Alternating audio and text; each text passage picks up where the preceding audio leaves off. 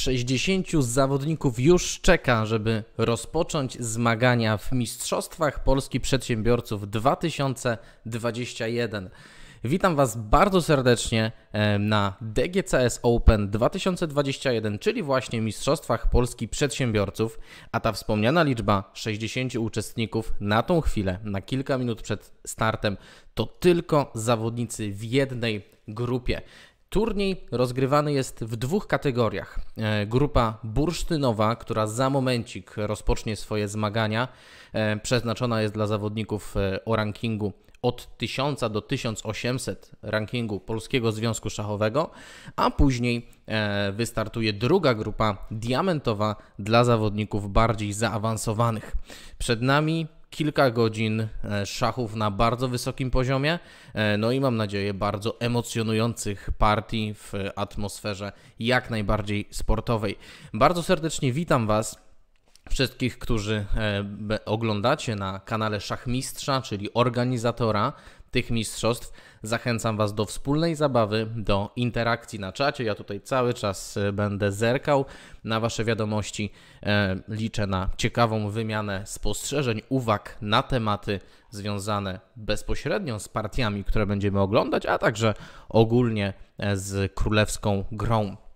Na początek kilka słów podziękowania dla wszystkich instytucji, które zaangażowały się w organizację E, tegorocznych Mistrzostw Polski Przedsiębiorców. E, przede wszystkim e, firma DGCS SA z Kalisza, która jest sponsorem i pomysłodawcą całego przedsięwzięcia.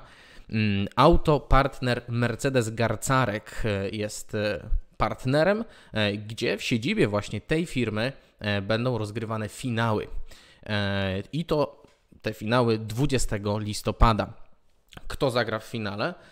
16 najlepszych zawodników. 8 z grupy bursztynowej i 8 z grupy diamentowej.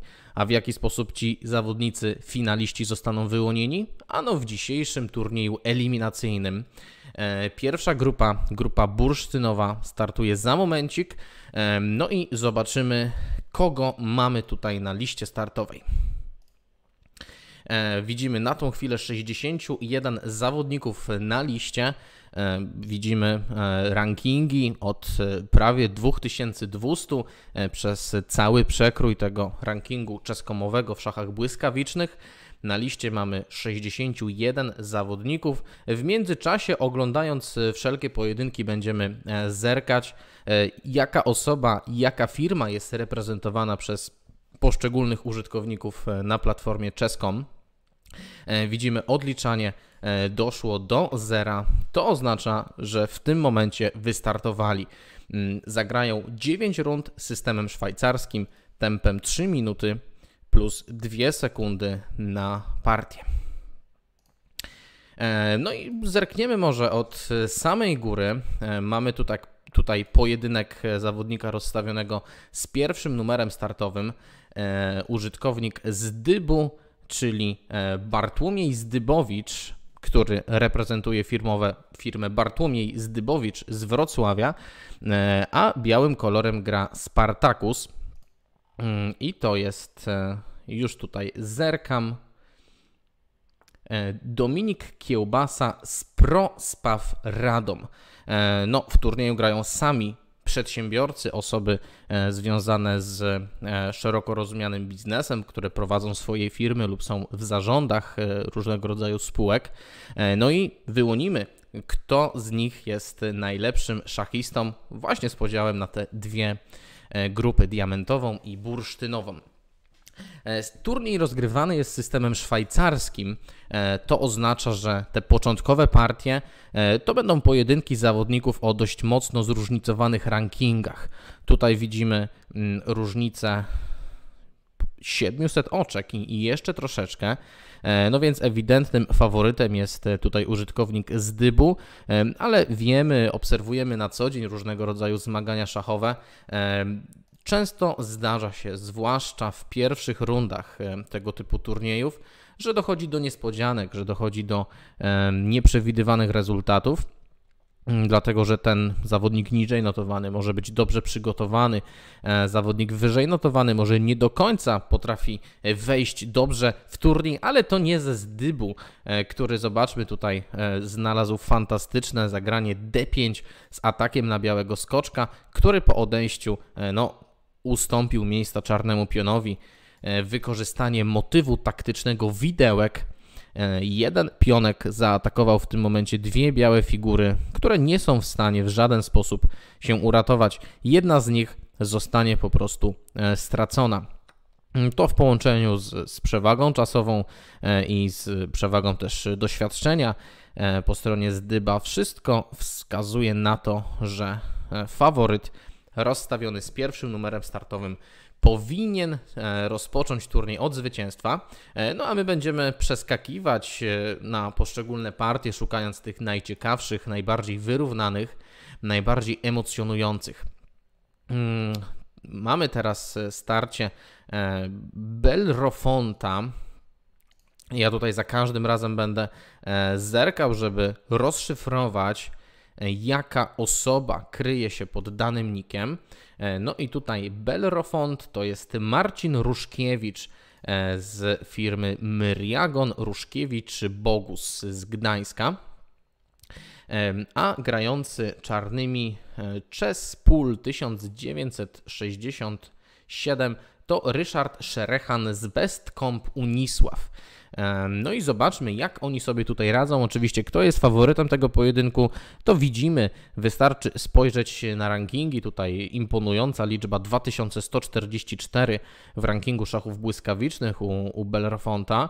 No ale na szachownicy na razie tej różnicy nie widać. Zawodnik grający czarnymi bardzo dobrze wyszedł z debiutu. Zaryzykowałbym stwierdzenie, że pozycja jest po prostu wyrównana e, z obustronnymi szansami.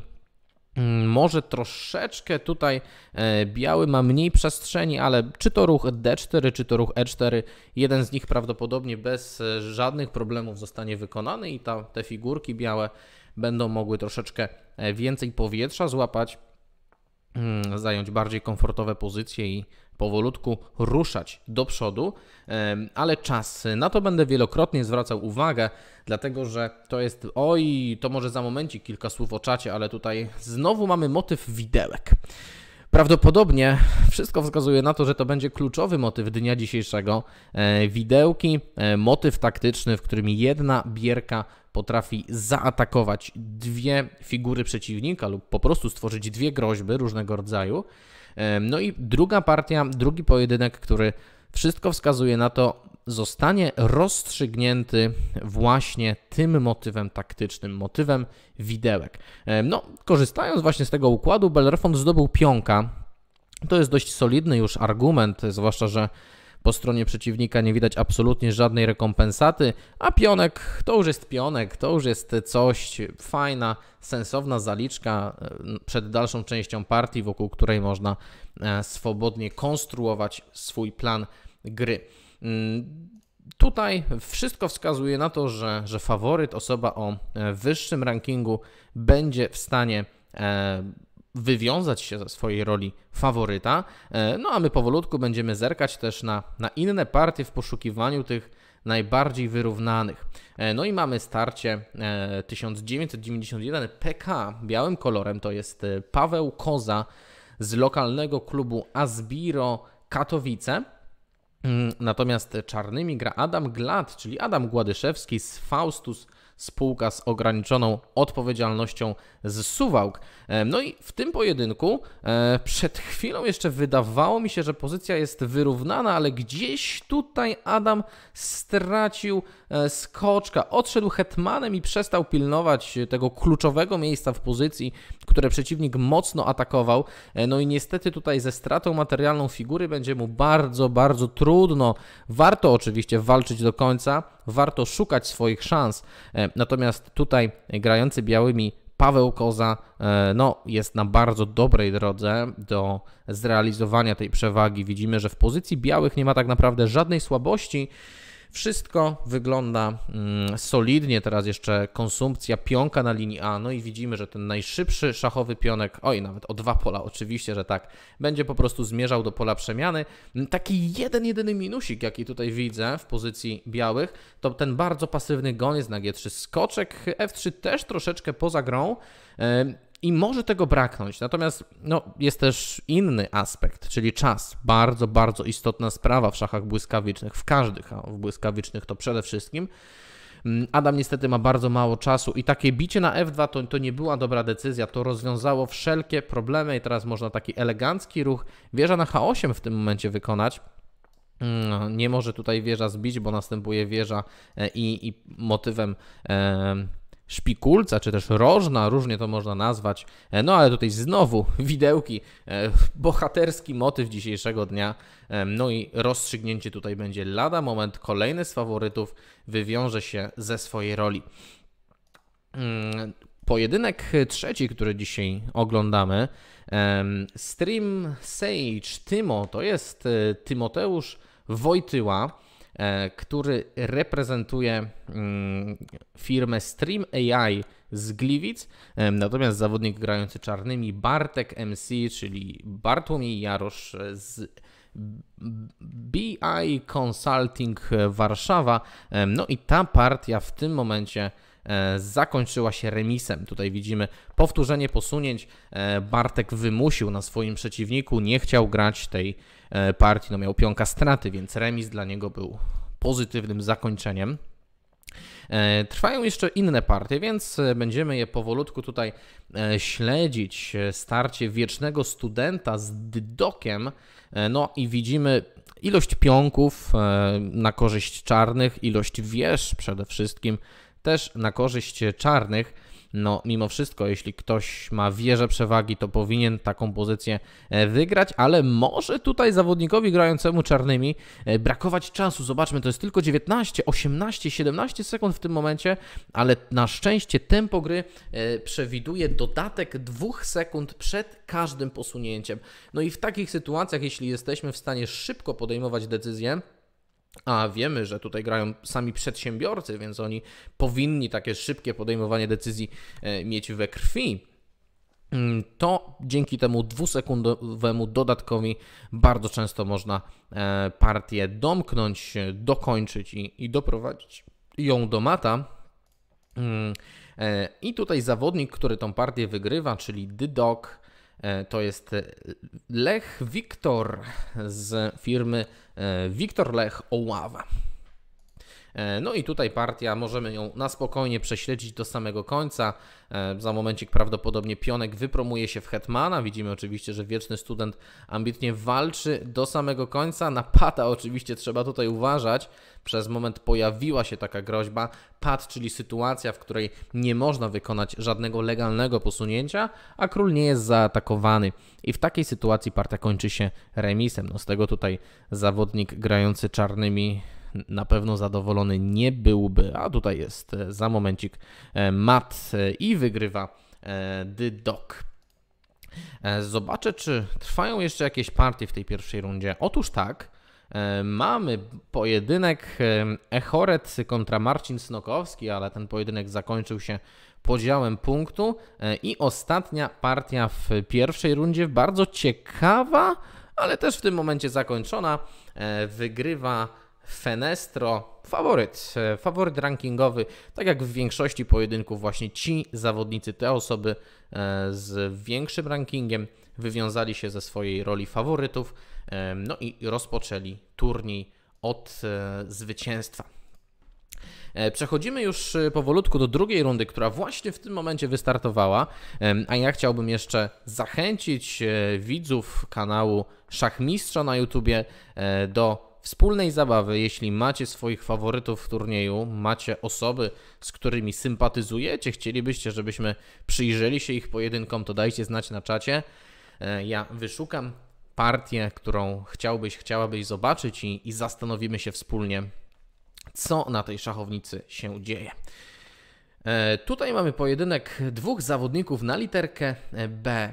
Kolorem e, białym gra Boyer, czyli Krzysztof Nawrocki z firmy ZHU Tęcza Modliszkowo, a jego przeciwnikiem jest Bartosz Pieślak z IT Craft, spółka ZO z Warszawy. No i pozycja, którą zawodnicy uzyskali po debiucie. Gdybym miał zgadywać, powiedziałbym, że doszło do tego z debiutu Karo Khan, ale widzieliśmy tą partię od samego początku. E, to nie był Karokan, to było coś, taka powiedziałbym hybryda systemu londyńskiego z obroną słowiańską, ale w końcu doszło do struktury takiej typowej karokańskiej dzięki posunięciu E4 ze strony Bojera. Mm, doszło właśnie do, do takiego układu. Czy ktoś ma tutaj przewagę w tej pozycji? Czy ktoś stoi lepiej?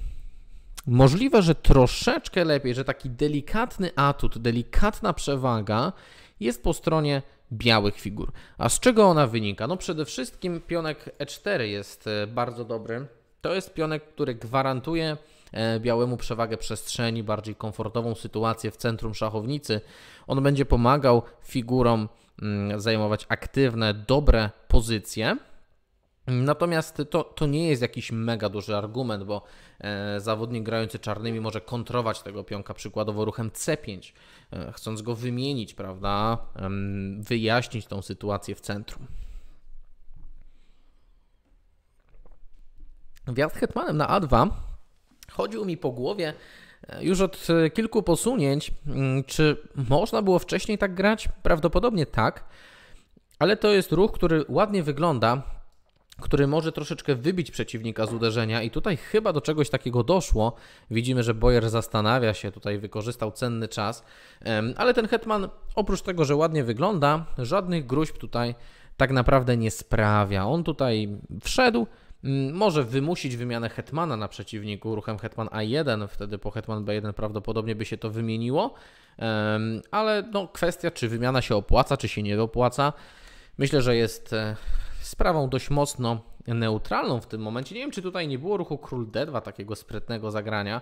Hetman musiałby wrócić na A1, ale chyba i tak nie mamy sposobu, żeby tego hetmana złapać. E, no, więc doszło do wymiany, do redukcji. Mm, jesteśmy w końcówce pionowej w tym e, w końcówce jesteśmy w tym momencie. Pionowa oczywiście może powstać.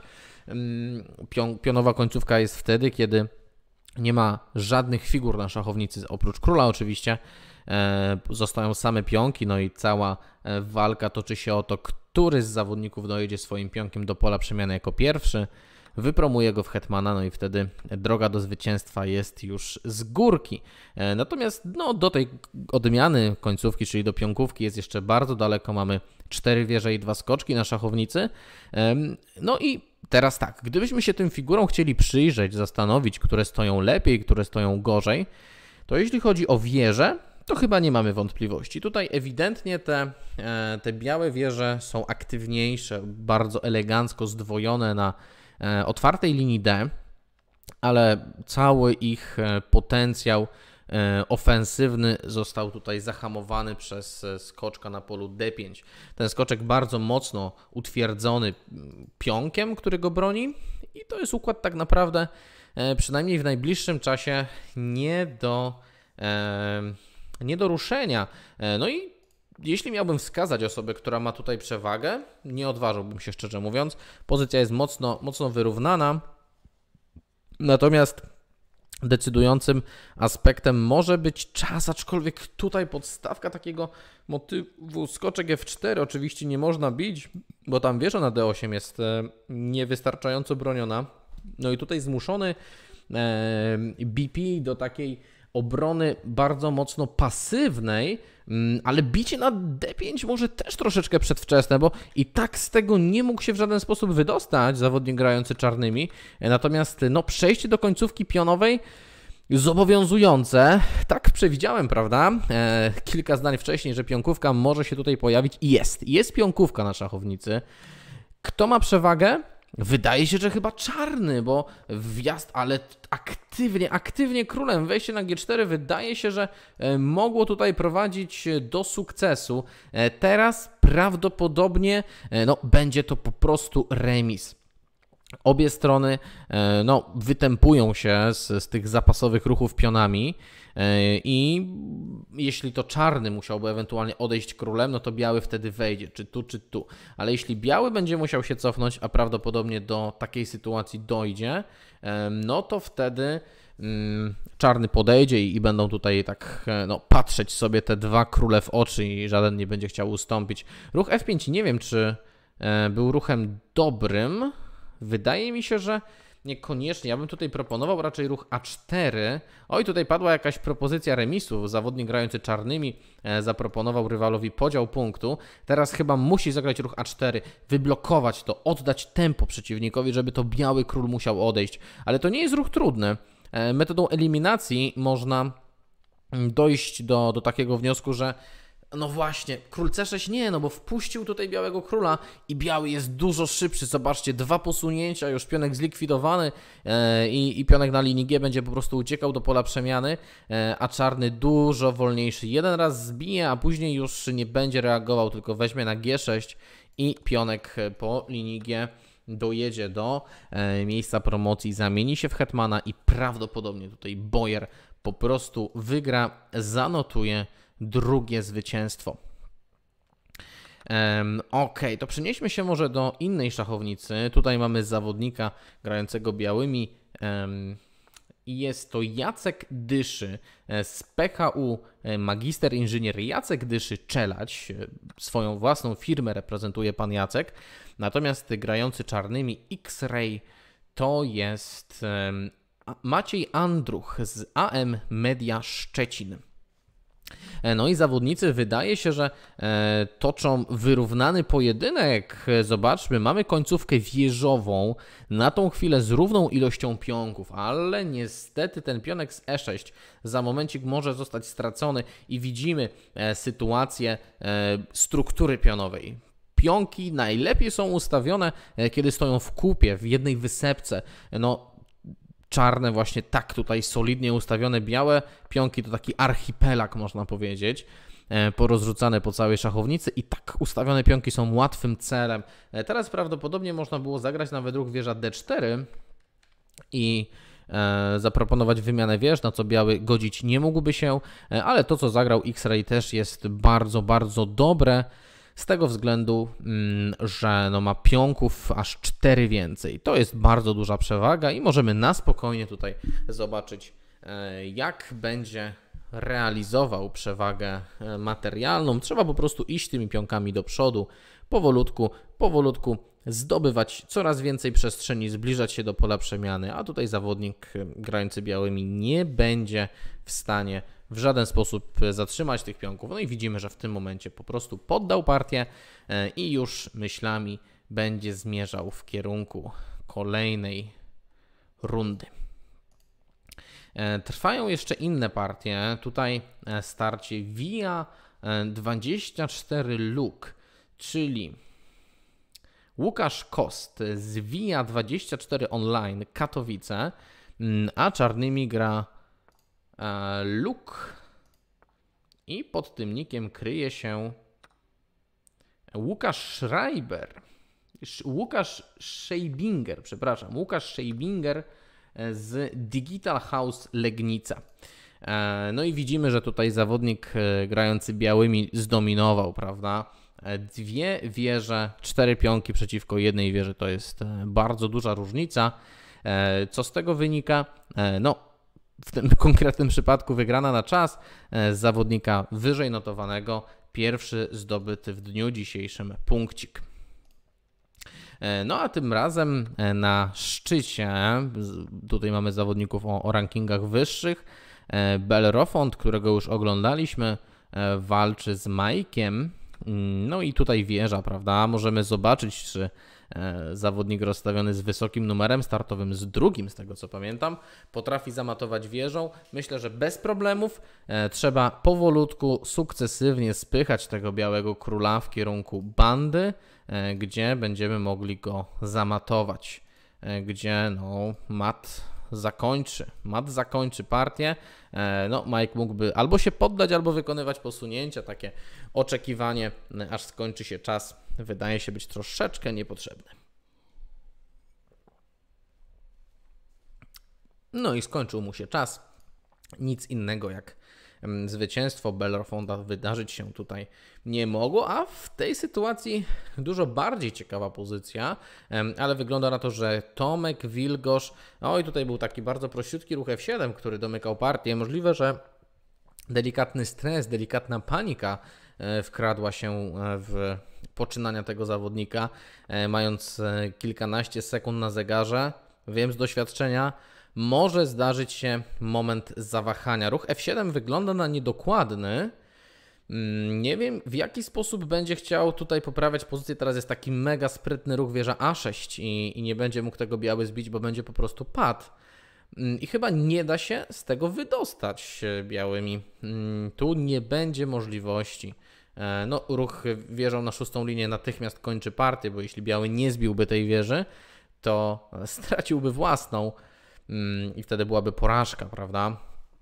Po raz kolejny jest wieża C6. Na spokojnie zobaczymy, jak ta partia będzie się kończyć, a później pokażę Wam, drodzy widzowie, mm, w jaki sposób Tomek Wilgosz mógł tą partię e, wygrać. E, no to jest e, cały czas teraz remis, prawda? Biały Król nie ma absolutnie gdzie się schować. Pionek troszeczkę zbyt daleko podszedł. Król przed tym pionkiem jest bardzo bezpieczny. E, no i tu nie wydarzy się nic. Będzie to po prostu podział punktu i zawodnicy z dorobkiem 1,5 e, w dwóch rundach. E, no będą oczywiście cały czas wysoko, ale tutaj widzimy już do gołych króli ambitna walka do samego końca. Zobaczmy w tym momencie był ruch F7, ruch z szachem. Czarny król jedyne co mógł zrobić to odejść i wtedy wieża H8, wykorzystanie tutaj geometrii, wykorzystanie tej ostatniej linii e, do zdobycia e, wieży. No i ta pozycja byłaby już zdecydowanie, zdecydowanie łatwiejsza. E, przed nami runda trzecia, która już się rozpoczęła. Mm, zerkniemy może na zawodników z czołówki, których jeszcze nie śledziliśmy. No i tak, e, po stronie białych mamy tutaj e, Chess Gamera i jest to Albert Kościelak z firmy Albert Kościelak Warszawa.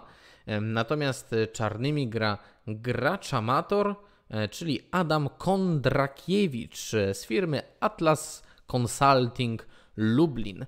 No i w starciu tych dwóch e, szachistów, dwóch przedsiębiorców. Za momencik, za kilka minut prawdopodobnie wyłonimy lepszego. Może też zdarzyć się taka sytuacja, że partia zakończy się remisem. E, jeśli przejrzelibyśmy sobie tutaj początek tego pojedynku od samego początku, to widzimy, że nastąpiła obrona Pirca, e, czyli taki debiut, który prowadzi zazwyczaj do pozycji skomplikowanych naznaczonych dużą ilością motywów taktycznych, gdzie obie strony muszą bardzo, bardzo uważać, żeby przetrwać i, i nie popełnić jakichś większych błędów, a często w tych pircach sprawa wygląda tak, że zawodnik grający białymi próbuje skonstruować aktywność na skrzydle królewskim i tam przyatakować. Tutaj wydaje się, że Chess Gamer ma troszeczkę inny pomysł na tą partię ma bardzo solidne centrum. Widzimy pionka D5 wspartego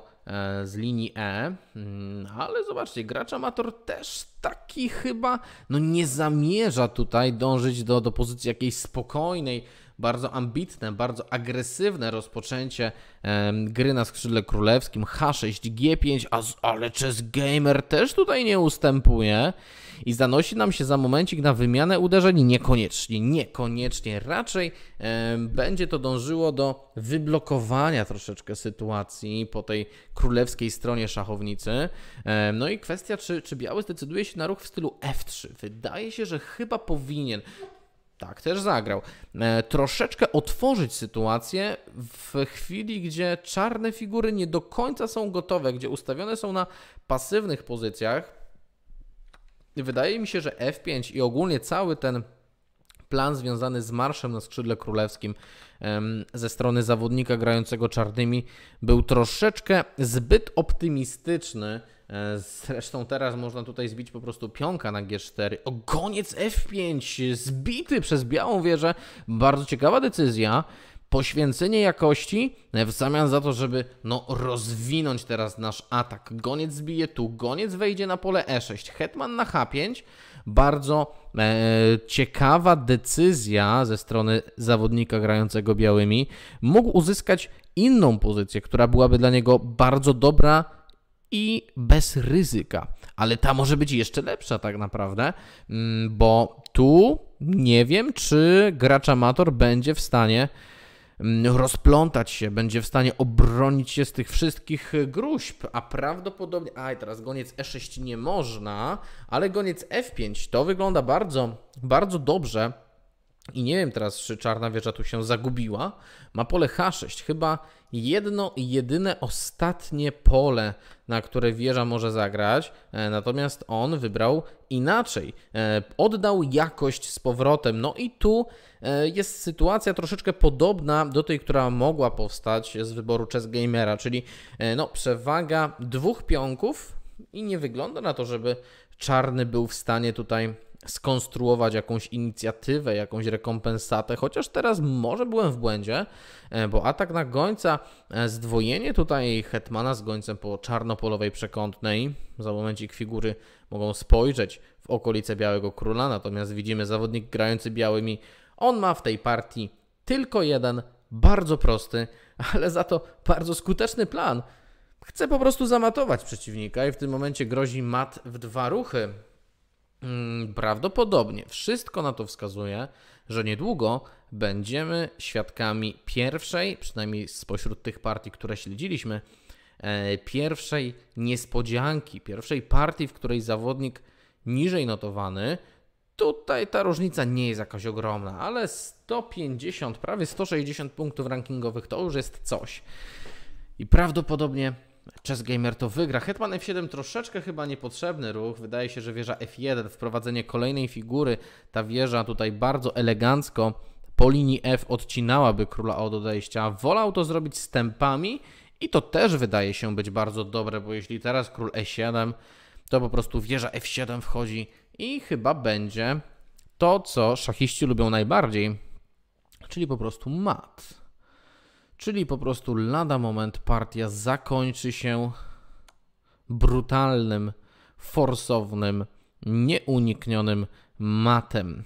E, białe figury świetnie skoordynowane, wszystkie biorą udział tutaj w ataku na Czarnego Króla, no i ten nie będzie w stanie się obronić. Skoczek E8 prawdopodobnie można po prostu wieża F8 teraz zagrać i wszystko wskazuje na to, że Chess Gamer zanotuje punkt. E, zobaczymy do końca, bo, bo jest e, no, ma, mało czasu na zegarze. Na pewno odczuwa tutaj silne emocje właśnie związane z tą szansą, przed którą stoi, czyli pokonania przeciwnika wyżej notowanego, ale e, do tej pory gra, gra dobrze i mamy teraz mata w dwa ruchy. Wieża bije E8, król musi odejść. Hetman bije E6, mat.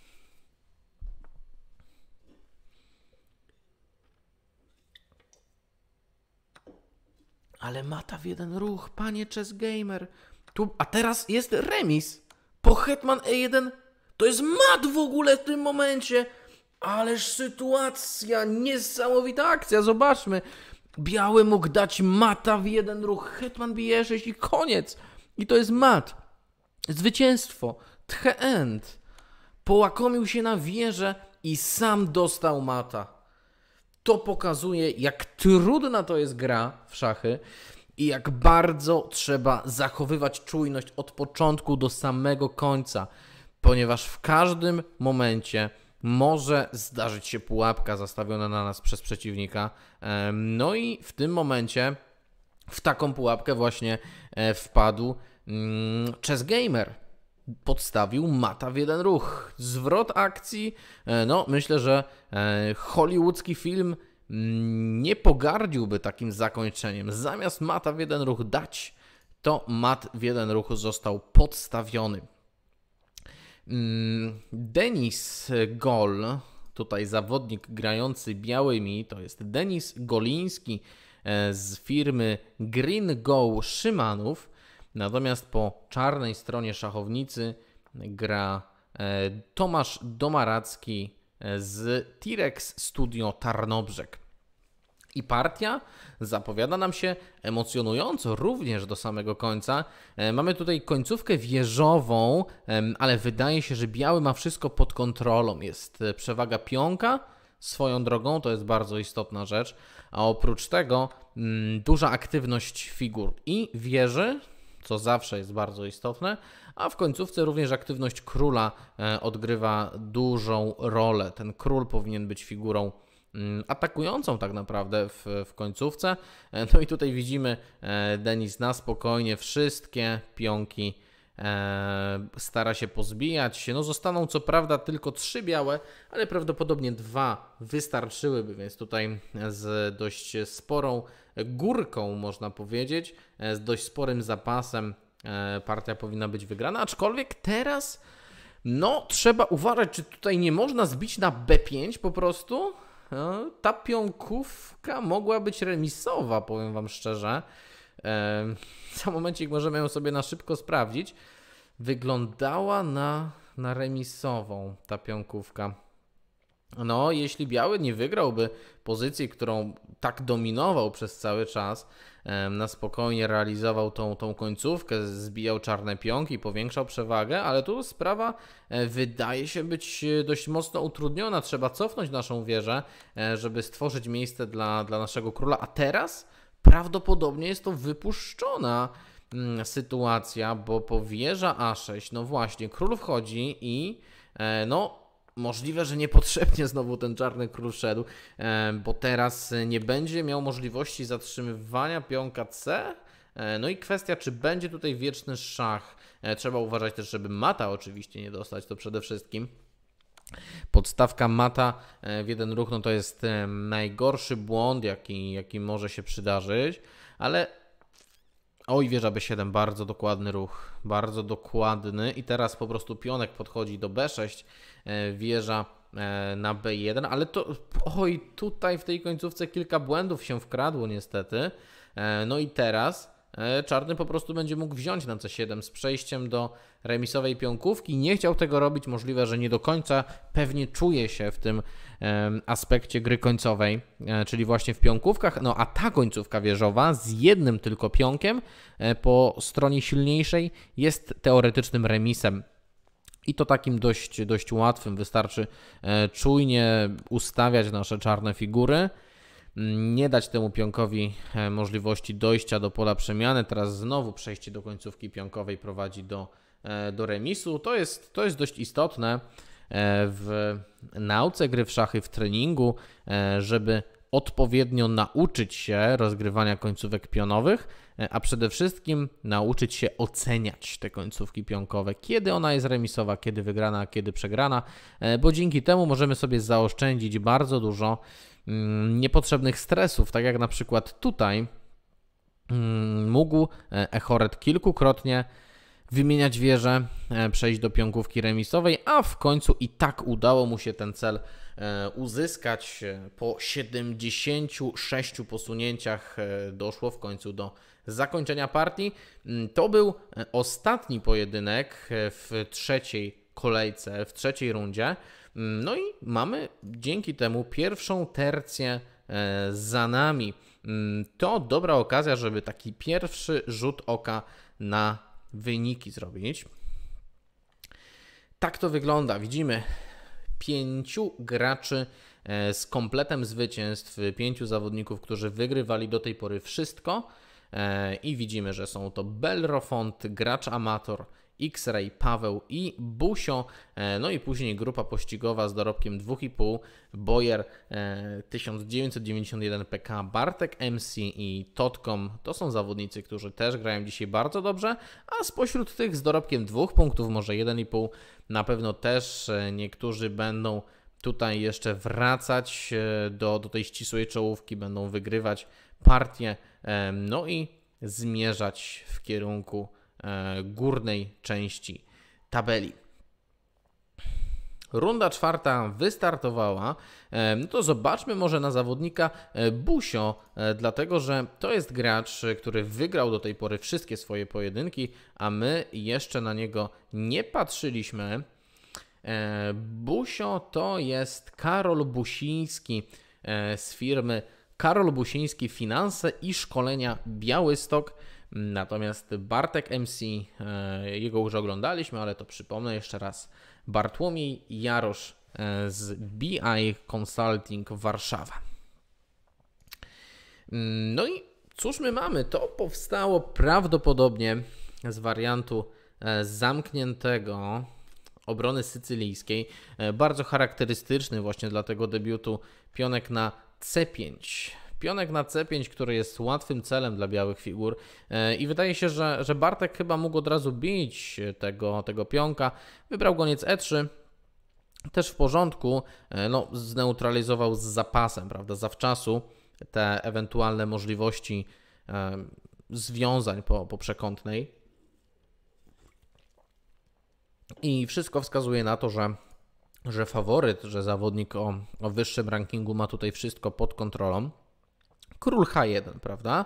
Profilaktyka. Mm, król na takiej newralgicznej, przekątnej był ustawiony, gdzie e, za momencik ona troszeczkę poluzuje, pionek czarny zejdzie z szachownicy, właściwie tak zostanie wyproszony siłą Mm, więc po co tutaj liczyć jakieś warianty, e, po co narażać się na, na motywy taktyczne ze strony przeciwnika, skoro można po prostu na spokojnie odejść królem na H1, gdzie, gdzie jest bezpieczniejszy e, i żadna krzywda go nie spotka.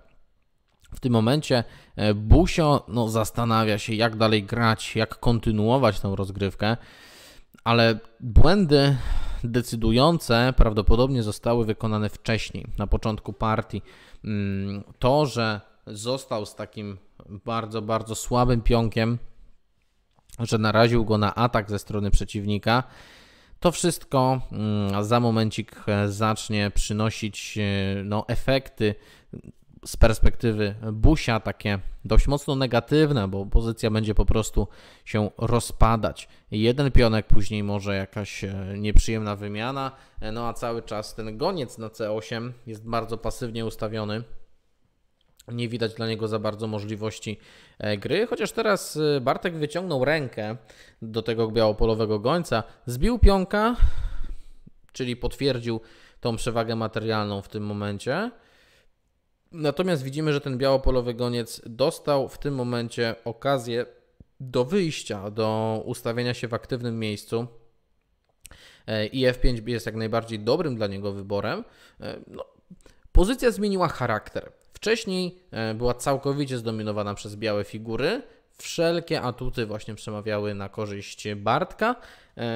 No, to co mamy teraz na szachownicy, to też jest pozycja, w której e, Bartek ma ewidentną przewagę, stoi bardzo dobrze, ale do sukcesu jeszcze daleka droga. Tutaj na spokojnie właśnie trzeba coś wymienić, coś uprościć, mm, zaplanować kilka ruchów do przodu, ograniczać aktywne możliwości przeciwnika e, i dążąc do końcówki tam realizować e, przewagę pionka. Czasami można też inną strategię e, objąć, czyli no, szybciej zaatakować przeciwnika, przyczaić gdzieś się na, jakieś motywy matowe, na um, agresywny atak w kierunku jego króla, co też oczywiście przy pionku przewagi jest łatwiejsze, bo, bo taki dodatkowy pionek na szachownicy ogranicza figury przeciwnika, odbiera im ważne miejsca.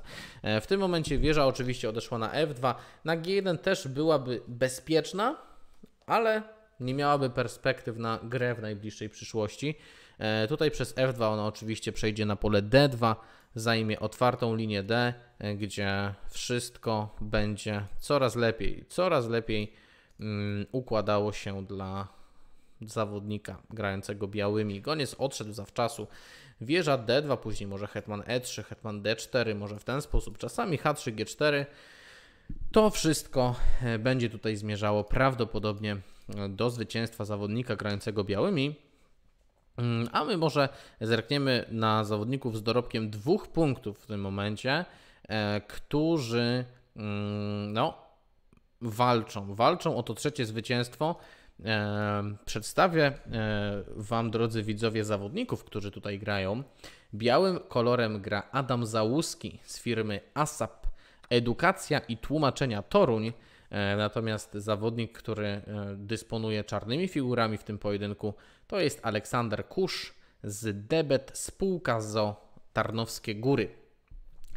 Pojedynek wygląda na wyrównany, bo zobaczmy, mamy tylko jednego pionka różnicy. No i ta strona z właśnie pionkiem straty wydaje się być troszeczkę lepiej skoordynowana, ale te pozostałe figury e, czarnych, może za wyjątkiem tej wieży, która spełnia tutaj tylko negatywne zadania obronne, Wszystkie, oj, podstawka mata w jeden ruch, niestety w tym momencie, ale co się dzieje z zawodnikami dzisiaj? Panowie, panie, tutaj jak mat w jeden ruch jest, to trzeba go dać po prostu. Zobaczcie, tutaj wieża H1 mat. Bardzo prosta sytuacja. Podejrzewam, że to emocje, że to jakiś stres wśród tych zawodników, może świadomość, że grają w Mistrzostwach Polski, tak ich paraliżuje, że zdarzają się proste przeoczenia, proste sytuacje, które no szkoda, że nie są wykorzystane, bo wszyscy znamy powiedzenie, że niewykorzystane sytuacje się mszczą w szachach. Częsta jest to sytuacja, że jak mamy dobrą okazję i jej nie wykorzystamy, to może się tak wydarzyć, że drugiej, tak samo dobrej, już po prostu nie będzie. No i właśnie zawodnik, zobaczcie, grający czarnymi, podjechał po prostu wieżą podbicie i odwróciło się wszystko. Totalnie wszystko się odwróciło w tym momencie e, i to Chess Pacer e, zakończy tą partię zwycięstwem.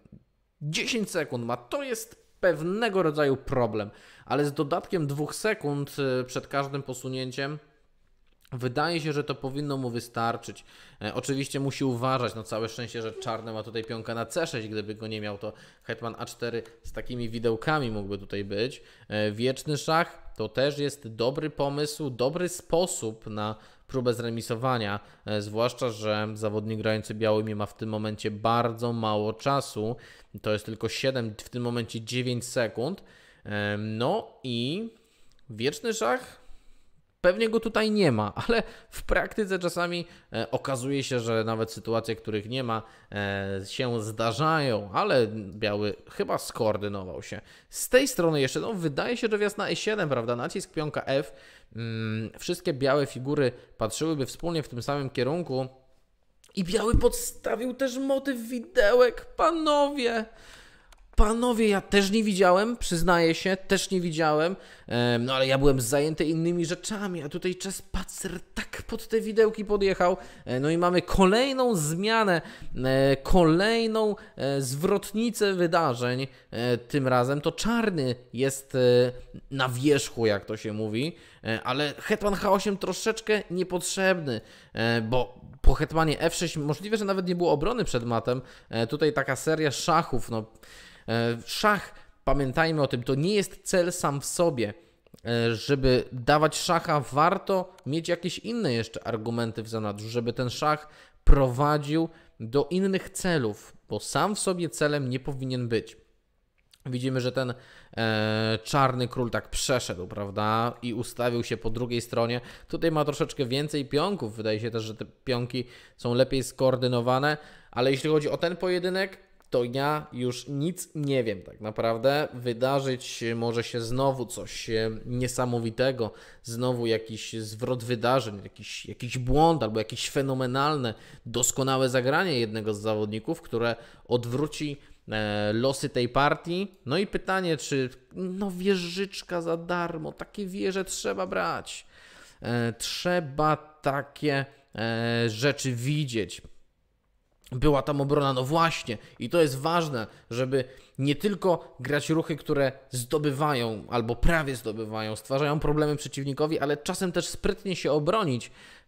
I teraz bicie na A6 z wiecznym szachem? Może nie, ale zawodnik y, po czarnej stronie widać, że też tutaj e, emocjonuje się tą sytuacją. Też widać, że nie do końca wszystko ma pod kontrolą. E, oczywiście nie można wrócić z szachem, bo tutaj wieża kontroluje. Hmm, chyba za dużo pionków wokół tego czarnego króla. Szczerze mówiąc, nie widzę sposobu na e, dostarczenie tam wiecznego szacha, a zdobywa w tym momencie Ksan e, po prostu hetmana. No i to już powinno, to już powinno zakończyć się jego zwycięstwem, ale dopóki piłka w grze, prawda? Dopóki w piłka w grze, e, króle są dwa, szachownica jest kwadratowa, natomiast e, no, hetman przewagi w takiej sytuacji, jeśli jeszcze tutaj idą z nim w parze pionki i to bardzo licznie. Widzimy pionek po linii A dojedzie do pola przemiany i zamieni się, zamieni się po prostu w drugiego hetmana. No, ta partia, powiem Wam szczerze, zaskoczyła mnie pod wieloma, wieloma względami. No, ale na końcu lepszy okazał się Ksan czwarty. E, to on popełnił mniej błędów, to on lepiej wykorzystał przeoczenia przeciwnika i e, zanotował trzeci punkt. E, to była ostatnia partia w, w tej kolejce, w rundzie czwartej. Zanim przeniesiemy się do, do rundy kolejnej, do rundy piątej zobaczymy na aktualną sytuację. Kto jest na czele?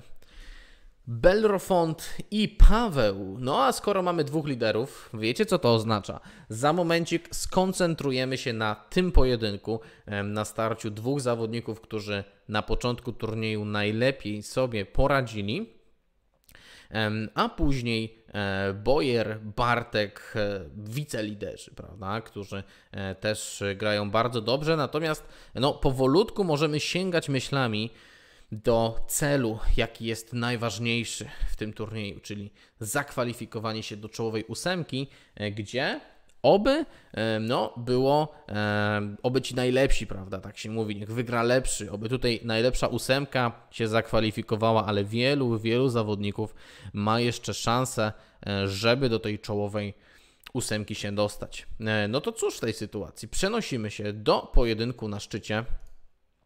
E, Belrofont białymi, czyli Marcin Ruszkiewicz, Zmyriagon Ruszkiewicz, Bogusz End Ruszkiewicz, Gdańsk. Natomiast kolorem czarnym gra Paweł P. 1969 mm, i to jest Paweł Pawlikowski z biura rachunkowego Fortuna Częstochowa. Mm, no i zobaczymy. Ta partia prawdopodobnie da nam informację, kto jest samodzielnym liderem, kto solo usiądzie e, w fotelu lidera, ubierze się w tą wirtualną żółtą koszulkę po pięciu rundach. Aczkolwiek może też dojść do sytuacji, jeśli ten pojedynek zakończyłby się remisem, e, że no, nie będziemy mieli e, lidera, tylko jakieś miejsce dzielone, prawda, kilku zawodników egzekwo ale to oczywiście e, po rundzie zobaczymy, sprawdzimy aktualny stan tabeli. Tymczasem no, delektujmy tutaj nasze szachowe podniebienia widowiskiem fundowanym przez e, tych dwóch zawodników. E, ja się tak rozgadałem, mm, a w międzyczasie nie zauważyłem, gdzie pionek się stracił. Na samym początku, ach, ten pionek na E4 zbyt ambitnie. Przypomniała mi się partia Jana Krzysztofa Dudy z Hikaru Nakamurą e, w ostatnim ich pojedynku w finale Meltwater Champions Chess Tour. Tam też Hikaru takiego pionka oddał i później zdołał e, odwrócić losy partii, prawda? No, miał rekompensatę za tego pionka i, i świetnie ją rozwijał. Tutaj troszeczkę w innej sytuacji Paweł postanowił zastosować e, tę samą ideę, ale w tej konkretnej pozycji nie widać. Nie widać, gdzie rekompensata za tego pionka mogłaby e, być. E, no, drugi pionek też tutaj spadł w tym momencie. E, jest przewaga czasowa, tak prawie 30 sekund, dwa pionki więcej. No jedyny taki argument ze strony Pawła to jest ta wieża na A4, dobrze ustawiona. E, która może stwarzać groźby, może tworzyć tutaj jakieś motywy taktyczne, ale to jest za mało. To jest e, taki, e, taki mały atucik, ale po stronie białych jest dużo więcej pozytywnych rzeczy. No i teraz oczywiście kwestia, czy, czy wymieniać gońca na C6. Zdecydował się na to Paweł, zgodnie z takimi ogólnymi zasadami szachowymi. Strona słabsza, czyli strona, która ma jakąś tam stratę materialną, nie powinna nie powinna wymieniać. To zazwyczaj nie jest dobra droga, żeby zwiększyć sobie szanse na, na ratunek, czy to do remisu, czy może czasami całkowite odwrócenie losów partii i, i wygranie. E, to, no, żeby to się zdarzyło, Trzeba stworzyć przeciwnikowi jakieś problemy. Trzeba stworzyć przeciwnikowi okazję do popełnienia błędu. Tutaj w tej sytuacji, w tej konkretnej pozycji, szczerze mówiąc, nie widzę, gdzie biały mógłby popełnić błąd. Co mogłoby się wydarzyć, żeby zawodnik po białej stronie podstawił, gdzie ten motyw taktyczny mógłby się e, przytrafić. No może, zobaczcie, przykładowo, jeśli hetman odszedłby na d2, to wtedy będzie wieża a1, król g2, hetman e4 z wzięciem pionka z c6, ale takie pasywne ustawianie figur to nie będzie zmierzało do odwrócenia losów tej partii. Mm, żeby zastosować comeback, prawda? Żeby wrócić do partii, e, która wydaje się stracona, musimy grać aktywnie, musimy wywierać presję na przeciwniku e, i to, o czym powiedziałem wcześniej. Musimy stworzyć mu okazję do błędu.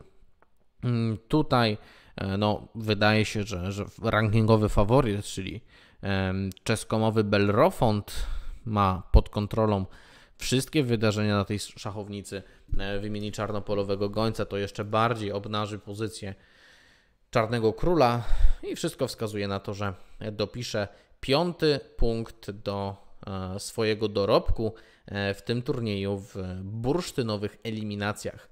Mistrzostw Polski Przedsiębiorców 2021. E, no tutaj właśnie wymiana gońca i znowu podobny motyw, jaki w poprzedniej partii e, widzieliśmy. Motyw taktyczny widełek. E, Hetman zaatakował króla, zaatakował wieżę i prawdopodobnie Paweł chwilkę jeszcze poszuka, czy ma jakieś rozwiązanie, ale spodziewałbym się raczej kapitulacji w tym momencie. Możliwe nawet, że nie zauważył mm, ataku na tą wieżę dopiero teraz, kiedy przeciwnik zbił to zorientował się what's going on, e, ale tu wydarzyć się już nie powinno nic e, i prawdopodobnie, prawdopodobnie samodzielnym liderem e, po pięciu rundach będzie Bellerofont, więc korzystając tutaj z sytuacji, że partia jest bardzo bliska rozstrzygnięciu, spójrzmy na szachownicę drugą, gdzie jest toczony pojedynek o pozycję samodzielnego wicelidera. Boyer w pojedynku z Bartkiem.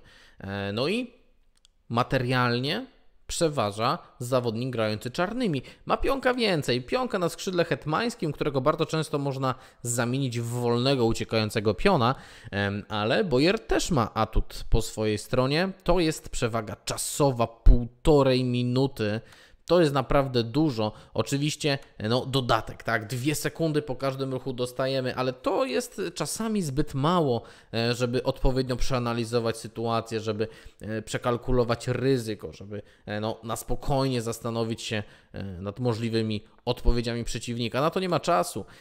Te dwie sekundy dodatku wystarcza praktycznie tylko na to, żeby zobaczyć, co przeciwnik zagrał, i zagrać własny ruch. To mniej więcej, mniej więcej tak. W dużej mierze decyzje podejmowane są intuicyjnie i teraz może nastąpić po prostu remis e, i myślę, że taka decyzja tutaj będzie dokładnie. E, Bartek MC e, zasejwował, nie chciał podejmować ryzyka, wziął to co miał, jak to mówią, lepszy wróbel w garści, prawda? Niż inny ptak na dachu. E, więc podział punktu i będziemy mieli e, no, samodzielnego lidera, to za momencik, e, a później liczną grupę pościgową. Na to na spokojnie zerkniemy między rundami. Pojedynek zawodników z dorobkiem 3 punktów, oni też za momencik mogą dołączyć do grona wiceliderów. Białym kolorem gra X-Ray. Tego zawodnika już śledziliśmy, ale przypomnę, że to jest Maciej Andruch z AM Media Szczecin. Natomiast zawodnik grający czarnymi e, Totkom Paweł e, Frąc z Multimet e, Przemków. I partia zakończyła się zwycięstwem czarnych na czas. Na czas się zakończyła, ale na szachownicy też tutaj wszystko wszystko było na korzyść e, Totkoma. Zasłużenie i pewnie odniósł w tej partii zwycięstwo.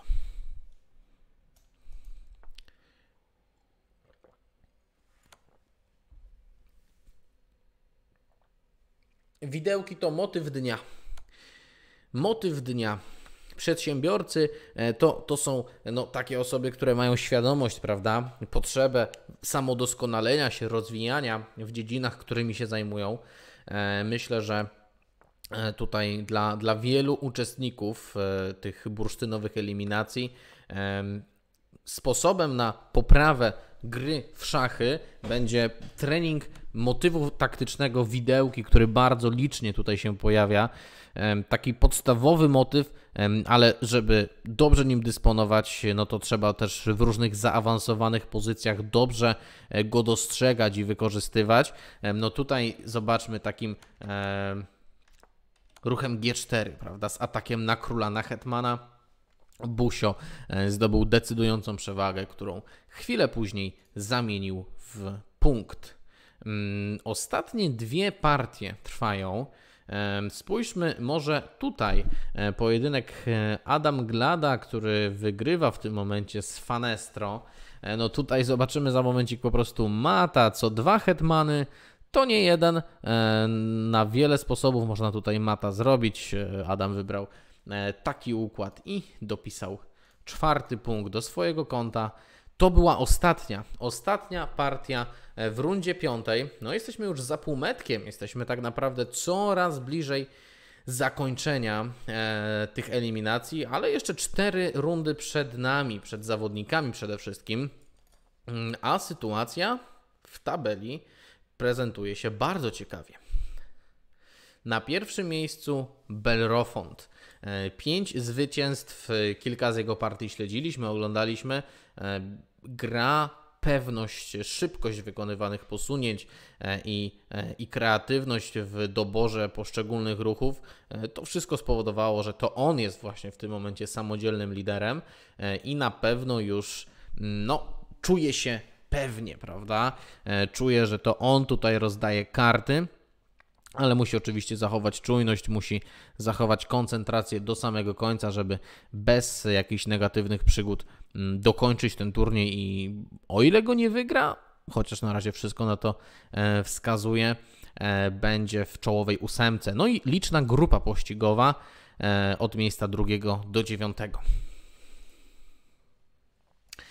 Czy mamy tutaj w tej grupie osobę, której nie oglądaliśmy jeszcze, no z tej czołówki na każdego przynajmniej rzucaliśmy okiem, e, to może będziemy teraz obserwować partię e, Michu 1989. On ma co prawda tylko 3,5 punktu, ale jego właśnie nie oglądaliśmy. To jest. Hmm, Michał Pałasz. Michał Pałasz z firmy rentierzy.fm Poznań. No a po stronie czarnych to oczywiście możemy przy każdej okazji przypomnieć gra Paweł Frąc z Multimet e, spółka zo mm, Przemków. E, czy finały będą na czeskom, czy na żywo? E, finały będą e, na żywo. 20 listopada się odbędą w siedzibie Autopartner Mercedes Garcarek, który jest partnerem Mistrzostw Polski Przedsiębiorców 2021, a w finale zagra ośmiu zawodników najlepszych z tej grupy, z grupy bursztynowej, e, a po zakończeniu już teraz zapraszam wszystkich, żeby całe te e, sobotnie popołudnie, sobotny wieczór spędzić e, razem z szachami na kanale Szachmistrza właśnie, śledząc później właśnie od godziny 19.30 zmagania eliminacyjne w grupie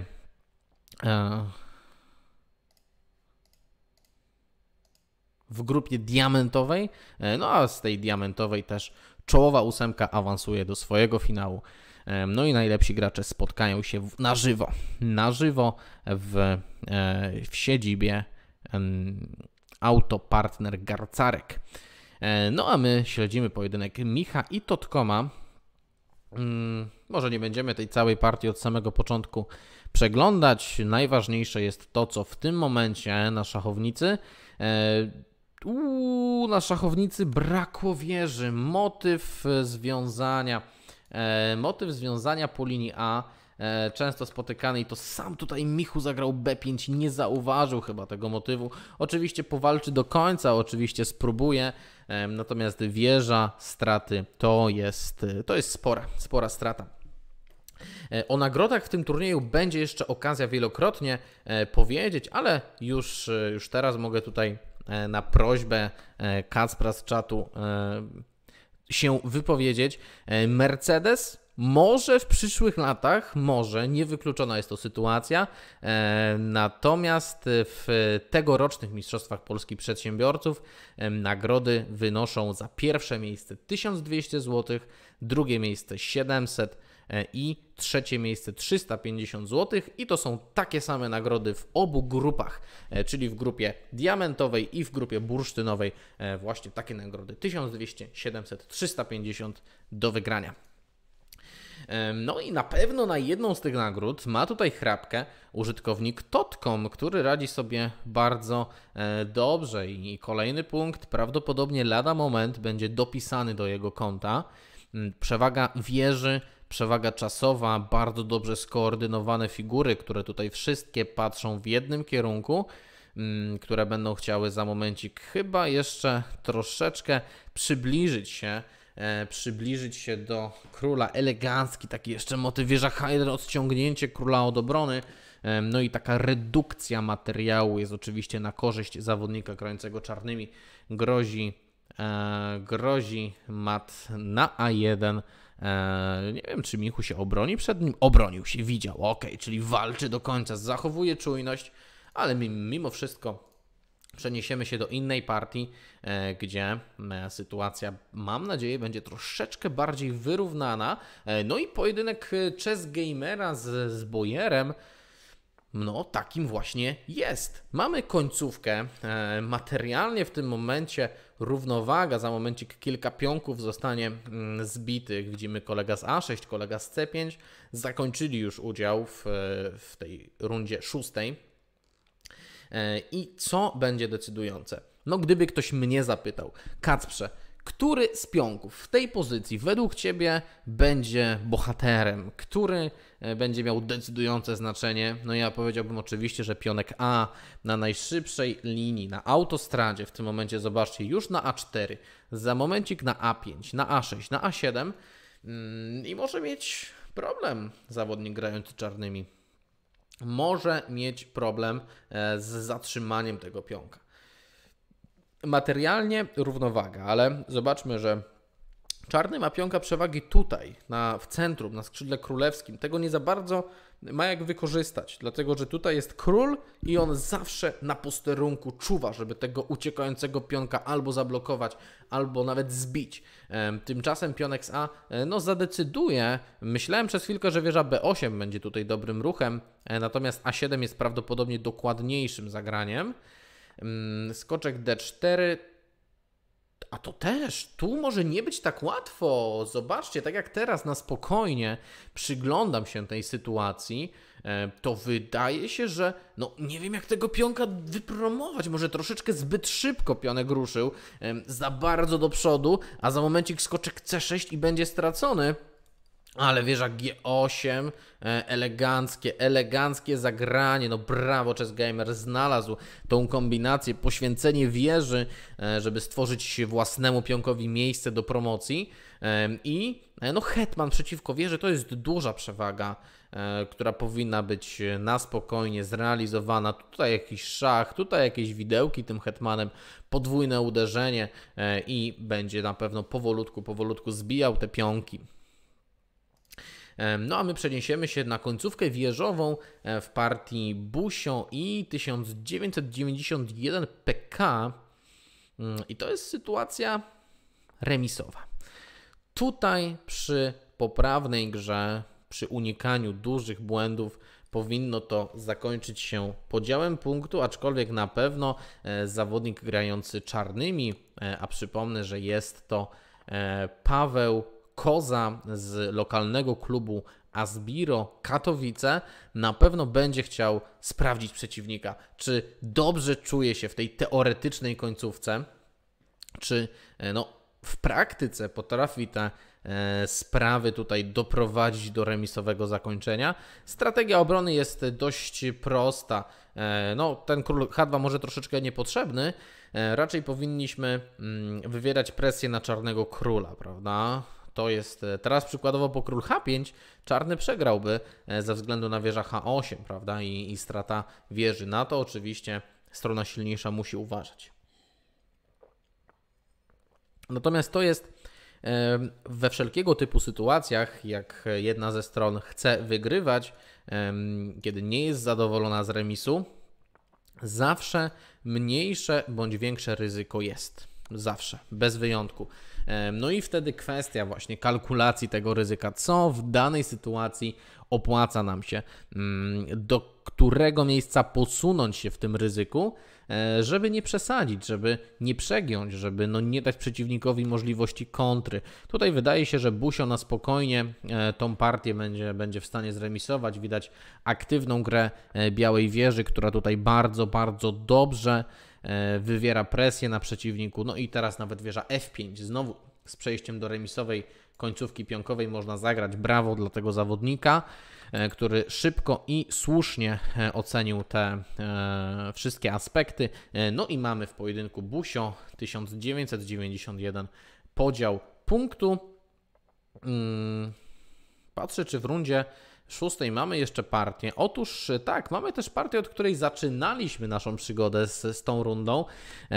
Pamiętamy, Tutaj ta e, przewaga e, no, jest ogromna w tym momencie. Chess Gamer nie będzie miał, nie będzie miał żadnych problemów, żeby e, doprowadzić to do końca. Śmiało można by już poddać partię, prawda?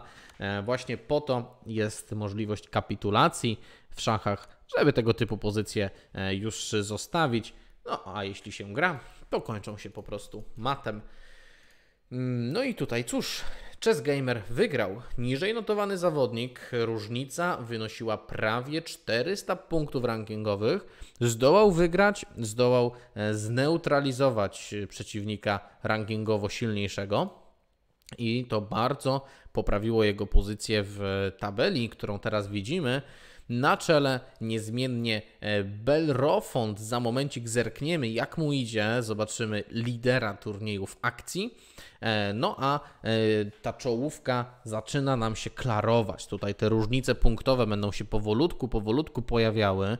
W tym momencie drugie, trzecie i czwarte miejsce dzielą Chess Gamer, Paweł i, i Totką. Widzimy też zawodników z dorobkiem 4,5 punktu.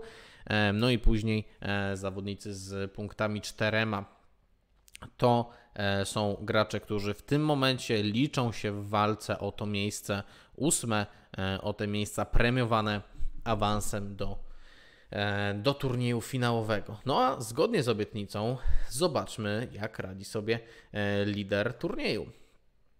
No i przypomnijmy oczywiście, bo zawsze warto, mm, kto, kto nam się tutaj kryje. Belrofont, lider to Marcin Ruszkiewicz, a białym kolorem gra Paweł Frąc. E, czyli mamy pojedynek Marcina z e, Pawłem w tym momencie. I cóż nam się tutaj dzieje? Debiut zakończony e, w obronie Benoniego. Zawodnicy e, rozegrali początek tej partii. E, taki debiut, który mm, różnie się interpretuje. Raczej na takim najwyższym, najwyższym szachowym poziomie on się nie pojawia, bo czarny czasami jest troszeczkę za bardzo ścieśniony, ma za mało miejsca do dyspozycji, za mało pól, na których może ustawiać swoje figury, ale tu myślę, że to bardzo ciekawy wybór, mm, bo no, zagrać z kontry, prawda, można przyczaić się gdzieś na tego przeciwnika i w odpowiednim momencie e, rzucić się na niego jak drapieżnik. E, no i ta pozycja troszeczkę wpisuje nam się w ten e, klimat Benoni. Biały ma przewagę przestrzeni, aczkolwiek pojawił się problem kolega na C4 biały, pionek e, niebroniony, znaczy właściwie to broniony przez tego hetmana, ale to troszeczkę za mało. Taki jeden hetman broniący e, to nie jest wystarczająca siła w defensywie. Chociaż tu no, udało się tego pionka zachować. E, przeniósł się na linię D, przewaga przestrzeni zostaje. No, czyżby Totkom zneutralizował tutaj te problemy i, i osiągnął pozycję komfortową? Bardzo, bardzo możliwe. Natomiast cały czas musi no, tłumaczyć się, musi udowadniać, że ta pozycja jest, jest dobra, jest sensowna, grywalna. Po wieży C8 widzimy, że czarny tutaj bardzo ładnie zdwoił się po linii C. E, możliwe, że będziemy za momencik świadkami ruchów w stylu Hetman C4, może Hetman C2, e, taka wymiana z, z późniejszą wieżą na C8. E, no i kwestia, czy główna kwestia tak naprawdę, kluczowa dla wyniku tej partii, czy Paweł Frąc, to zawodnik grający białymi tutaj, będzie w stanie skutecznie bronić tych pionków struktura, w jakiej one są, te pionki, pozostawia dość sporo do życzenia, bo e, no, są narażone na ataki, prawda? Nie są bronione przez inne pionki. A wiemy, że dobry pionek to taki, który jest broniony przez pionka. Wtedy jest stabilny, bezpieczny e, i, i nie trzeba się o niego obawiać. Tutaj niestety mm, do obrony białych pionków muszą zaangażować się i to bardzo licznie figury, e, które raczej wolałyby inne, bardziej ambitne zadania spełniać. E, no i do tego jeszcze aspekt e, czasu nam dochodzi. W tym momencie mamy prawie że minutę różnicy. Mm, skoczek F4, ale mi się podoba ten ruch. Przyznam się szczerze, w ogóle go nie widziałem. Natomiast tu jest taka kontynuacja, że po biciu, biciu skoczek przez B4 będzie przechodził na C6. Jeśli tego skoczka udałoby się tu ustawić, a wszystko wskazuje na to, że udałoby się, to myślę, że nawet całą inicjatywę przeciwnika mógłby tutaj Totkom zatrzymać. Tak mi się wydaje. No i możliwe, że do podobnych wniosków doszedł lider turnieju, ale jednak zdecydował się na tą kontynuację. Teraz widzimy atak skoczkiem tempem, a i to widełki są. No i znowu, powiem Wam szczerze, ci zawodnicy w grupie bursztynowej w eliminacjach do turnieju finałowego Mistrzostw Polskich Przedsiębiorców widzą naprawdę dużo. Widzą więcej niż ja, i zaskakują mnie e, wielokrotnie e, z, z takimi właśnie sprytnymi zagraniami, sprytnymi motywami, na które po prostu nabierają e, nie tylko mnie, ale no przede wszystkim przeciwników swoich. Pionek straty to już będzie, to już będzie coś, to jest taki atut, argument, wokół którego śmiało można konstruować grę na wygraną w danej partii. Teraz po wybiciu na D4 e, skoczek B4 będzie zmierzał na pole C6 i wydaje się, że na spokojnie e, skoczek tutaj się ustabilizuje, ale jednak z pionkiem straty, prawda? Później możliwe, że E6, A6 czarne pionki będą podrywały tą strukturę i obstawiałbym, że mm, lider, faworyt rankingowy powinien ten pojedynek zakończyć e, sukcesem, ale zostaniemy tutaj jeszcze troszeczkę, e, no bo to jest pozycja z, z półki tych jak najbardziej ciekawych. I teraz zamyślił się nam, zobaczcie. To już kilkanaście sekund, to już jest dużo czasu. Długi namysł zawodnika, a ja przypomnę jeszcze raz. Czas jest bardzo istotnym elementem szachowej rozgrywki, zwłaszcza w tempie błyskawicznych szachów. A tutaj właśnie takie mamy. Zawodnicy na start mają 3 minuty z dodatkiem 2 sekund na każde posunięcie i to im musi wystarczyć. I wpadając w niedoczas, doprowadzając do sytuacji z, z małą ilością czasu na zegarze, pchamy się e, w kłopoty, prawda? Bo nawet jeśli pozycja będzie dobra, to czasami nie zdążymy jej zrealizować, nie zdążymy udowodnić na szachownicy, e, że ta pozycja faktycznie jest taka dobra. No i tutaj Belrofont przyspieszył, ale Todd e, jakby zwolnił troszeczkę, już jest poniżej 20 sekund i coraz szybciej, coraz e, e, żwawiej będzie musiał wykonywać te swoje ruchy. E, no tutaj oczywiście mogłoby się przez chwilę wydawać, że podstawiony motyw widełek na polu D2 na dwie białe wieże, natomiast to wszystko jest skontrowane innym motywem taktycznym, motywem związania. I w tym momencie mamy wymianę i wieża, wieża, wieża A3, wieża B6 utrzymany jeden pionek, utrzymany, a jak dwa pionki, to, e, to jest bezpieczny w takim razie. To bezpieczny tutaj jest faworyt, e, bo no, przez chwilę mogłoby się wydawać, że, że biały będzie miał jakąś inicjatywę. E, gdyby to było za jednego pionka, wtedy ok, ale dwa pionki to jest naprawdę sporo. No i lider umocni się na prowadzeniu. Większość partii powolutku, powolutku dobiega końca, a może zobaczymy e, tutaj zawodnicy z dorobkiem 3 punktów, a przeniosłem się dlatego, że mamy tutaj bombardiera, zawodnika, którego jeszcze nie oglądaliśmy dzisiaj. To jest Bernard Kuska z e, ośrodka szkolenia kierowców e, Bernard Kuska Beta Wołów.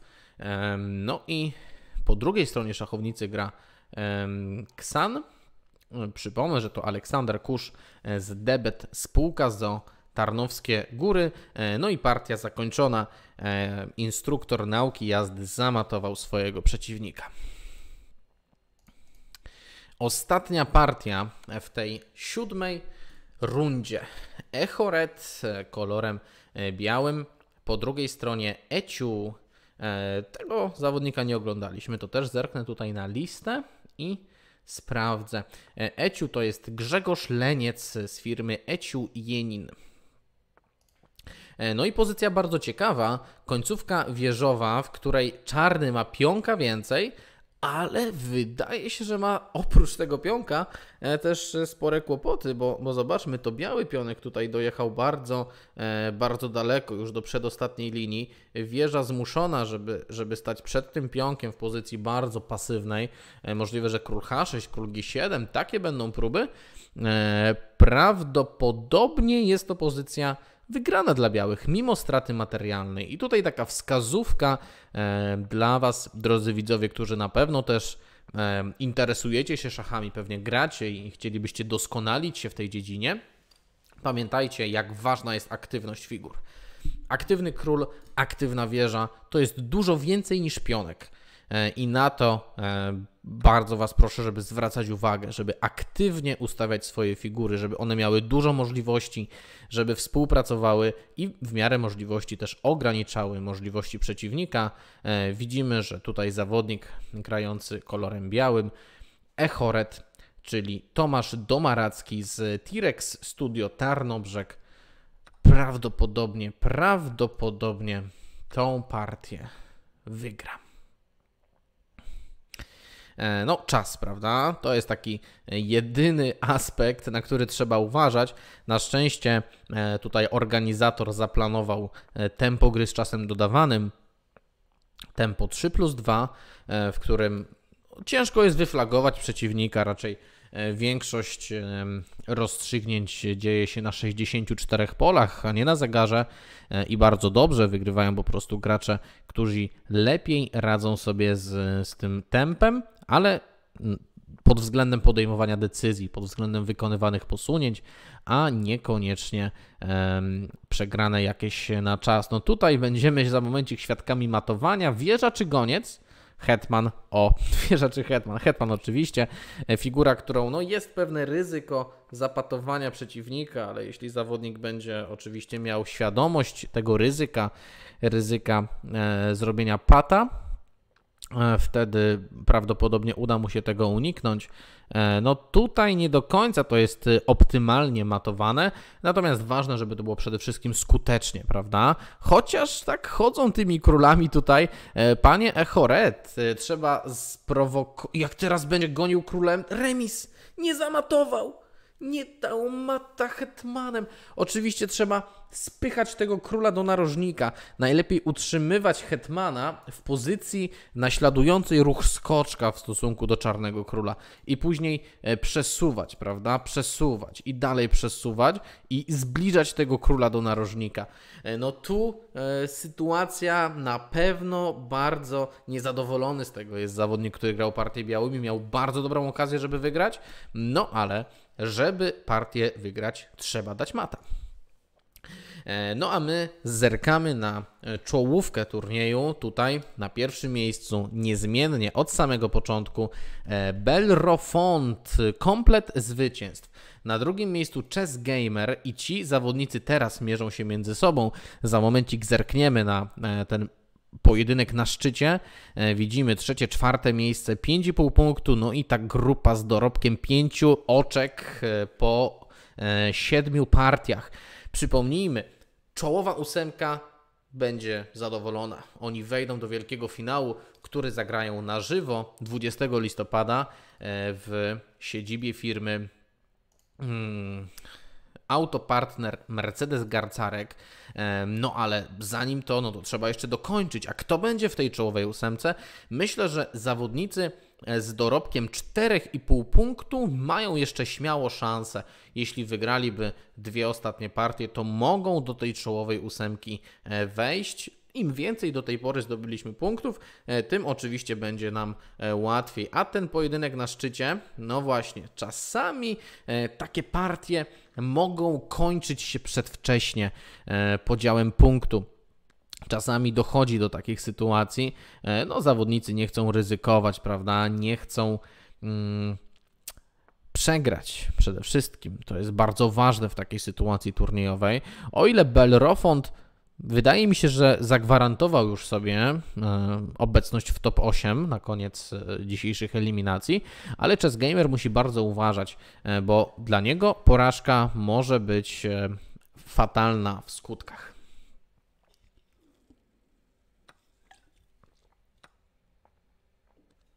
Pozycja, którą mamy na szachownicy, mogła powstać z różnych debiutów. Z obrony sycylijskiej przede wszystkim, to w różnych kolejnościach posunięć, ale ogólnie chodzi o systemy zamknięte w Sycylu. Akurat tutaj mieliśmy C4 e, i C5, czyli partię angielską.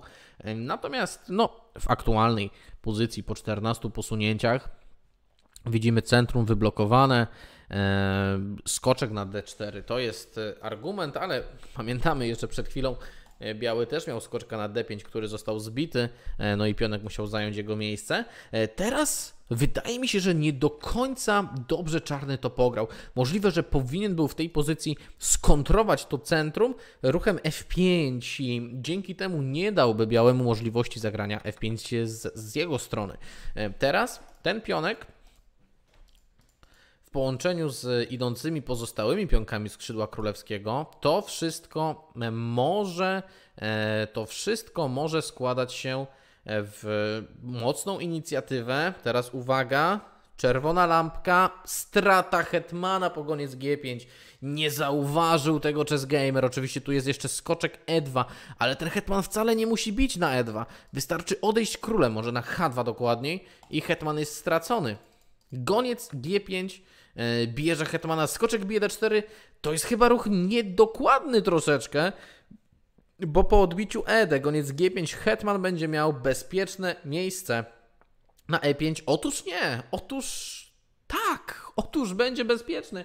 Jeszcze myślałem, że tutaj wieża E1 go złapie, ale na G3 znajdzie przystań, ale tylko na chwilkę, bo na końcu jednak ruch wieża F3 by go łapał. To ja może szybciutko tutaj pokażę e, i w tej pozycji faktycznie Hetman już byłby e, złapany. Ruch wybrany e, przez Belrofonta, czyli F6 też jest dobry. To też jest ruch, który bardzo paraliżuje czarne figury. Tutaj zobaczmy, figura już zdobyta troszeczkę słabsza niż Hetman, ale mimo wszystko e, jest bardzo e, blisko sukcesu e, i lada moment prawdopodobnie lider turnieju, zawodnik Belrofont, czyli Marcin Ruszkiewicz powinien wygrać, no i zanotować ósme zwycięstwo to będzie dla niego znakomita szansa, znakomita okazja, e, żeby zakończyć turniej stuprocentowym, idealnym rezultatem. To byłoby coś, to byłby wyczyn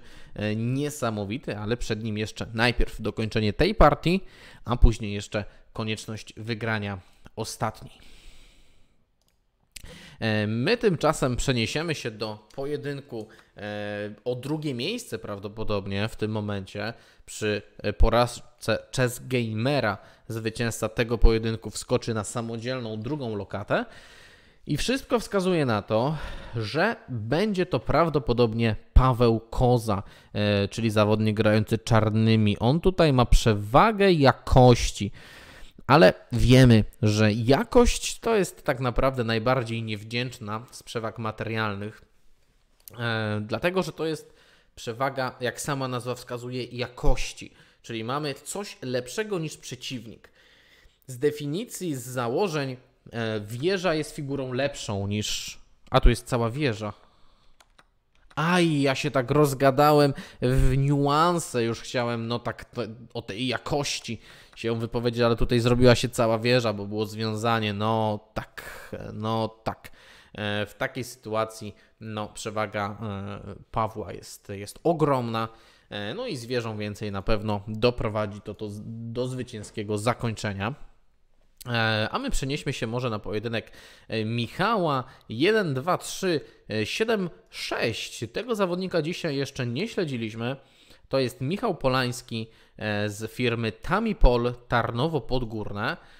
Po drugiej stronie Boyer, czyli zawodnik, jeden z faworytów, jeden z najwyżej rozstawionych. No i widzimy, że szykuje nam się zwycięstwo underdoga w tej partii. Michał zamatował wyżej notowanego przeciwnika. Hetman H5 e, i taki elegancki mat tutaj zostaje dostarczony.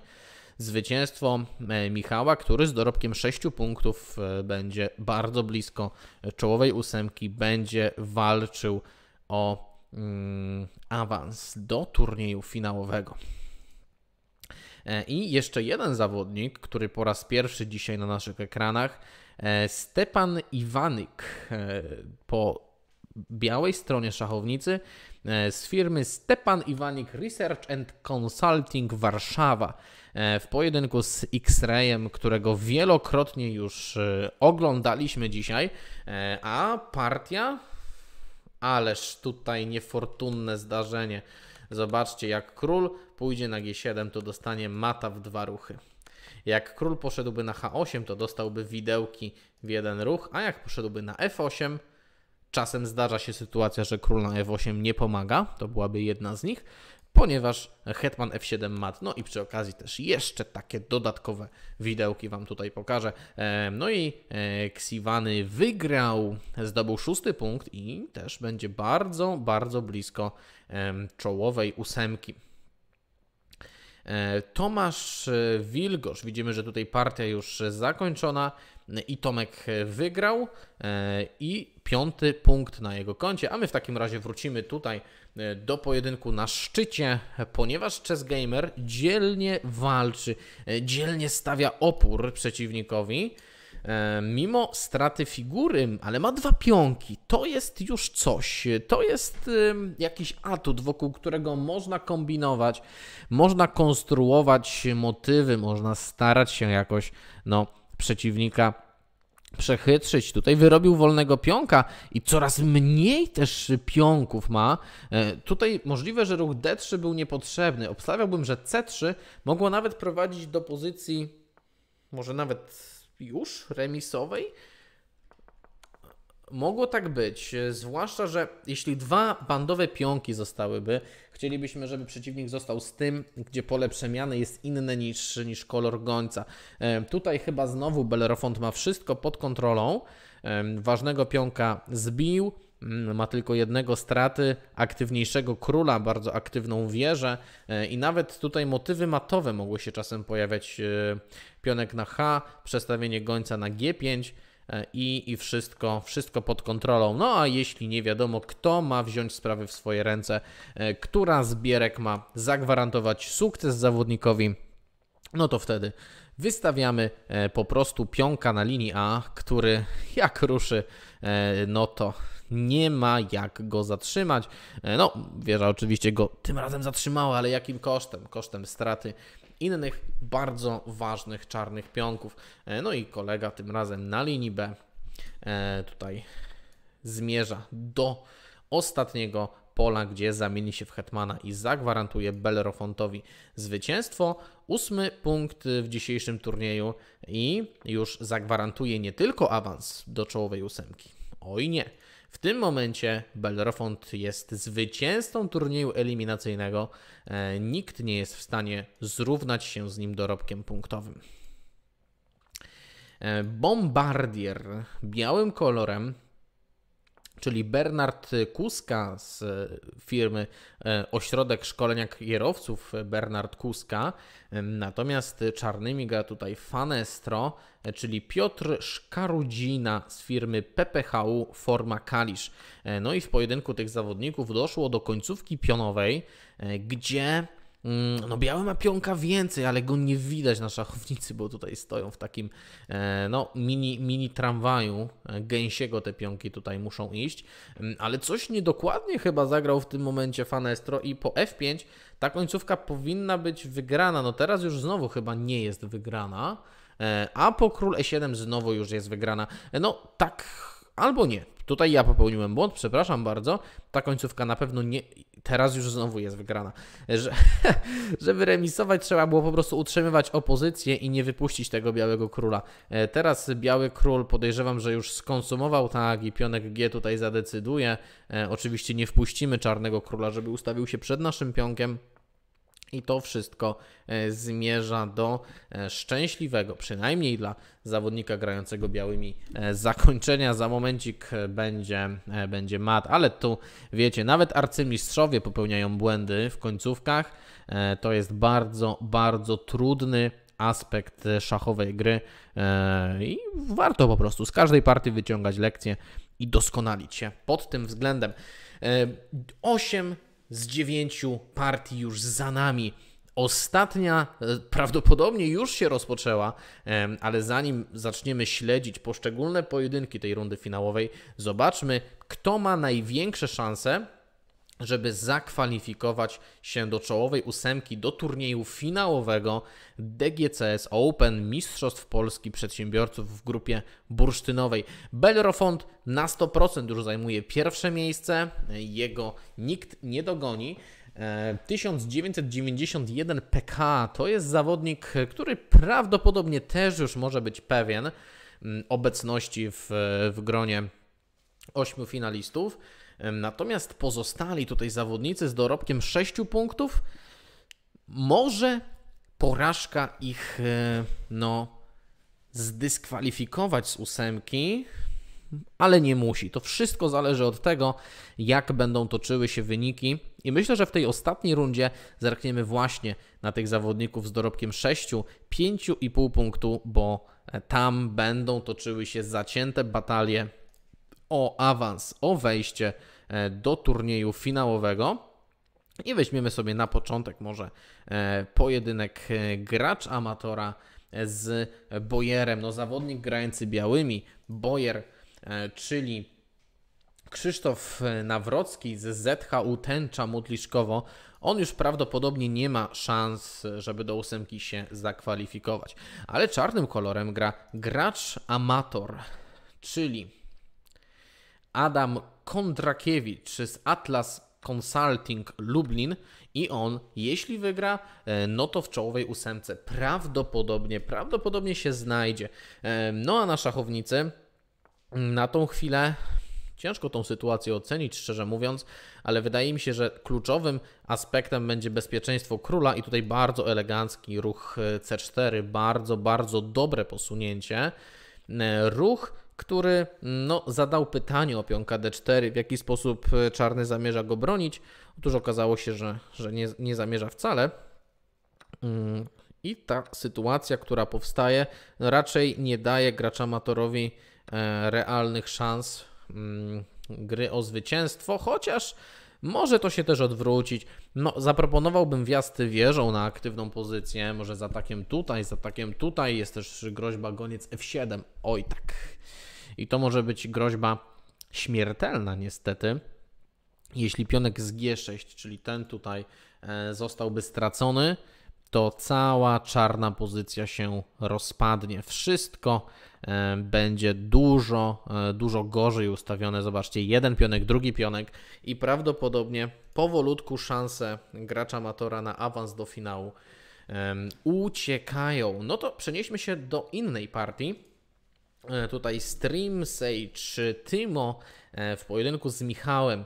Zawodnik grający białymi musi wygrać. Jeśli Tymoteusz Wojtyła e, z firmy Stream AI Gliwice wygra, prawdopodobnie zakwalifikuje się do czołowej ósemki. E, natomiast czarnym kolorem grający Michał, e, czyli Michał Polański z Tamipolu, Tarnowo, Podgórne, jemu prawdopodobnie wystarcza tutaj remis, ale pamiętajmy, że najlepszym sposobem na przegranie partii jest granie na remis. Żeby zremisować, co trzeba zrobić? No, dokładnie to samo, co żeby wygrać, czyli trzeba wykonywać dobre posunięcia, trzeba e, grać takie ruchy, które uważamy za najlepsze.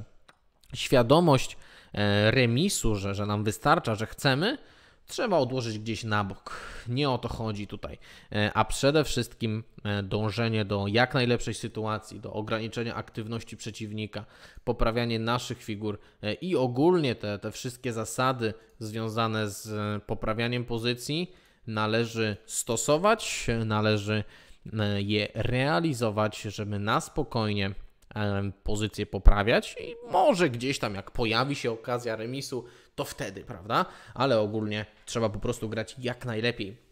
No i oprócz tych wszystkich aspektów czysto szachowych, dodałbym jeszcze e, czas. Czas jest bardzo istotny. Zobaczcie, jaka tutaj sprytna pułapka.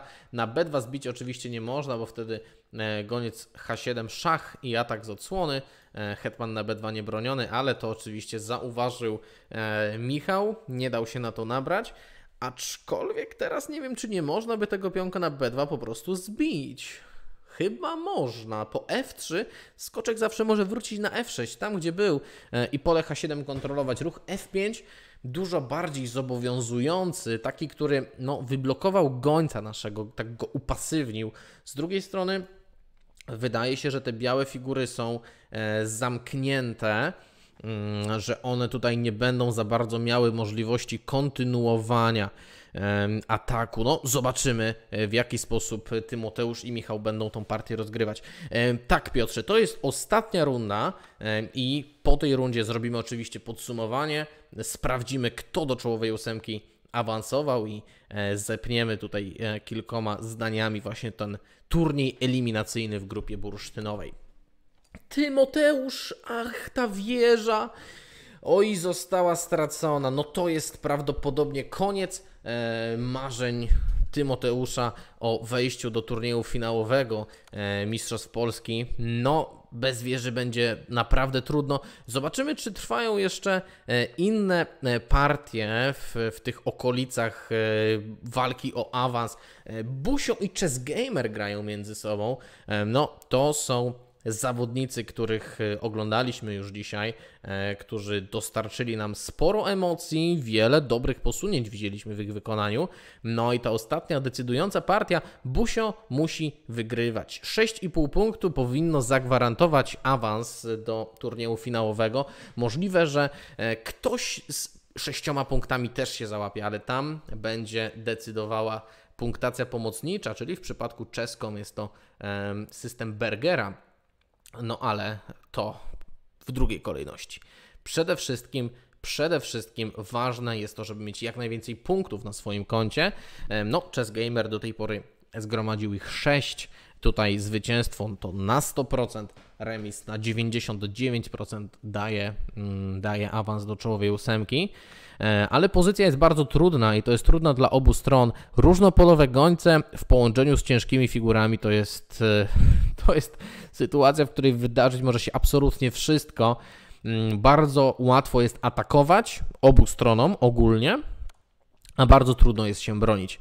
E, I w, w takiej sytuacji, no, ten, kto ma inicjatywę, ten, kto naciera na przeciwnika, a tu chyba nie ma na F2 jak bronić, trzeba zagrać F, oj, goniec F3, to chyba był dobry ruch, ale znowu właśnie nacisk na pionka F2 i Chess Gamer ma kłopoty w tym momencie. Ciekawe, czy Busio zdoła to E, zrealizować. Zobaczcie, on ma tylko 7 sekund, a tu jeszcze sprytne G5.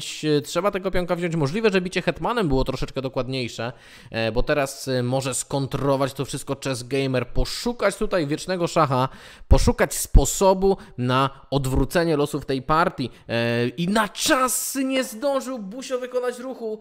Musiał odejść gdzieś tym królem, może gdzieś na H6. No nie wiem szczerze mówiąc, gdzie byłoby dla niego najlepiej, ale no może zasłonić oczywiście po prostu gońcem. Niepotrzebne było zbicie królem. Tutaj hetman powinien to brać.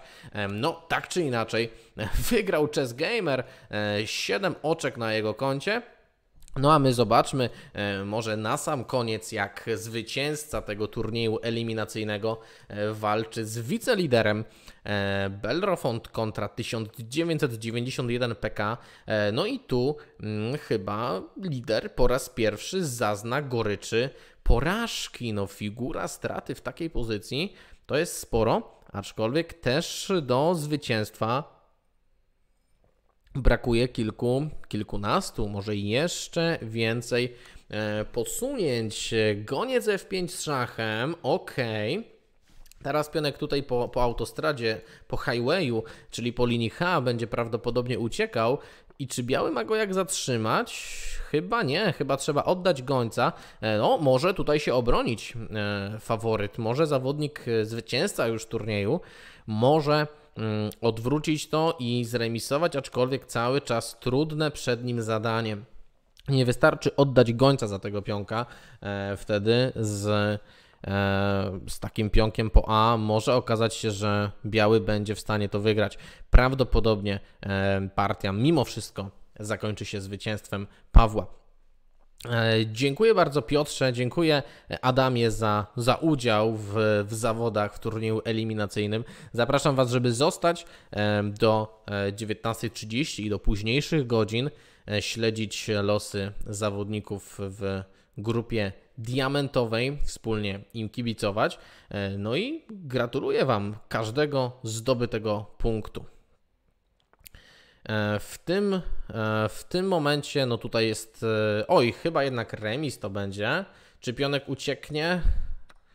No tutaj król zdąży. Bandowy pionek niestety nie stwarza szansy na, na wygrywanie partia. Na 99% zakończy się podziałem punktu, mm, zakończy się remisem. No i obaj zawodnicy awansują do finału. E, będziemy mogli oglądać ich 20 listopada e, w siedzibie firmy e, Gancarek, gdzie zmierzą się ze sobą w turnieju finałowym. Czy to była ostatnia partia w dniu dzisiejszym? Na pewno nie, bo przecież jeszcze mamy turniej w drugiej grupie, turniej eliminacyjny. Ale jeszcze tutaj walka do samego końca i to gracz amator E, matuje dwoma gońcami. Czy mu się uda? No, jest bardzo blisko, już doprowadził Białego Króla na bandę. Może się, e, może się okazać, że e, no, zamatuje. Ale też są tutaj groźby pata, może jakieś czasem trzykrotne powtórzenie pozycji też jest zagrożeniem. No teraz ten król powinien raczej iść e, z tej strony, e, wtedy zadanie E, jest bardzo łatwe i pad się wydarzył, a gracz amator i tak się zakwalifikował. Zobaczmy w takim razie na wyniki. I tak mu wystarczyło. Zobaczcie, siódme e, miejsce gracz amatora e, w, w tym turnieju i awansował. E, a my zerknijmy na wszystkich po kolei, od miejsca pierwszego do ósmego. To są te osoby, które tutaj zasługują na szczególne słowa uznania, na wielkie gratulacje mm, i zobaczymy się z nimi 20 listopada w turnieju finałowym. Pierwsze miejsce w turnieju zdobył Marcin Ruszkiewicz z firmy Myriagon, Ruszkiewicz Bogusz and Ruszkiewicz z Gdańska. Drugie miejsce Paweł Koza, lokalny klub Asbiro Katowice. Trzecie miejsce Albert Kościelak z firmy Albert Kościelak Warszawa. Trzecie miejsce Michał, czyli Michał Polański, Tamipol, Tarnowo Podgórne. E, piąte miejsce Bartek MC, e, czyli Bartłomiej Jarosz, BI Consulting Warszawa. Czwarte miejsce Ksiwani, czyli Stepan Iwanik z firmy Stepan Iwanik Research and Consulting Warszawa. Siódme miejsce Gracz Amator E, czyli Adam Kondrakiewicz z Atlas Consulting Lublin i ostatni szczęśliwie, zobaczcie tutaj rzutem na taśmę, pół punktu punktacji pomocniczej X-Ray 78, e, czyli Maciej Andruch z AM Media e, Szczecin. To jest najlepsza ósemka w grupie bursztynowej DGCS Open 2021 Mistrzostw Polski Przedsiębiorców. Serdecznie e, gratulujemy e, najlepszym w tej grupie. No i już zachęcamy do treningu, do przygotowania się do turnieju finałowego, gdzie na pewno czekają ich znakomite emocje i rywalizacja w silnym, wyrównanym turnieju. To oczywiście nie koniec naszych szachowych przygód w dniu dzisiejszym. E, wszyscy doskonale wiemy, że o 19.30 będzie drugi turniej, drugi turniej eliminacyjny w grupie diamentowej, w grupie e, osób o rankingu powyżej 1800 rankingu Polskiego Związku Szachowego. I rzucam tutaj okiem na listę startową tego turnieju i powiem Wam, że ona naprawdę robi wrażenie. Jest mistrz międzynarodowy na liście, mamy siedmiu mistrzów FIDE, e, oprócz tego jeszcze kilku zawodników z międzynarodowymi tytułami. E, rankingi, e, no na platformie czeskomowej niektórzy nawet 2700 mają, to za momencik będziemy oglądać. E, więc już teraz zapraszam Was, żeby zostać, żeby wspólnie e, kibicować tym zawodnikom w, w grupie diamentowej. E, my nie będziemy przerywali naszej transmisji, tutaj cały czas relacja będzie trwała, tylko króciutka przerwa no, techniczna dla prowadzącego która około 10 minut potrwa, a później wrócimy, wspólnie porozmawiamy e, o wszystkich szachowych aspektach, e, które tylko Was interesują. Zagramy może jakąś partyjkę szachów na platformie czeską i wspólnie będziemy oczekiwać na ten turniej, dzisiejszy drugi turniej eliminacyjny w grupie diamentowej. Więc zostańcie z nami. Teraz chwilka przerwy i za około 10 minutek wracamy i wspólnie będziemy odliczać czas do pierwszej rundy e, drugiego turnieju eliminacyjnego.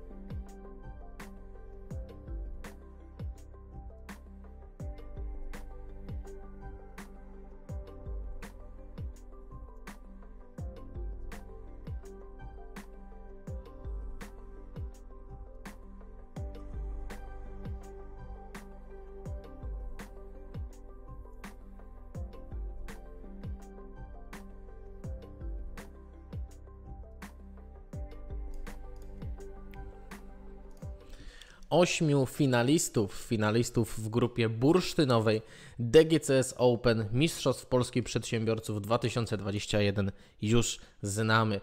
E, za nami pierwszy turniej eliminacyjny, gdzie zawodnicy walczyli bardzo dzielnie, e, dawali z siebie wszystko, no ale niestety tylko najlepsza ósemka zagra w w siedzibie firmy Autopartner Mercedes Garcarek o nagrody e, finansowe. Przed nami jeszcze jeden turniej eliminacyjny w grupie diamentowej, gdzie zmierzą się zawodnicy o rankingach ponad 1800 e, e, rankingach Polskiego Związku Szachowego. Szybciutki rzut oka proponuję tutaj zrobić na aktualną listę, kto już zgłosił się do, do tej rozgrywki Widzimy tutaj odliczanie. Turniej wystartuje za niespełna 30 minut. E, no i jest e, Mateusz Kołosowski, mistrz międzynarodowy, jest mistrz FIDE Filip Bargłowski, e, liczni zawodnicy z tytułami międzynarodowymi Trzeci numer startowy w tym momencie mistrz FIDE Marek Zakrzewski. No i kolejny jest e, znany szachuś, e, czyli Krzysztof Budrewicz, którego na pewno dobrze znacie. E, oczywiście zerkniemy tuż przed startem dokładnie na tą listę, zobaczymy kto gra, spróbujemy przewidzieć, kto ma największe szanse. No ale tak samo jak w grupie bursztynowej, tak samo i tutaj tylko czołowa ósemka wejdzie do turnieju finałowego. Mm, no i będziemy śledzić, będziemy kibicować, a tymczasem mamy takie troszeczkę luźniejsze 30 minut. No i teraz e, chciałbym Was, e, drodzy widzowie, zaprosić do, e, do rozmowy na tematy szachowe, czy to o trwającym turnieju Mistrzostwach Polskich Przedsiębiorców, czy o innych szachowych kwestiach. A jeśli ktoś z Was chciałby zagrać e, partię szachową z prowadzącym, czyli ze mną, e, zachęcam do e, wysłania zaproszenia do partii na platformie chess.com. No i ja chętnie tutaj sprawdzę szachowe umiejętności Wasze, naszej YouTube'owej widowni.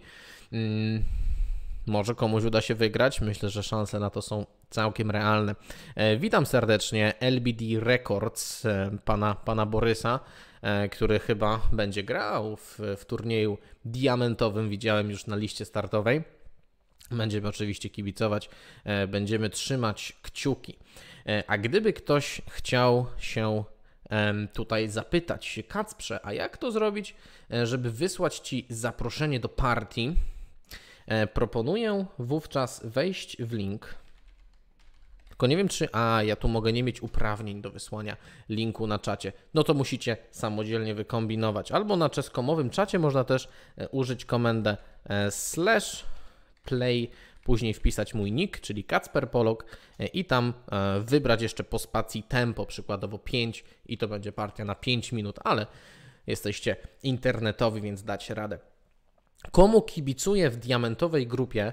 No, to jest pytanie bardzo trudne dlatego że e, z pośród zawodników, którzy grają w diamentowej grupie, znam prawie wszystkich osobiście. Wiele e, z wielu z tych zawodników, zawodniczek e, to są moi dobrzy znajomi, więc gdybym miał wskazać jedną konkretną osobę, to, to nie byłbym w stanie, szczerze mówiąc dlatego że tutaj no, całe grono znakomitych ludzi będzie rywalizowało o te czołowe miejsca. No, mógłbym tutaj użyć takiego oklepanego sloganu, że przede wszystkim kibicuję zdrowej sportowej rywalizacji i, i szachom na najwyższym poziomie, ale to, to nie wiem, czy, czy by tutaj przeszła taka wymijająca odpowiedź. O, właśnie, dziękuję Ci Maćku za, za podesłanie tego linku. To ja może na start, mm, może dam Wam jeszcze, jeszcze chwilkę, żeby tutaj to wyzwanie E, rzucić dowolne tempo gry. Może być na jedną minutę, mogą być partie wolniejsze, może lepiej nawet takie wolniejsze. E, to w międzyczasie coś bym poopowiadał o podejmowanych przeze mnie decyzjach, dlaczego taki ruch, e, a nie inny się zdecydowałem. No i też mielibyśmy cały czas możliwość rozmowy, rozmowy na YouTube'owym czacie. Ok, mam wyzwanie na 5 minut, 5-minutowa partia, za momencik go zaakceptuję. E, no a pytanie też do, do Was, widzowie. komu wy kibicujecie w tej grupie diamentowej. To jest e, grupa, gdzie jest wielu zawodników z tytułami, e, kilka osobistości znanych e, z szachowego internetu, więc na pewno kojarzycie tych graczy. Dajcie znać, komu najbardziej kibicujecie. No a ja mam wyzwanie od Szymka. Z Szymkiem grałem już wielokrotnie. No to zagramy jeszcze ten jeden raz. Białe figurki dostałem. Mm, no to zacznę ruchem E4, to jest moje ulubione posunięcie. Najczęściej gram w ten sposób. Szymek oczywiście obrona sycylijska. Wielokrotnie z Szymonem już graliśmy, kilkanaście partii co najmniej, tylko na platformie czeską e, rozegraliśmy między sobą.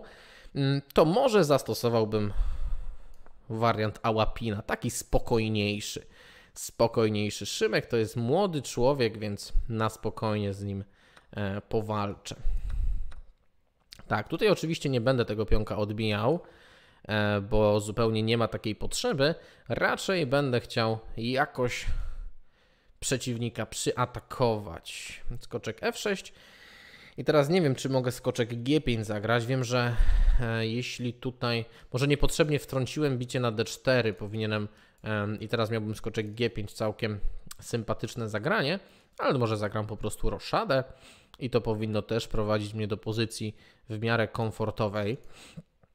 Kacper kibicuje Kołosowi, czyli, e, czyli Mateuszowi Kołosowskiemu i Szachusiowi.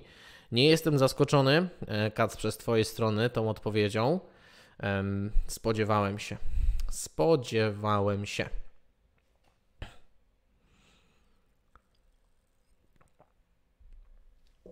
No, panie Szymku, trzeba uważać na czas, również trzeba kontrolować te zasoby czasowe, żeby nie wpadać w niedoczasy. Miałeś przewagę, teraz to się już wyrównuje i D6 na spokojnie. Ja chyba też na spokojnie mógłbym tutaj już skonsumować tego pionka, a może też skoczek G5 być ciekawym posunięciem, ale wtedy skoczek E5. Troszeczkę nieprzyjemne by to było, więc po prostu wezmę tutaj. Po prostu zbiję, zbiję na D4. Odzyskałem pionka. Wydaje mi się, że e, będę miał no, przewagę ze względu na lepszą strukturę pionową.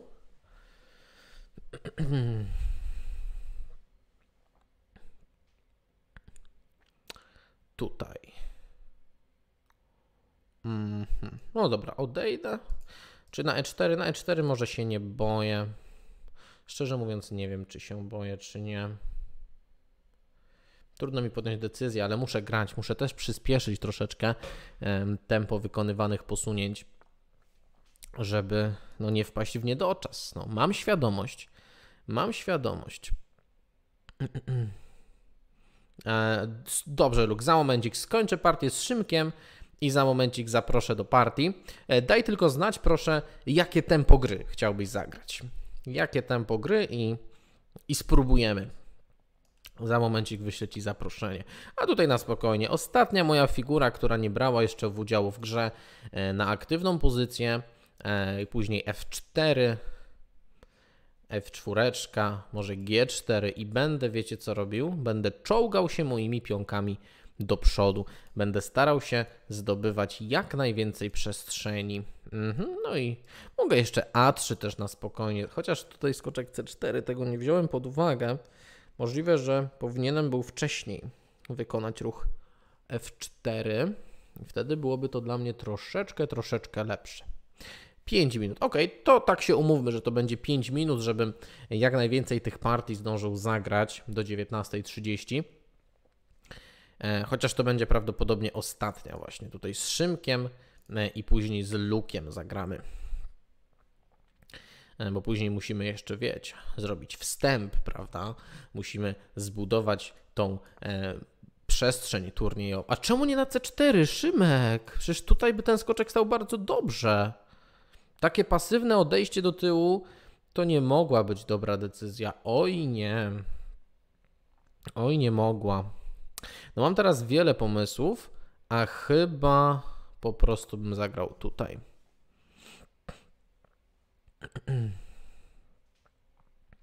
Szachusiowi Tymek skibicuje. No, Szachuś to jest bardzo znana, prawda? To jest znana osoba w internecie i widzę, że, tutaj Andrzej Krzywda wymieniony jako, jako faworyt. No, jeśli chodzi o faworytów, to zazwyczaj po rankingu, prawda? Mm, to typujemy, kto ma najwyższy ranking, ten zazwyczaj ma też największe szanse, żeby w danym turnieju wygrać, ale też doświadczenie w, w, danym typie rozgrywek ma znaczenie. A tutaj Andrzej Krzywda na pewno jest doświadczony e, w Mistrzostwach Polskich Przedsiębiorców. W wielu edycjach brał udział z sukcesami. Mm, ale no, jednak Mateusz Kołosowski też jest bardzo mocny, prawda? 2700 na czeskomie ma w końcu. E, to nie jest przypadek. Mm, Szachuś mocny też, wiele partii rozgrywa, prawda? E, jest tam Marek Zakrzewski, e, będzie grał też prawdopodobnie, widziałem na Czez Arbitrze na liście startowej. Na czeskomie jeszcze nie jest wpisany Arek Skawiński, który też jest bardzo mocnym graczem, więc ta rywalizacja w diamentowej grupie myślę, że będzie bardzo wyrównana i jestem wręcz pewien, że e, wyniki na końcu też będą wyrównane, że to nie będzie tak jak w bursztynowej, że e, jeden zawodnik zdominował, zdobył 8,5 punktu. Myślę, że w tej grupie zwycięzca będzie miał maksymalnie 7,5, raczej więcej, więcej się nie uda. Teraz G5 chyba nie mogę, bo po biciu, biciu dostanę wiecznego szacha. Wtedy byłby remis, a tego bym nie chciał remisu w sensie. Więc muszę wymyślić coś, żeby go nie było. No wieża G1 to jest mój jedyny pomysł na tą chwilę, ale chyba troszeczkę hmm, chyba troszeczkę źle rozegrałem tą partię. Przestaje mi się podobać aktualna sytuacja na szachownicy. No ciekawy jestem, czy Szymek tutaj pójdzie za ciosem i, um, i będzie kontynuował inicjatywę. Szach, no i oczywiście muszę odejść. Tutaj mogę zastosować primów. Tak, no mam kłopoty. Mam kłopoty Najmana.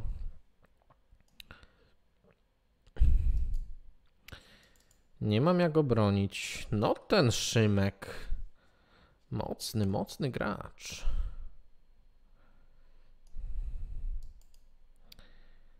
Odejść gdzieś tym królem, ale no dobrze, no to odejdę.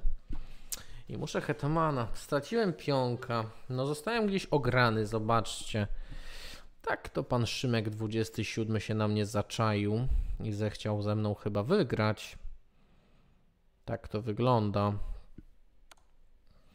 Szach. No to tutaj. A i za momencik. No przegram tą partię. Wszystko na to wskazuje, że ją przegram, chociaż jeszcze mam taki pomysł. Mogłem od razu chyba tą wieżą tutaj zagrać.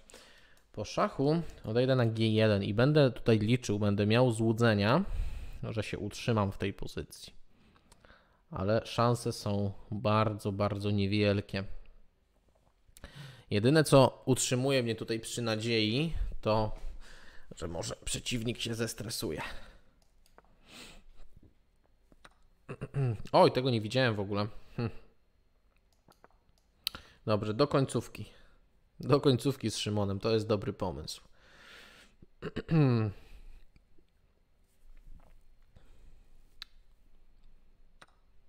W ten sposób. To sprytnie. To bardzo sprytnie.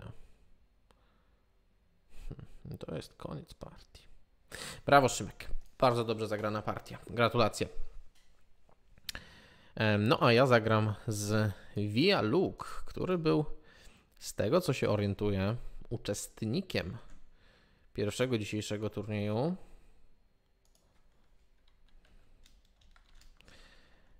Dobrze, czyli play Via Luke 5 minut. Ok, e, wysłałem Ci zaproszenie Luke. Także jak będziesz gotów do partii, o już jesteś, dobra. No to partyjka, o czarnymi tym razem zagram. E, dobrze, spróbuję też czarnymi. D4 to może zastosuję mój ulubiony debiut szachowy, czyli kamienna ściana. Kamienna ściana. Chociaż przeciwko systemowi londyńskiemu ta kamienna ściana nie do końca dobrze funkcjonuje niestety. Ale wiecie co? Ja mimo wszystko tak zagram. Tak bardzo lubię.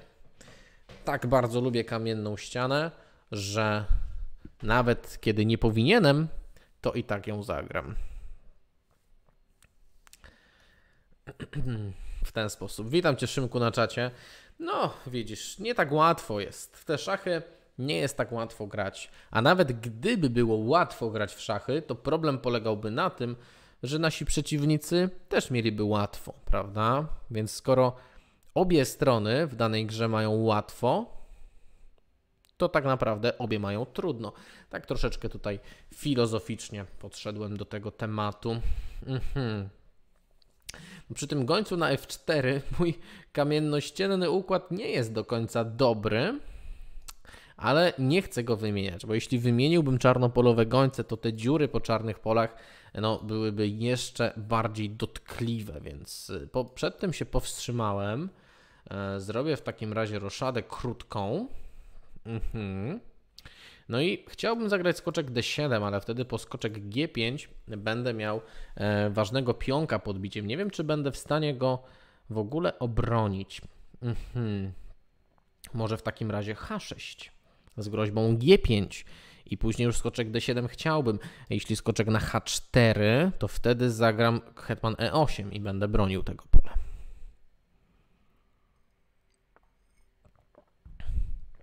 Ok, G5, no to nie była taka groźba, tak naprawdę. To nie była groźba.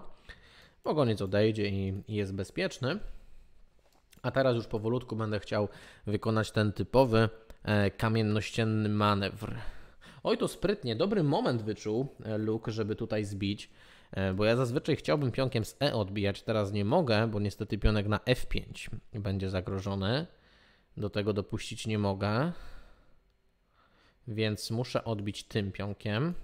Ale z drugiej strony, jak odbiję tym pionkiem, to skoczek B5 może być bardzo czy to oznacza, że muszę odbić skoczkiem? Bardzo bym nie chciał, ale chyba muszę. No właśnie, dlatego na to ustawienie e, podobne do systemu londyńskiego nie powinno się grać kamiennej ściany. Ale ja jestem wierny. No tutaj bicie troszeczkę niepotrzebne. Teraz już mogę odbić pionkiem z E, e ponieważ na F5 bronię. I za chwilkę zagram skoczek F6, wtedy odsłonię, e, odsłonię obronę gońcem z C8 i, i pionek F5 będzie bezpieczny, a widzimy, że Via Luke naciska bardzo mocno na tego mojego pionka. Bardzo mocno naciska. Chciałbym G6, ale wtedy przestanę bronić na H6. No ja nie mogę tego pionka oddać, więc zagram na spokojnie skoczek B6. Jeśli e, przeciwnik chciałby mnie wyganiać, to zdążę się przemanewrować. Goniec E6 i skoczek wróci po prostu na D7. Tak to zrobimy. Tak to zrobimy i tak to będzie. Ten ruch chyba nie robi na mnie zbyt dużego wrażenia. Jestem w totalnej defensywie. To mnie troszeczkę boli, ale też nie widzę sposobu, w jaki przeciwnik mógłby coś konkretnego zdobyć. Więc ja tutaj na spokojnie e, będę się bronił, będę wykonywał manewry i powolutku, powolutku będę chciał złapać troszeczkę e, powietrza, troszeczkę wiatru w żagle. I teraz goniec E6 i skoczek wróci na D7. Tego będę chciał wymienić. Jeśli to mi się uda, a w międzyczasie nie stracę zbyt wielu e, innych rzeczy, innych aspektów e, nie pogorszą się, no to powinno być wtedy w porządku. Powinno. Chyba. A to sprytny ruch. Nie mogę teraz ruszyć skoczkiem, bo stracę pionka na B7. A tego pionka bardzo tracić bym nie chciał. Chociaż, czy można tego pionka na pewno bić? Mam też ruch wieża B8 i tam odbicie, ale to raczej nie będzie mi się opłacało. A, ja mogę zdobyć figurę teraz. Chyba nie mam wyjścia, też nie widziałem tego wcześniej. Mam ruch G5 i pogoniec tu e, F4, tylko że to będzie mnie prowadziło do dużych kłopotów. Bo tu się otworzy, ta wieża się otworzy. Ja tutaj mam słabości taktyczne. Goniec G6 nawet będzie wchodził. Nawet. E, nawet nie wiem, skoczek G6. Chyba nie mogę ruchu F4 wykonać. To będzie pchanie się do gipsu na wakacje, jeśli tak bym zagrał. No nie mogę, nie mogę. Muszę inny plan zastosować. Mm, nie wiem jeszcze jaki. Może goniec D6. Muszę też przyspieszyć troszeczkę e, przesłonie i będę chciał wieża B8 zagrać. Witam Cię Mirku. Mac 1969. E, zobaczę, czy jest zapisany do turnieju. Mac. Jest, jest zapisany. Tak, więc pewnie zerkniemy czasem, jak mu idzie. Hetman tu z atakiem ten, tego ruchu. Aha, teraz, ale mogę zagrać po prostu skoczek D7 i po biciu odbić hetmanem. Witam serdecznie, XYZ. Dzień dobry. Ok, F4 i wydaje mi się, że teraz udało mi się w miarę ustabilizować tą pozycję. Po F4 nie wiem, czy ja chcę reagować. Może G4, tak. I teraz przerzut skoczka na E4. I wtedy mm, ta moja kamienna ściana w końcu będzie miała solidne fundamenty. Witam Cię Bartoszu, dzięki wielkie. E, no teraz jest taki, e, taki moment e, chillu, jak jesteśmy między turniejami eliminacyjnymi. Ja oczywiście zachęcam Cię, żeby tutaj obserwować kanał Szachmistrza, gdzie Maciej Sroczyński regularnie publikuje filmy o różnorodnej tematyce szachowej. Mm, znaczy zawsze o tematyce szachowej, ale, ale różne kwestie tutaj Maciej porusza. Rzadziej relacje na żywo, e, ale zawsze warto tutaj na kanał Szachmistrza zaglądać. E, no a dzisiaj, bawi, dzisiaj na żywo się bawimy, prawda? Przy mm, najlepszych szachistach wśród polskich przedsiębiorców. Ok, goniec E7 zagram i czaję się na jakieś motywy. Ogólnie ten hetman tutaj mi się bardzo nie podoba. Chciałbym, żeby się wycofał. Chciałbym, żeby sobie stąd poszedł. Wtedy będę się czuł troszeczkę bardziej komfortowo i wycofam teraz ja najpierw swoją wieżę. Poproszę grzecznie, panie hetmanie, proszę odejść, prawda? E, I H5. Mhm. Też nie wiem, czy tutaj po biciu, biciu nie będzie jakiegoś skoczek bije G4, czy takie agresywne rozwiązania, a ten ruch nie wydaje mi się, że był dobry ze strony przeciwnik przeciwnika. Um, Dobrze, to ja powolutku zacznę myśleć o grze po drugiej stronie, bo wydaje mi się, że tutaj to się wyblokuje. Wydaje mi się, że taki jest zamiar mojego przeciwnika, że będzie G3, że będzie H4 a ja już jestem gotowy do podjęcia akcji po drugiej stronie. Przynajmniej mam taką nadzieję, że jestem gotowy, bo czy faktycznie, no to okaże się dopiero za jakiś czas. Mhm. C5. Jedziemy po tej stronie.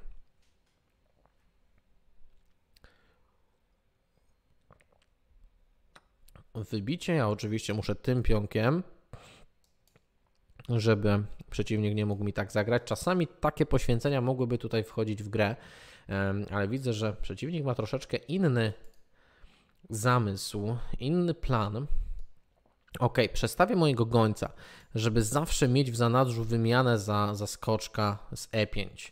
Ogólnie nie chcę go wymieniać, ale czasami jestem w stanie sobie wyobrazić sytuację, w której nie mam wyjścia i to chyba jest jedna z takich sytuacji. On tutaj mi się nie podobał. On był zbyt mocny. Oczywiście odbicie tym pionkiem trzeba zagrać.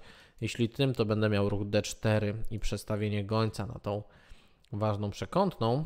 Mm, teraz troszeczkę pewnie będę musiał potłumaczyć się z pionka F5, ale no czas. Czas tutaj prawdopodobnie zadecyduje. Mm, to jest ten aspekt na który trzeba zawsze zwracać uwagę. Aczkolwiek pozycja dla mnie jest bardzo zła. Pozycja jest bardzo zła. Luke zagrał dobrą partię, troszeczkę tylko zbyt wolną i, i to była przyczyna porażki. Dzięki wielkie za ten pojedynek. No, myślę, że na tym możemy zakończyć nasze zmagania, e, rywalizację na linii prowadzący widownia, a powolutku możemy e, zerkać się, możemy już koncentrować nasze myśli wokół turnieju eliminacyjnego w grupie diamentowej. Tutaj lista startowa powolutku, powolutku już się zapełnia. No a my zerkniemy na e, to, kto na tej liście się znajduje. No i tak. Ja tu jeszcze sobie, wiecie co zrobię?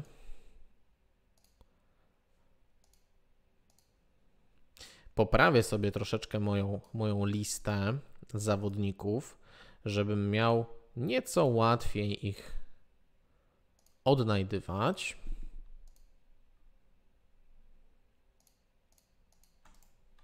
OK. I za momencik powolutku każdego z zawodników Wam przedstawię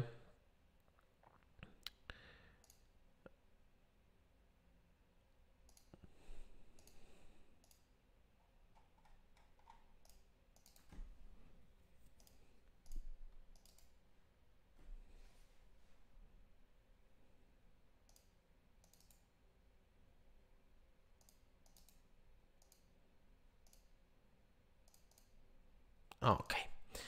No to po kolei.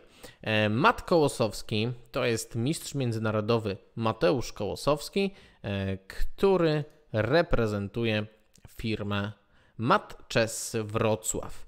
E, drugi na liście startowej mistrz FIDE Filip Bargłowski, szkoła szachowa FIDE Master Filip Bargłowski Warszawa. E, Kosi 43, czyli mistrz FIDE Marek Zakrzewski, E, Fitmint Mosina. E, Diano to jest mistrz FIDE Dawid Janaszak z firmy Sapber Poznań. Biesiadnik, kolejny mistrz FIDE, e, Arkadiusz Skawiński z firmy Skadar Radom. Szachuś.pl, no to myślę jest osoba, której nie trzeba Wam przedstawiać. Mistrz Krzysztof Budrewicz, który reprezentuje E, firmę Szachuś z Olsztyna. E, dalej, agencja SEO to jest e, kandydat na mistrza FIDE Sławomir Chojnacki z firmy Bizit SA Katowice. Dalej, Tchulchu to jest kandydat master Michał Mazurkiewicz, MM Consulting Gorzów Wielkopolski. E, SKL Gongom. Tutaj mamy znowu kandydat mistrza e, Damian Daniel z firmy Requent Damian Daniel.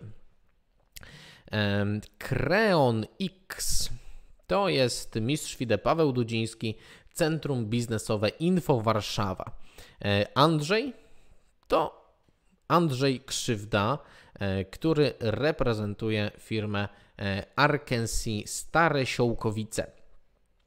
Kopytkin, kolejne miejsce na liście startowej, to mistrz FIDE Rafał Tyrakiewicz ze szkoły szachowej Szachnet z Rybnika, a w międzyczasie tutaj 50 zł od Luke Cost donate dla kanału Szachmistrza. Bardzo dziękuję Luke, cieszę się, że dobrze się bawisz, że miło spędzasz czas na tej relacji. Wielkie, wielkie dzięki. No a my powolutku przeglądamy dalej listę. 14 numer startowy e, Pawelo, czyli e, Łukasz, przepraszam, Paweł, Paweł Łaszewicz e, z PM Team Nieruchomości and Szkolenia Nowa Ruda. Później 15 numer startowy Lindsay, czyli kandydatka na mistrzynię FIDE Katarzyna Murawko, która reprezentuje firmę Katarzyna Murawko-Duit. No i 16 na liście startowej przedstawiciel branży show biznesu Borys LBD, e, czyli Borys Lebiedowicz z firmy LBD Records Wrocław. Wszystkich tutaj e, nie zdążymy e, przejrzeć. Mamy 37 zawodników na liście, ale za każdym razem, jak będziemy na daną szachownicę się przenosić, to postaram się przypomnieć Wam kogo oglądamy i jaką reprezentuje firmę. E, tu widzimy, że w międzyczasie dołączył jeszcze jeden mistrz FIDE. E, na dziewiątym numerze startowym e, jest to Wojciech Przybylski z firmy Komet, spółka ZO Runowo. No tak więc widzimy, że ta lista startowa prezentuje się naprawdę imponująco. Większość zawodników posiada tytuły międzynarodowe. Większość tych zawodników dobrze znam i wiem, jak dobrze potrafią grać w szachy, zwłaszcza w szachy przez internet. Mamy tutaj no, popularnych streamerów też wśród zawodników. To oczywiście szachuś.pl i, i Mateusz Kołosowski. Wiem, że niektórzy z Was z naszej widowni już zacierają sobie rączki na, na pojedynki między e, szachusiem a matem. Jeśli taki pojedynek będzie, to niestety tylko jeden, ale na pewno będziemy go e, szczegółowo relacjonować. Kto jest faworytem? To widać po rankingach. Im wyższy ranking, tym lepszy zawodnik e, w szachach błyskawicznych przez internet. Jeszcze słowo o systemie rozgrywek. To jest znowu 9 rund tempem 3 plus 2. No i czołowa ósemka awansuje do e, wielkiego turnieju finałowego, który będzie rozegrany 20 listopada w siedzibie e, Autopartner Mercedes Garcarek, gdzie zawodnicy zagrają o nagrody finansowe 1200, 700 i 350 zł. E, no i w tym momencie zaczęli, e, więc przenosimy się już na szachownicę, a zaczniemy od samej góry, od lidera listy rankingowej. Tutaj Mateusz Kołosowski, mistrz międzynarodowy. E, znowu, słowo wstępu do systemu szwajcarskiego, który e, przewodzi e, tym turniejom eliminacyjnym. To jest najbardziej popularny system stosowany w turniejach szachowych, zwłaszcza w takich z dużą ilością zawodników. Mm, charakteryzuje on się tym, że w początkowych rundach dobierani są zawodnicy o dość sporych różnicach rankingowych. Lista startowa posortowana według rankingu jest przecinana na pół i zawodnik z samej góry gra z zawodnikiem pierwszym za połową. E, no i tutaj trafiło nam na pojedynek Mateusza Kołosowskiego z Jarkiem W. E, jeszcze przedstawmy może Jarka, e, zawodnik, który gra tutaj kolorem białym, ale nie mam Jarka na liście na Czezarbitrze no to tutaj e, poproszę może Macieja, jeśli, jeśli jest na czacie, żeby mm, pomógł mi w tej kwestii. E, jaki zawodnik i jaką firmę reprezentuje mm, Jarek W. E, no a my skupimy się w międzyczasie na pozycji, na tym, co na szachownicy się dzieje. Materialnie mamy taką delikatną różnicę. E, widzimy, że e, niżej notowany zawodnik zdobył pionka, e, natomiast Mateusz Kołosowski wydaje się, że, że ma wszystko pod kontrolą, że będzie w stanie w niedalekiej przyszłości jakoś tego pionka na C5 odbić. Mm, może też nie być to wybitnie łatwe zadanie, bo widzimy, że, że w tym momencie goniec tutaj mm, czujnie broni. Jeśli czarny goniec zbiłby na D4, tego absolutnie nie powinien robić. E, wtedy nastąpi C, bije na D4. E, a goniec H6 bardzo sprytny ruch e, ze strony wyżej notowanego zawodnika. Tutaj spogląda na tę długą czarnopolową przekątną. Kilka kluczowych pól odbiera białym figurom. Nie będzie mógł z nich korzystać. Nie będzie mógł z nich korzystać biały. Mm, I E5, taki agresywny ruch do przodu aczkolwiek nie wiem, czy jest to ruch dobry. E, powiem szczerze, trudno jest mi to posunięcie e, ocenić w tym momencie, dlatego że. Mm, jednej strony zamyka gońca, z drugiej strony możliwe, że ruch E6 czasami będzie ideą. Prowokuje Mateusza do zagrania E6 z jego strony i zmusza e, faworyta w tej partii do E, do konkretnych kroków. E, dziękuję Ci Maćku. E, jest to Jarosław Wolski z firmy Jabłonna. Ok, Jarosław Wolski Jabłonna. No to kibicujemy tutaj Jarosławowi. Zawsze tak wydaje mi się tutaj, prosiłbym o, o potwierdzenie Was, droga widownio, no, że kibicujemy tym zawodnikom niżej notowanym, prawda? kibicujemy tym zawodnikom, którzy są w roli underdogów, że może jakaś niespodzianka sympatyczna, e, pokonanie przeciwnika, e, wyżej notowanego, zawsze, prawda, temu e, Dawidowi w pojedynku z Goliatem kibicujemy. No tu partia zapowiada się bardzo interesująco, nawet chyba nie będziemy, e, oj, podstawka, wieża bije D4 w tym momencie, wziął skoczkiem, e, Wydaje się, że wieżą było troszeczkę e, dokładniej, troszeczkę lepiej, bo tutaj z dużą inicjatywą te czarne figury wchodziłyby, prawda? Ale już przenieśmy się do pozycji aktualnej. E, czy to jest dla białego też takie złe? Chyba nie, bo teraz goniec w połączeniu z tym pionkiem na C6 to jest e, sytuacja bardzo korzystna dla białych figur. Wydaje się, że e, właśnie ten pionek na C6 wsparty gońcem powinien gwarantować Jarkowi długofalową przewagę. Aczkolwiek mamy tutaj sytuację z różnopolowymi gońcami, więc dwa słowa o aspektach strategicznych różnopolowych gońców. Ogólnie jest to z tendencją zazwyczaj remisową, ale dopiero wtedy, kiedy wszystkie ciężkie figury zostaną wymienione e, i wtedy no, różnopolowe gońce bez dodatku żadnych innych figur, wtedy nawet pionek, czasem i dwa pionki różnicy nie wystarczają, żeby końcówkę wygrać. Ale dopóki ciężkie figury są, pojawia się bardzo dużo motywów taktycznych, bardzo dobre okazje do zaatakowania przeciwnika. Tutaj, czy wieża bije D, B5? Kusi, bardzo kusi ten ruch, aczkolwiek wtedy nastąpiłoby wieża, C, wieża C1, król F2, hetman A7. Bardzo to nieprzyjemne. I teraz właśnie wokół tych e, czarnopolowych słabości tutaj e, Mateusz Kołosowski będzie e, próbował skonstruować inicjatywę, skonstruować atak, który prawdopodobnie będzie bardzo, bardzo skuteczny. Może nawet ruch Hetman G3 był pomysłem, żeby później kontynuować gońcem F4. Teraz wydaje się, że musi wymienić Hetmana, chyba że wieża C5 wchodzi w grę. Powiem Wam szczerze, ten ruch trudno jest mi ocenić. Nie wiem, nie wiem czy ta wieża C5, a wieża C1 sprytnie, wow, wow, nie widziałem tego.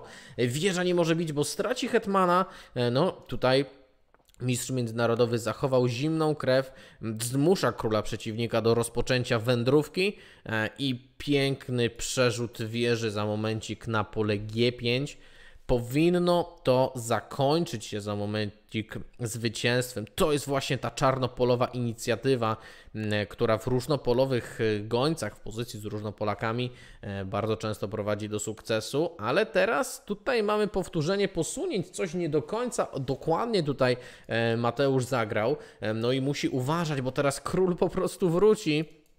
Zrobił sobie wycieczkę, pozwiedzał troszeczkę szachownicy, zwiedził świata, a teraz musi wracać. C7 bardzo niedokładny ruch, bo tutaj po prostu może to Mateusz wziąć e, i e, wszelkie niebezpieczeństwa zażegnać. Wieża C3 to jeszcze dokładna odpowiedź. Z atakiem na króla król musi gdzieś się wycofać, zbicie na F4, no i na mata, oj na hetmana wziął po prostu, no tutaj już wygra lider listy startowej rozstawiony z jedynką, ale powiem Wam szczerze, to nie była łatwa partia. Tutaj Mateusz Kołosowski naprawdę musiał się sprężyć, e, musiał no, walczyć e, bardzo dzielnie, e, ale udało mu się i wygrał ten pojedynek. A druga partia, którą śledzimy w tym momencie, to jest pojedynek Piotra, który reprezentuje swoją własną firmę Piotr Grudzień Łódź a grający czarnymi Marek Zakrzewski z Fitmint Mosina. No i w tym momencie co się dzieje? Faworyt w tarapatach. Zobaczcie tutaj jakość przewagi po stronie Piotra. Do tego no, świetny, mocny pionek na linii E, który lada moment powinien tutaj kolejne posunięcia do przodu wykonać. E, jedyne z czym może mieć e, Piotrek problem, no to ten duet, prawda? Skoczek i, i wieża. To jest duet bardzo agresywny który często jest w stanie e, zrobić czy to wiecznego szacha, e, no skoczek też wiemy jest świetny w, w motywie widełek, najlepszy wręcz, najlepszy z całej szachowej drużyny, ale tu e, Piotr wykazał się precyzją do samego końca. E, musi uważać, żeby mata nie podstawić. Tutaj była taka, e, taka pułapka. No, widzieliśmy to we wcześniejszej grupie, że czasami takie podstawki mata się zdarzały. Natomiast tu do tego nie doszło. No i przewaga wieży do tego jakości.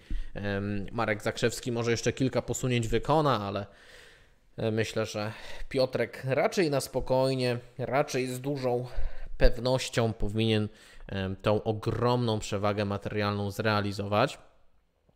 E, mamy partię kolejną, tutaj Zielony Smok, taki sympatyczny nick, to jest Radosław Zaręba z firmy Arcy Finanse Wrocław z agencją CEO. Pod tym nikiem mamy Sławomira Chojnackiego z firmy Bizit SA Kraków. No i partia wyrównana do samego końca prawdopodobnie będzie toczyła się tutaj walka, ale jednak to czarne, to czarne prawdopodobnie wygrają, czyli no faworyt tego pojedynku został ze skoczkiem przewagi, do tego kilka pionków. Zielony Smok nie miał wyjścia, musiał oddać swoją wieżę za uciekającego pionka i punkt w tej pierwszej rundzie wędruje do faworyta.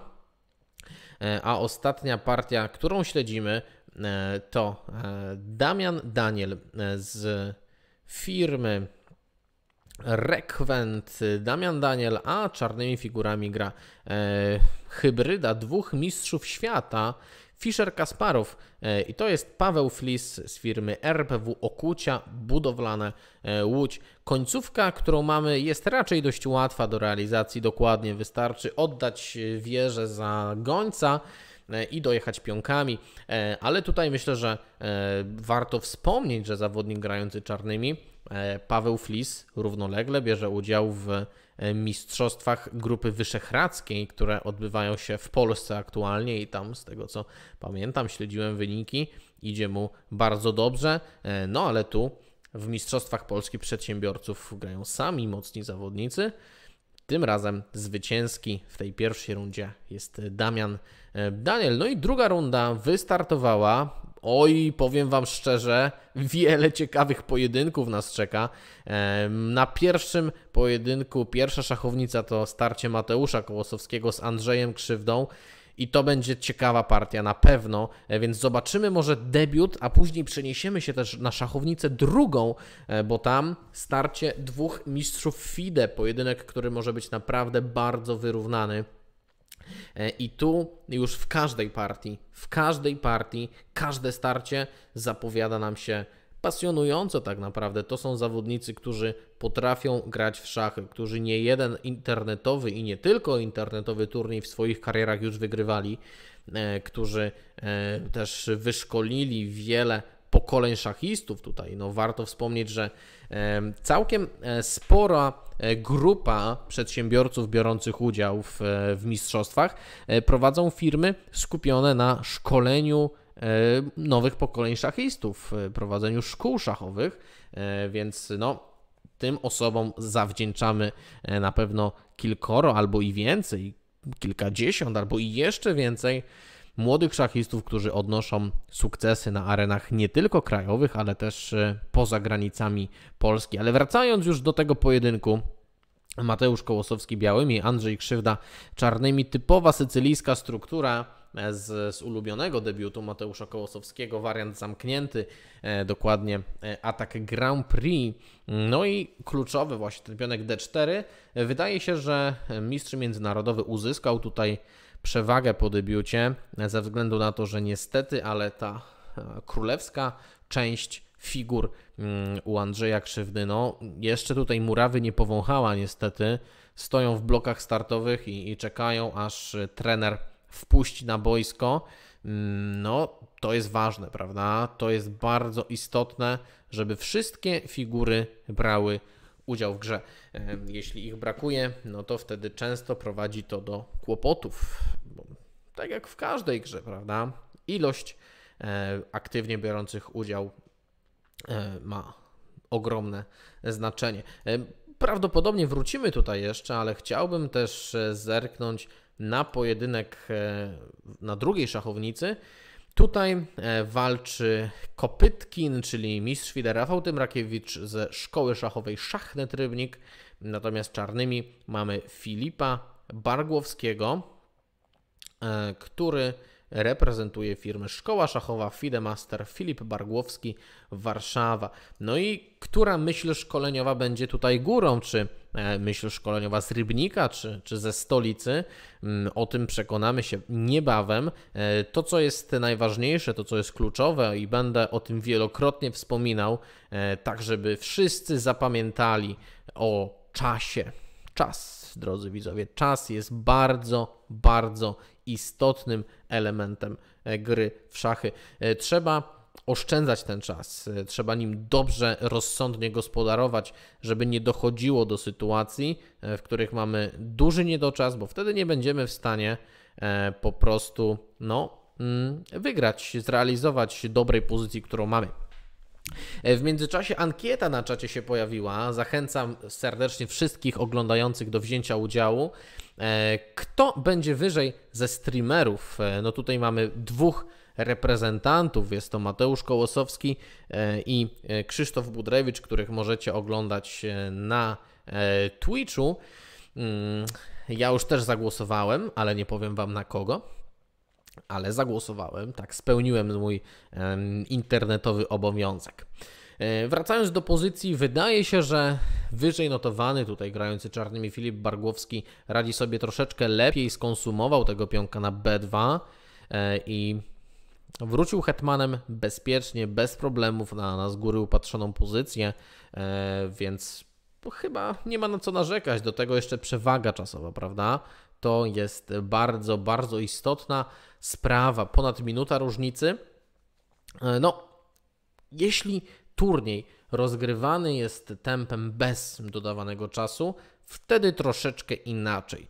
Natomiast jeśli mamy sytuację, e, w której tego czasu e, mamy dodatek, tutaj dwóch sekund, no wtedy raczej na czas się nie przegrywa. Zazwyczaj jest to mało prawdopodobne. E, ale mała ilość czasu to nie jest tylko kwestia bezpośredniej porażki przez czas. E, to też jest problem podejmowania optymalnych decyzji w krótkim czasie. Mając e, więcej czasu, możemy dokładnie wszystko przemyśleć, e, możemy mm, przeanalizować szczegółowo sytuację i podjąć optymalną decyzję w danej pozycji. Mając mniej czasu, a zobaczmy, że tutaj Kopytkin już jest poniżej 30 sekund, za chwilkę poniżej 20, E, to może być dla niego sporym wyzwaniem. Te decyzje już będą podejmowane całkowicie intuicyjnie, bez e, możliwości przeanalizowania aktualnej sytuacji. No ale pozycja nam się komplikuje co jeszcze bardziej powinno utrudniać grę zawodnika e, z małą ilością czasu, aczkolwiek e, czasem warto też w ten sposób spróbować. Mam mało czasu, więc chcę rozstrzygnąć pozycję szybko. E, jeśli będzie mniej wykonanych posunięć w danej partii, to mniejsza szansa, że popełnię błąd wynikający z małej ilości czasu. Ale tutaj fantastyczne zagranie Filipa tak mi się przynajmniej wydaje, że ta wieża C8 e, brak reakcji e, przy hetmanie. No i teraz oczywiście musi uważać, e, żeby tego swojego hetmana nie stracić, ale to nie jest wcale takie łatwe, bo wisi też goniec na D7 i jeśli te białe figury tutaj się rozszaleją, rozegrają, nabiorą wiatru w żagle, to będą kłopoty. Wieża C2 nie obronił tego hetmana, ale czy nie można po prostu. Ach, piękne poświęcenie e, Filipa Bargłowskiego. Oddał hetmana za wieżę i lekką figurę, ale teraz całkowicie dominuje tą sytuację. Białe figury pozbawione koordynacji, do tego tylko 8 minut na zegarze. No i panie Rafale, nie będzie łatwo tutaj tego rozegrać. E, a Filip odbija, czyli to już są dwie wieże, ale na oj, oj, oj, ale widełki! Przeoczył to na pewno Filip Baregłowski przy tak dużej ilości czasu na zegarze. Nie zauważył tego motywu. E, no a e, Kopytkin, mistrz FIDE Rafał Tymrakiewicz, no do ostatniego momentu zachował zimną krew i jakimś cudem po prostu zdołał odwrócić losy tej partii.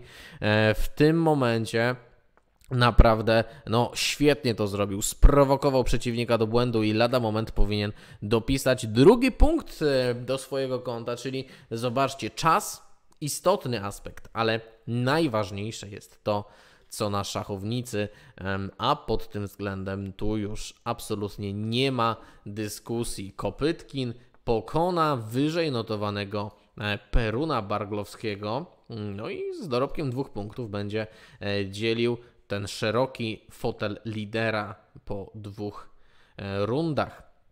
Przeniesiemy się jeszcze na, na, inne szachownice, które też na pewno są e, pasjonujące. E, pojedynek Pawelo 59 z Dawidem Janaszakiem. Tutaj szybciutki rzut oka na listę. Kogo my tutaj mamy? Paweł Łaszewicz kolorem białym z firmy PM Team Nieruchomości End Szkolenia Nowa Ruda. Natomiast Dawid Janaszak e, reprezentuje przedsiębiorstwo Sapber Poznań. E, no i końcówka, którą mamy w tym momencie e, na szachownicy, powiem szczerze, nie jest mi ją łatwo ocenić, ale raczej no, rozważalibyśmy tutaj coś między Wygrana czarnych lub remis to jest jednak goniec, to jest jednak figura przewagi, ale biały też ma argumenty. Ten pionek A, pionek B, one uciekają, one idą do przodu, idą w kierunku pola przemiany.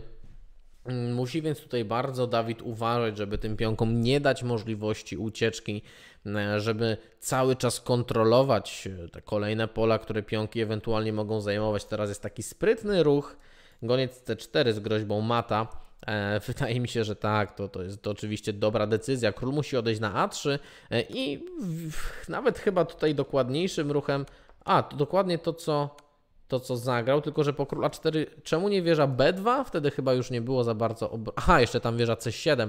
Ok, więc na spokojnie, tak, dobrze, dobrze to zagrał zawodnik e, grający czarnymi, skonsumował pionka, a jeden, jeden pionek już nie robi na nikim wrażenia. Mm, jak to mówią, jeden pionek to jeszcze nie jest pionek, to nie wystarczy, e, żeby zmusić gońca do oddania się. 20 sekund to jest dużo czasu. Kiedy mamy dodatek 2 sekund na każde posunięcie, e, to przy takich 20 na spokojnie jesteśmy w stanie pozycję zrealizować. E, myślę, że Dawid nie będzie miał z tym problemów, a my wrócimy do pojedynku na pierwszej szachownicy, ale wydaje się, że Mateusz Kołosowski rozstrzygnie go na swoją korzyść. Tutaj jest biało, biało na szachownicy. Ogromna przewaga liczebna jeszcze zmusił przeciwnika do wymiany hetmanów. No tutaj Andrzej już spokojnie mógłby się e, poddać. Tak też zrobił. No i mamy e, na czele turnieju kilka osób. Wśród nich numer jeden, turniejową jedynkę E, czyli Mateusza, a tutaj pojedynek Borysa LBD e, z Szymonem, e, czyli Borys Lebiedowicz z LBD Records Wrocław kontra Szymon Pieczewski, prezes Wielkopolskiego Związku Szachowego. No i tutaj działacz okazał się być lepszy niż showman. Taka sytuacja. Brawo dla Szymona, który odniósł zwycięstwo, mając 250 oczek rankingowych mniej. Gratulujemy. E, no i ostatnia e, partia w tej grupie tutaj będzie e, matowanie, właściwie już jest zamatowane. Wygrał Leo Daniel, czyli Lekiem z firmy Vipolimex, spółka zo Stare Babice, a tutaj czarnym, właśnie grał, Leo grał czarnym kolorem i on został pokonany. Mm, a wygrał Arkadiusz Klonowski z firmy AK Software Wschowa. E, no to oznacza, że wszystkie partie w tej rundzie drugiej zostały zakończone, a przed nami sporo ciekawych pojedynków w rundzie trzeciej. No tutaj trafiają na siebie zawodnicy z tytułami międzynarodowymi i trafiać będą już do samego końca tak naprawdę. E, zobaczymy, e, jak radzi sobie Wojciech Przybielski w pojedynku z Mateuszem Kołosowskim. E, różnica rankingowa jest dość spora. No tutaj pod tym względem Mat jest dominatorem turnieju. Jako jedyny legitymuje się czeskomowym rankingiem ponad 2700. Ale pamiętajmy, że w pojedynczej partii wszystko się może zdarzyć, a tutaj zawodnicy są naprawdę mocni. Każdy ma, no, zgodnie z zasadami turnieju, e, ranking szachów e, klasycznych na żywo ponad 1800, mm, więc no, sami profesjonaliści, można powiedzieć. A ci na szczycie tabeli, którzy rywalizują o, o te najwyższe lokaty, pierwsze, drugie, trzecie miejsce, o czołową ósemkę, to są zawodnicy naprawdę bardzo, bardzo mocni. E, pamiętamy pierwszą partię dzisiejszego turnieju, tego drugiego turnieju diamentowego, który śledziliśmy tam. Mateusz Kołosowski też grał czarnymi, nasz numer jeden turnieju i miał kłopoty. Miał kłopoty. Niżej notowany rywal postawił mu naprawdę twardy opór, ale gdzieś zdołał się e, z tego wydostać, zdołał się wyślizgnąć i w końcu obrócić losy partii na swoją korzyść. Druga partia była dla niego zdecydowanie łatwiejsza, e, przynajmniej tak się wydawało. No a jak będzie w tej trzeciej? E, na razie widzimy, że o ile na szachownicy trudno wskazać stronę przeważającą, o tyle na zegarze e, dużo, dużo lepiej radzi sobie Wojtek, który już tutaj pół minuty przewagi skumulował. E, z jakiego debiutu to wyszło, pyta Kacper. No, ta pozycja mogłaby być troszeczkę trudniejsza do odgadnięcia, ale ta jest raczej dość łatwa. To jest bardzo charakterystyczna struktura dla e, partii hiszpańskiej. Tutaj szybciutko nam system te ruchy poprzestawia żebyśmy wszyscy widzieli. E, no, Mateusz zastosował takie troszeczkę nietypowe ustawienie, prawda? Skoczek płaski na E7, goniec Fianchetto, skrzydła królewskiego. E, ale to wszystko doprowadziło nas mimo wszystko do, do typowej e, struktury z, z Rui Lopeza. E, no i aktualna pozycja za momencik pojawi się na naszych ekranach. Czy jesteśmy w stanie tutaj wskazać stronę dominującą? Mm, nie wydaje mi się. Może ten pionek D6 to jest taki jeden, jeden argument, wokół którego Wojciech Przybylski może konstruować swoją grę, ale nie widać konkretów, prawda? Pamiętajmy, że słabość jest wtedy, kiedy można ją wykorzystać. A tu nie widać na to, e, na to sposobu. Podczas gdy wszystkie czarne figury stoją naprawdę e, dobrze, stoją aktywnie, współpracują ze sobą. E, może skoczek C4 być nieprzyjemny, może D5 zgodnie, zgodnie z zasadami żeby izolowanego pionka pchać do przodu. Tutaj faktycznie ten pionek na D5 mógłby zostać przestawiony, złapać więcej powietrza e, i, i tak dalej. Natomiast to wszystko może nie mieć zbyt dużego znaczenia, jeśli Wojtek Przybylski nie przyspieszy swojej gry, jeśli będzie kolejne posunięcia wykonywał tak powoli, zwłaszcza to jedno, bo tu, tutaj za momencik dostanę informację, jak długo nad tym posunięciem się zastanawiał, ale to już jest e, oj, minuta 47 nad jednym ruchem w 3-minutowej partii. Zdecydowanie zbyt długi namysł. Miał problem z decyzją, prawda? Ale czasem warto jest zagrać ruch troszeczkę gorszy, ale zaoszczędzić e, sporo, sporo czasu.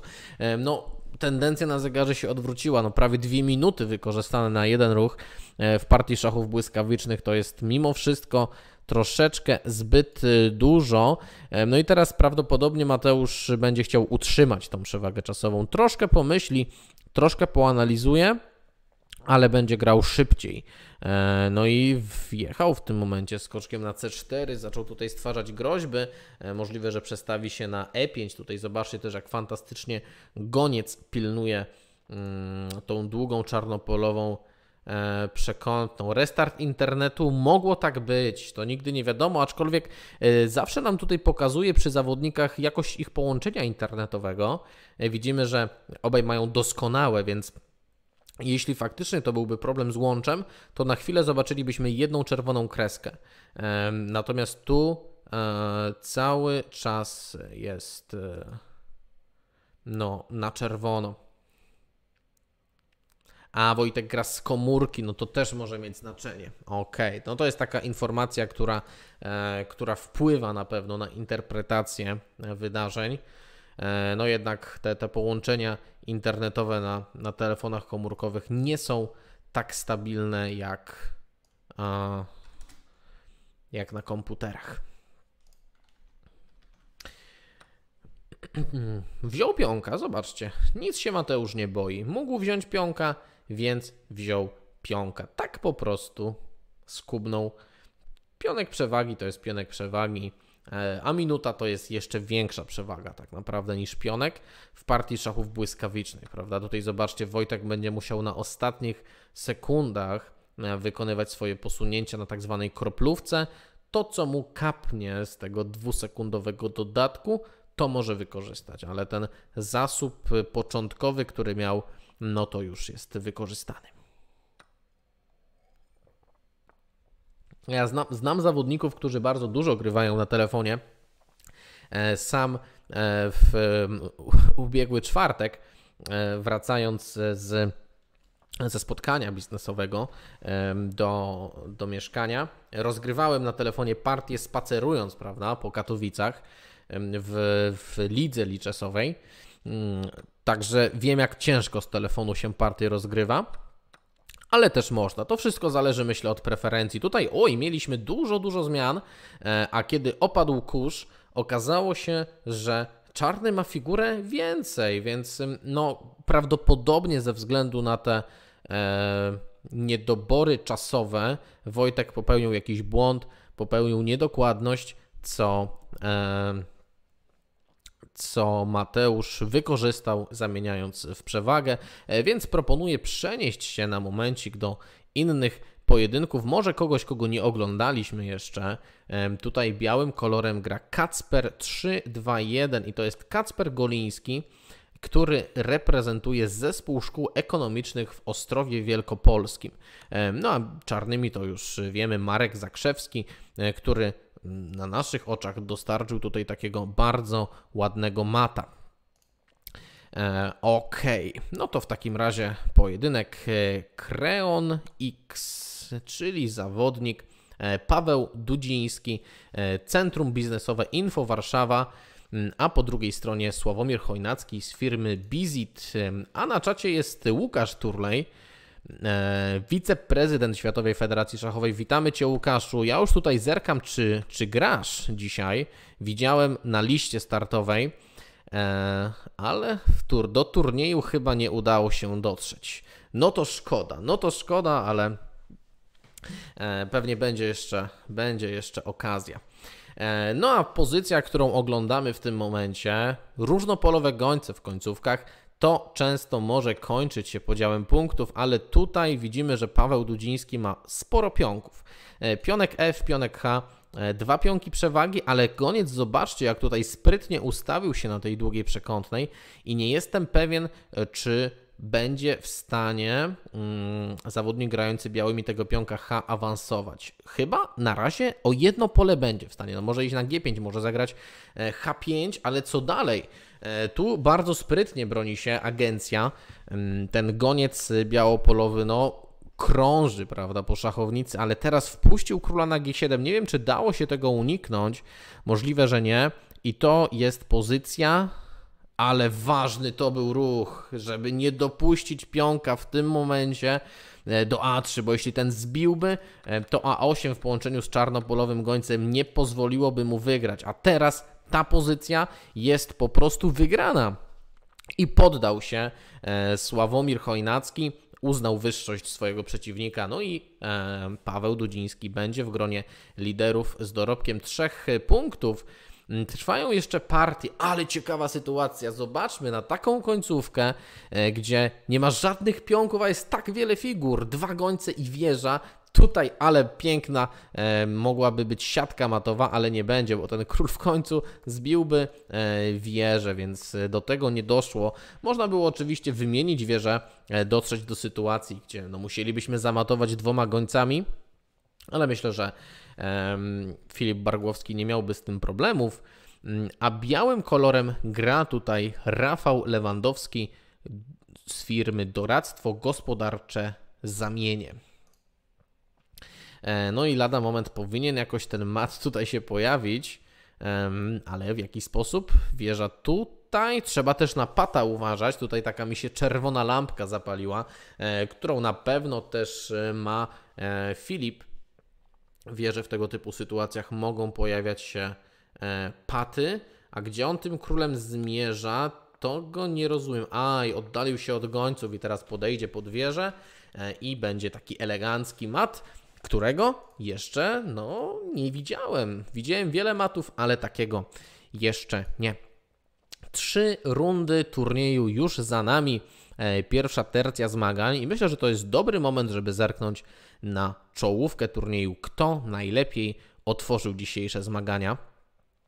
E, no i widzimy, mamy tutaj czwórkę zawodników z kompletem punktów. Jest e, Mateusz Kołosowski, jest Szachuś.pl, Dawid Janaszak i Paweł Dudziński. I to oznacza, tak, to oznacza pojedynek, na który wszyscy miłośnicy szachów w Polsce czekali. Pojedynek dwóch popularnych Twitchowych streamerów. Za momencik tam się przeniesiemy, mm, ale zobaczmy jeszcze, jak liczna tutaj jest ta grupa pościgowa z dorobkiem dwóch punktów. E, Maciek, Piotr, Filip, e, Biesiadnik, jest Wojciech, jest Damian Daniel, jest Krzysztof Sobiech, Marek, Andrzej e, i e, Sawyer, oni wszyscy mają dwa punkty i będą na pewno też walczyć, będą starać się tutaj dołączyć do tej ścisłej czołówki. E, no a my przenosimy się na pojedynek szachuś.pl, czyli Krzysztof Budrewicz kolorem czarnym, a po białej stronie Mateusz Kołosowski mistrz międzynarodowy kontra mistrz krajowy. Zawodnicy, którzy między sobą podejrzewam, że zagrali już no naście, a może i kilkadziesiąt partii.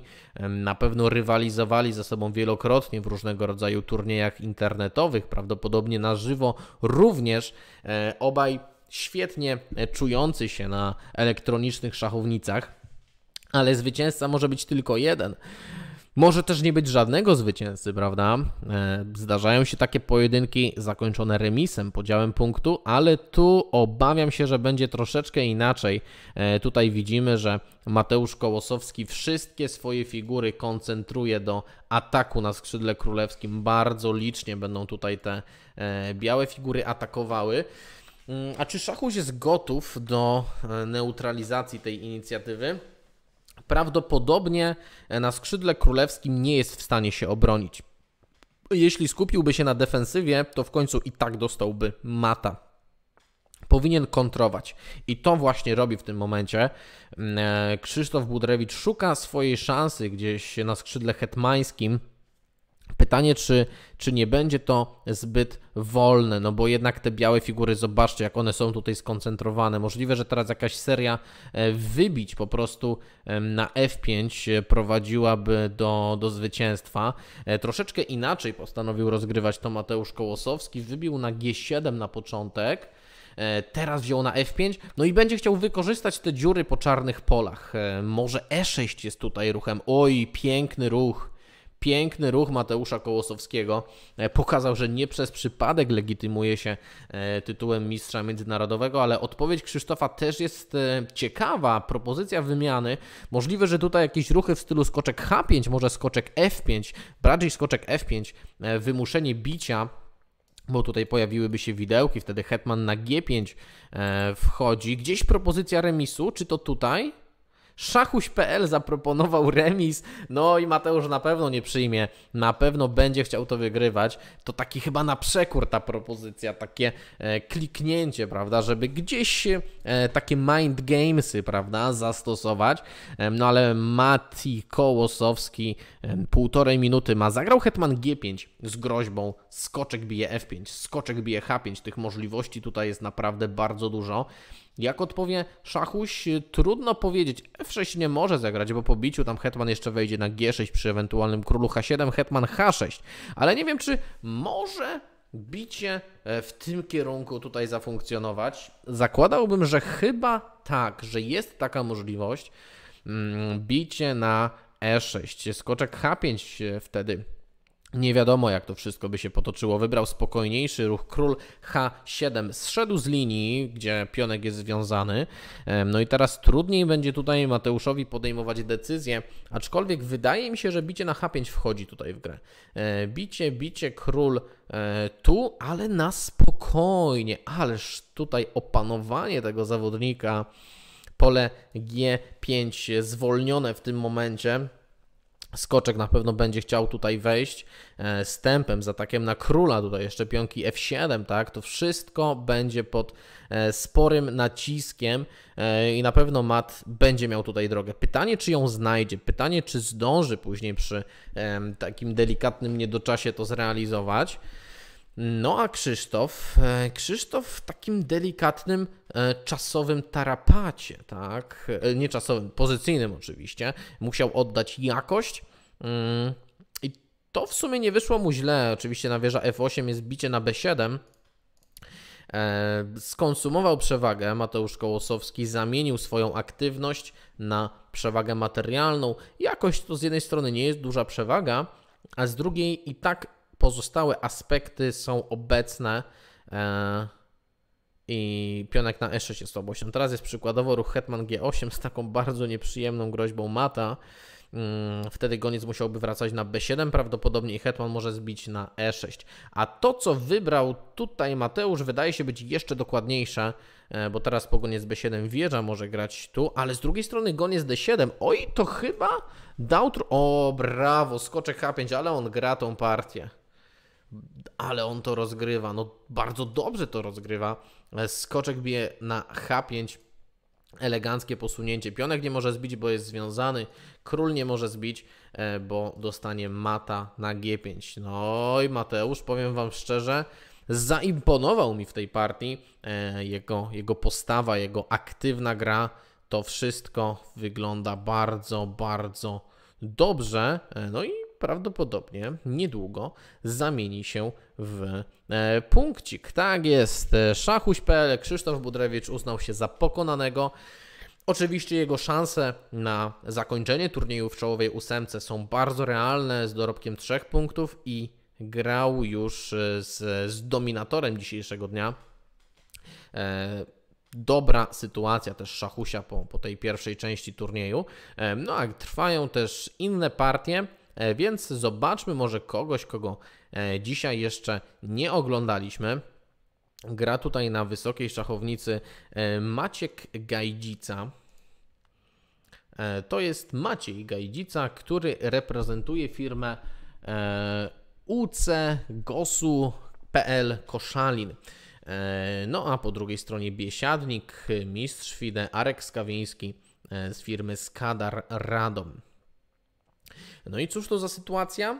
Hmm, policzylibyśmy e, materiał, to przede wszystkim pionki. Zobaczcie, jak tutaj czarno na tej szachownicy.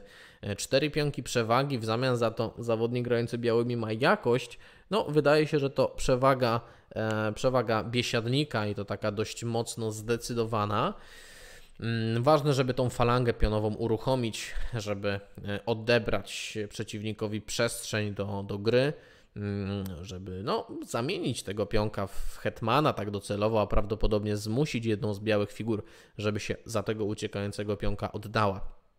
Zakończyła się ankieta na YouTubie e, z wynikiem 54% wygrał Krzysztof Budrewicz. Pytanie brzmiało, e, kto będzie wyżej w turnieju, czy, czy, czy Szachuś, czy, czy Mati Kołosowski. E, no, ankietowani zdecydowali, że Szachuś, w bezpośrednim pojedynku wyżej był, e, wygrał e, mistrz międzynarodowy Mateusz Kołosowski, ale to jest tylko jedna partia, która oczywiście na tą chwilę stawia zwycięzcę w lepszej pozycji wyjściowej, ale do e, końca turnieju jeszcze dużo partii, więc wszystko może się jeszcze zmienić. A tymczasem partia, którą oglądamy, nabiera tempa, e, coraz mniej czasu na zegarze. I czy zdąży Maciek na dwóch dziesiątych sekundy wykonał posunięcie, ale teraz już nie zdążył niestety. Przegrana na czas. Mm, na pewno no, to nie był plan tego zawodnika, ale mocno, e, solidnie grał tutaj Arek Skawiński, który no, tymi pionkami zmierzał powolutku i to zmusiło przeciwnika do namysłu, e, w efekcie czego partia zakończona zwycięstwem e, zawodnika notowanego wyżej i czwarta runda jeszcze trwa, jeszcze grają. Mm, to zerkniemy może na osoby, których nie oglądaliśmy i nie obejrzymy przynajmniej w tej rundzie. Tutaj widać, że wygrał Konszcz pojedynek z Olianem. No to rzut oka na, na kolejne starcie. Tutaj białymi gra Pawelo, czyli Paweł Łaszewicz z PM Team Nieruchomości and Szkolenia Nowa Ruda, a czarnym kolorem broni się, ale raczej się nie obroni gra zawodnik E, Ryszard Kasperek z PPHU Feniks Straszęcin. E, no tutaj nie da rady, prawda? Ten pionek będzie doprowadzony do, e, do pola przemiany. Dobrze to Pawelo wytempował, zmusił przeciwnika do odejścia królem w, w pasywne miejsce. No i za momencik pionek wypromowany w Hetmana. Możemy zobaczyć, jak będzie przebiegało matowanie.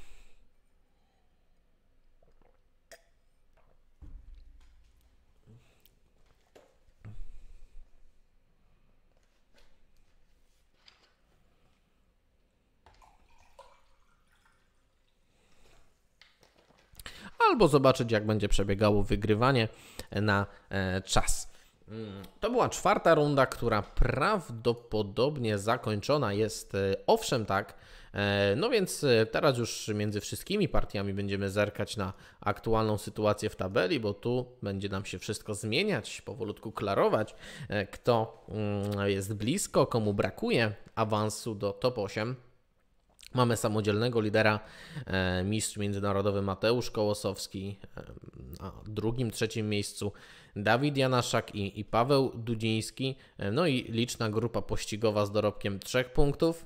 Widzimy, że zawodnicy z tymi wysokimi rankingami są w czołówce z tytułami międzynarodowymi, aczkolwiek nawet na półmetku zmagań jeszcze nie jesteśmy, więc ta tabela może się jeszcze przetasować, może się obrócić. Jeśli ktoś zacznie grać lepiej, e, zacznie punktować, zacznie wygrywać partię, to cały czas miejsce w e, ścisłym finale, e, który przypomnę odbędzie się na żywo 20 listopada w siedzibie firmy Autopartner Mercedes Garcarek. To no, ósemka czeka, tylko trzeba kilka partii jednak wygrać. Mm, zerkniemy może na pojedynek tutaj. E, dlatego, że nie oglądaliśmy jeszcze szczegółowo pojedynków Damiana Daniela, który tutaj czarnym kolorem będzie rywalizował z, e, z Szachusiem. No i kilka pytań tutaj się nasuwa. Czy Damian Daniel grał już dzisiaj z przeciwnikami o wyższym rankingu? Tego nie wiemy. Tego nie będziemy teraz sprawdzać, ale ciekaw jestem, jak poradzi sobie w, w starciu z zawodnikiem o wyższym rankingu. E, różnica 160 punktów rankingowych ma znaczenie, ale wcale nie musi e, zdecydować o wyniku. No i drugie pytanie, jak e, Szachuś, czyli Krzysztof Budrewicz poradzi sobie z grą po porażce. On niestety no, doznał tej goryczy i to dość dotkliwe było to doświadczenie w, w partii z, z Mateuszem Kołosowskim. Musi teraz bardzo e, uważać, prawda, żeby nie wpaść w taką serię porażek. To niestety często zdarza się w turniejach, e, ale Krzysiek też jest doświadczonym graczem. Teraz prawdopodobnie zaplanował wybicie na D4 i wjazd na E6 tak ustawiony skoczek to będzie naprawdę ogromna, ogromna siła. E, w tym momencie troszeczkę inaczej to chyba wygląda, chociaż po biciu na D4 prawdopodobnie e, Damian przygotował wybicie na G5, tak bym obstawiał. Wybicie na G5. E, żeby no tego skoczka tutaj nie wpuścić. Może też H6 będzie za momencik ideą. E, no całkiem nieźle, całkiem nieźle to ze strony Damiana teraz wygląda. E, Szachuś wpada w taki delikatny namysł, w delikatny niedoczas. Nie wiem ile razy już dzisiaj mówiłem o, o tym aspekcie szachowym, ile razy podkreślałem jak istotne jest to, żeby w niedoczas nie wpadać, żeby, żeby uważać na to, to powiem jeszcze raz. To jest bardzo ważne. Czas jest elementem gry mm, i to jest ogromna sztuka, ogromna trudność, ale też y, ogromne znaczenie, e, ta umiejętność kalkulacji, ryzyka, czy zagrać troszeczkę szybciej, czy dłużej to wszystko przemyśleć. E, tutaj doszło do tej wymiany e, i teraz prawdopodobnie może ruch F3, później przestawka skoczka przez F2 na E4, tylko że zawsze też czarny jest tutaj gotowy już do zagrania E4 ze swojej strony. B5 prawdopodobnie z planem B6. Próba tutaj akcji na skrzydle hetmańskim, gdzie jest troszeczkę więcej białych figur gotowych do, do rywalizacji, e, do wymiany uderzeń po tej stronie szachownicy, mm, ale Damian będzie miał inny plan. On będzie chciał grać, e, będzie chciał rozstrzygać tą partię na skrzydle królewskim. Tutaj skoczek fantastycznie wjechał z atakiem, może czasami groźby mata będą stworzone. No i pytanie o ruch E4. Mm, pytanie trudne, Gdyby ktoś mnie zapytał, Kacprze, jak myślisz, czy może tutaj zagrać E4 Damian Daniel, odpowiedziałbym, nie wiem, ale na pewno chciałby.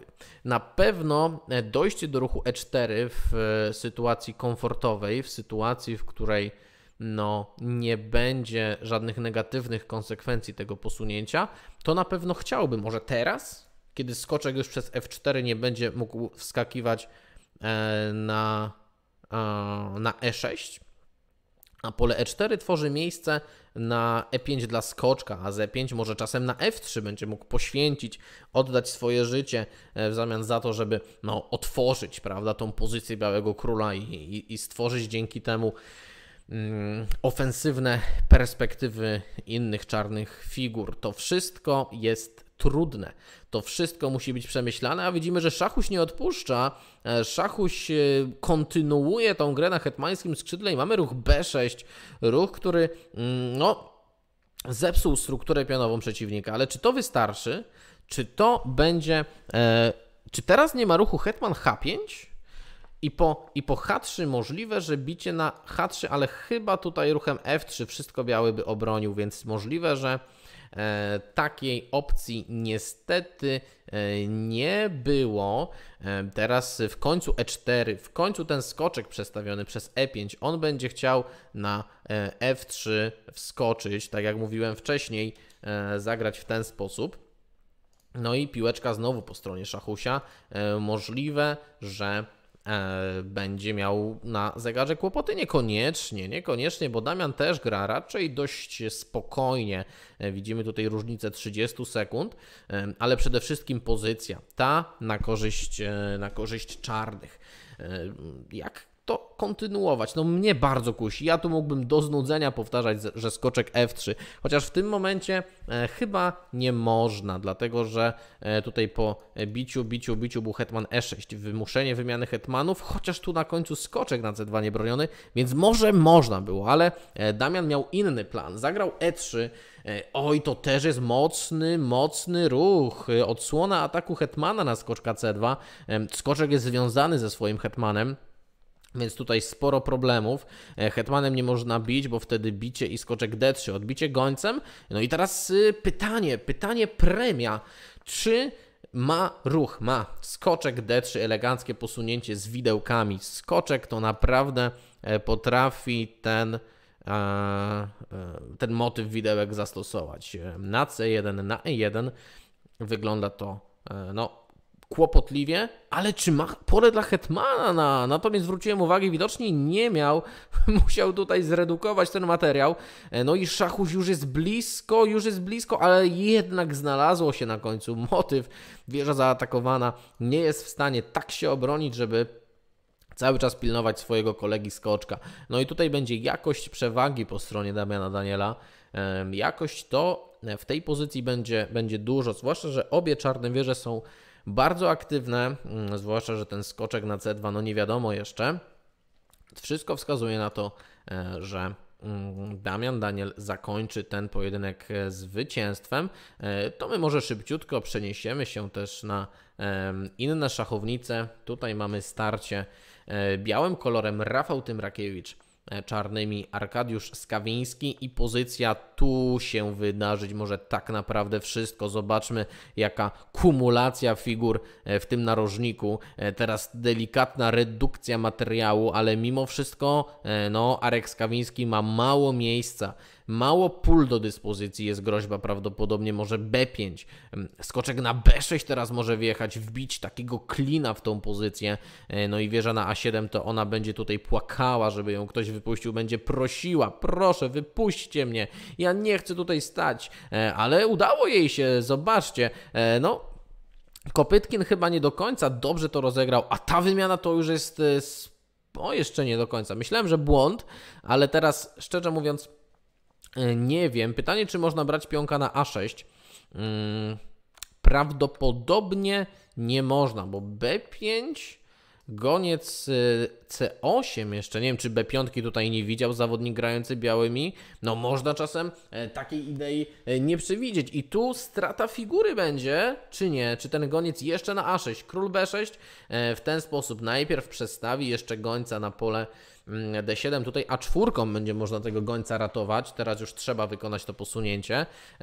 Wyrównała się liczba pionów po obu stronach. 6 pionków ma Arkadiusz Skawiński, 6 pionków ma Rafał Tymrakiewicz.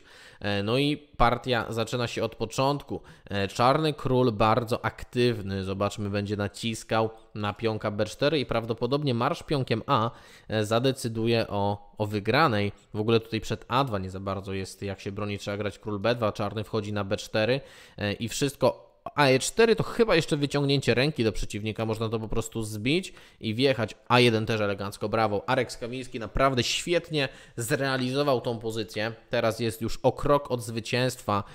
Jednak aktywność króla to jest bardzo, bardzo ważny e, aspekt no tu poświęcenie figury, które nic prawdopodobnie nie wniesie, to mogła być jakaś przyczajka e, na primuwa, jakaś przyczajka na przeciwnika, który mógłby gdzieś coś niefortunnie e, zagrać, a tu już mamy rozstrzygnięcie.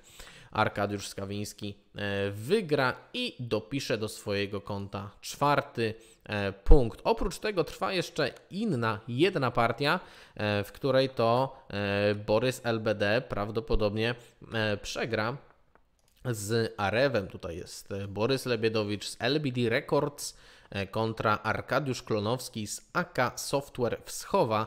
No i tutaj widzimy te maszerujące E, piony na skrzydle królewskim, które wspólnie idą na linii H, na linii G i za momencik e, dojadą do pola przemiany. Nawet tu może mógł być taki mat. E, no, zobaczymy w jaki sposób tą partię dokończy Arek.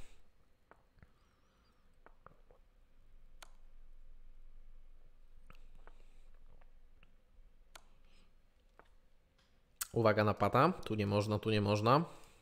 Można tu i tu. Można też tu i tu mat w dwa ruchy na wiele sposobów, a teraz już w jeden ruch. E, no i no, Borysowi coś tutaj nie idzie, e, a Aref e, sprytnie, czujnie trzeci punkcik dopisany do jego konta. Pięć rund już zakończonych, no więc rzut oka na aktualne wyniki. No i mamy na czele dominatora, zawodnika, który był rozstawiony z jedynką. Do tej pory fenomenalnie wywiązuje się ze swojej roli mistrz międzynarodowy Mateusz e, Kołosowski, komplet zwycięstw. E, później mamy grupę zawodników z dorobkiem 4 punktów: e, Filip Bargłowski, Arkadiusz Skawiński i Damian Daniel. No i później grupa pościgowa osób z 3,5 punktami, ale walka o czołową ósemkę będzie toczyła się do samego końca. Jeszcze cztery rundy, w których wydarzyć może się wiele, wydarzyć może się wszystko. A tymczasem na, na czacie pojawiło się pytanie, jaki jest najlepszy e, ruch w posunięciu numer jeden Zobaczmy, co na ten temat sądzi Dawid Janaszak. Według niego ruch E4. A jak e, sądzą tutaj widzowie e, na kanale Szachmistrza, ja już zagłosowałem, ale nie powiem Wam, nie powiem Wam na co, żeby tutaj no, nie wpłynąć na, na Wasze e, głosowania, ale dajcie znać, który ruch jest Waszym ulubionym. E, tutaj mieliśmy, e, to możemy w sumie od początku tutaj sobie przewinąć, partia E, szkocka, mm, czyli taki wariant debiut, który różnie może się toczyć, ale akurat w tej partii dość agresywne podejście Dawida. Wojtek na pewno jest przygotowany, na pewno wie jak tą pozycję rozgrywać, ale H4 tu jest rzadszym wyborem, raczej C4 od razu od razu się grywa. Mm, jakie są dokładne strategiczne niuanse w, w tym wariancie? Szczerze mówiąc, nie wiem, więc nie będę tutaj e, wymyślał rzeczy niestworzonych, e, ale to, co w każdym debiucie, w każdej partii jest ważne, to co powinno się zrobić, Czyli wyprowadzić lekkie figury, zabezpieczyć króla i walczyć o centrum. Te trzy rzeczy są bardzo istotne. E, widzimy, że na tą chwilę e, obaj mistrzowie no nie do końca jeszcze swoje lekkie figury wyprowadzili. E, jeśli chodzi o króle, to też nie możemy powiedzieć, że są bezpieczne. No tak wręcz przeciwnie nawet, oba w dużym niebezpieczeństwie, ale za momencik prawdopodobnie wymienią się hetmany. No a wiemy, że jeśli ta najmocniejsza figura kończy udział w, w, danej rozgrywce, no to trudniej jest skonstruować jakiś skuteczny atak, nawet jeśli król e, jest w sytuacji mocno mm, osłabionej. Policzmy pionki. Jest ich porówno. Biały ma jeszcze 6, e, czarny również. E, no i jeśli miałbym tutaj wskazać stronę, która przeważa, która ma sytuację lepszą, to szczerze mówiąc nie potrafię wskazać. Mm, z jednej strony podoba mi się pozycja białych, z tego względu, że tutaj no mamy ewidentnego czyś, czyściutkiego pionka więcej na skrzydle królewskim. E, z drugiej strony też ten goniec na A6 jest, jest mocno ograniczony, nie ma żadnych perspektyw. Mm, ale z drugiej strony e, Wojciech Przybylski może tutaj, czy to ruchem A4, czy ruchem D5, osłabiać pozycję, tą białą strukturę pionową. Mm, zadać Dawidowi kilka pytań, jak zamierza e, dalej kontynuować prawda, tą rozgrywkę, co sądzi na temat e, struktury pionowej. Mm, jest też manewr związany z D6, goniec C8 i, i przyjazd tędy, może też C5, D6 i wtedy dopiero przyjazd, prawda, żeby tutaj nic nie stracić. Więc nie jest to też takie złe e, dla, dla Wojtka Przybylskiego. Może to się na przeróżne sposoby dalej, dalej toczyć. W tym momencie widzimy ruch D5, bardzo sensowne, bardzo logiczne zagranie. Kwestia tylko, czy nie ma tutaj jakiejś podstawki, ale na D5 bić i tak nie można, dlatego że widzimy pionek z C4 jest związany. Nie może się ruszyć, bo wtedy wieża z F1 tutaj e, będzie niestety e, łatwa do zbicia dla czarnego gońca. Mm, tak więc e, tutaj E, jest e, no A3, goniec odchodzi. Mm, ok. I co dalej w tym momencie? B4. Mm, w sumie nie wiem, czy chciałoby się taki ruch wykonać. To należałoby się pewnie zagłębić troszeczkę bardziej, ale czy chciałoby się, czy, czy nie chciałoby się, to może tak naprawdę nie mieć żadnego znaczenia, bo i tak e, jest to po prostu niemożliwe. E, czarny mocno kontroluje, biały nie jest w stanie. Mm, partia będzie miała prawdopodobnie no, wyrównany przebieg do samego końca. Oczywiście czas może być kluczowym e, aspektem. Widzimy, że tutaj Dawid ma minutę mniej na zegarze. Mm, więc zobaczymy może pojedynek e, na szachownicy pierwszej. Tutaj lider turnieju Mateusz Kołosowski gra z Filipem Bargłowskim. E, jeśli policzylibyśmy materiał, to teoretycznie jest równo, ale mamy taką bardzo ciekawą sytuację, gdzie e, zawodnik grający białymi ma dwa skoczki, e, a jego przeciwnik dwa gońce. No i właśnie, która z tych figur jest lepsza? Czy lepszy jest goniec, czy lepszy jest skoczek? Tego tak naprawdę nie da się jednoznacznie rozstrzygnąć, to zależy zazwyczaj po prostu od konkretnej pozycji. Czy ten skoczek jest lepszy od tego gońca, prawda? To jest kluczowe. A tak ogólnie, e, no raczej w 50,5% sytuacji lepszy jest goniec. Może, może to troszeczkę większy procent, ale tu te skoczki mm, stoją nieźle, e, zwłaszcza teraz, e, kiedy Mateuszowi został goniec czarnopolowy. On tutaj nie ma za bardzo perspektyw, strzela w swojego pionka i mm, nawet w przyszłości, no nie wiem, czy, czy Rangoniec będzie w stanie tu jakąś karierę zrobić. Z drugiej strony pionek E5 też oddalony od, od innych białych pionków może być łatwym celem do E, do ataku czarnych figur, ale żeby go zdobyć, żeby coś z tego było, to musielibyśmy zaatakować tego pionka gońcem. A to nie widać jak zrobić. Tego nie widać, ale uderzenie! E, skoczek D4, oczywiście pionek nie może odbić, e, bo na C8 niebroniona jest wieża, ale Mateusz sprawił wrażenie jakby to widział, jakby tutaj skontrował. No teraz może po prostu wziąć na E5. Są groźby związane z wieżą E3, Ewentualny remis, nie wiem, czy, czy będzie go tutaj zadowalał, czy, czy nie będzie, ale na pewno w sytuacji turniejowej jest dla niego rezultatem pozytywnym. On już wygrał wiele partii, e, a no, do ósemki doczłapałby, prawda? Doczołgałby się na tych remisach. Natomiast Filip Bargłowski może mieć troszeczkę inne zdanie na temat tej pozycji. Teraz jest skoczek F4 e, z widełkami. Dlaczego nie zagrał skoczek F4? Tego nie rozumiem. To chyba jakieś po prostu no, przeoczenie albo z mojej strony, albo ze strony zawodników. Mm, nie wiem, nie widzę odpowiedzi na, na te widełki, no ale skupmy się na tym, co aktualnie na szachownicy. Tutaj Mati e, zdobył pionka, ale na zegarze jest e, coraz mniej. Zobaczcie, tutaj 17 do 20 kilku sekund. E, biały ma wszystkie figury aktywne, wszystkie nieźle ustawione. Czarny ma pionka więcej. Ze skoczkiem D5 przykładowo trzeba uważać, bo wtedy może być jakiś wjazd wieżą w tą stronę. Bicie gońcem, tu mata nie ma, bo król może się odsunąć, ale trzeba bardzo uważać, czy po hetman C8 jest sposób na obronę przed matem, wtedy goniec e, konsumowałby skoczka, e, żeby ten przestał tutaj odbierać kluczowe pole G6. No ta transformacja pozycji zdecydowanie na korzyść Mateusza i teraz zdobywa hetmana na sam koniec. Król musi odejść, przestaje bronić. Powiem Wam tak, no Mateusz gra dzisiaj dobrze, ale te partie to nie są takie jednoznaczne zwycięstwa. No może za wyjątkiem partii z Szachusiem.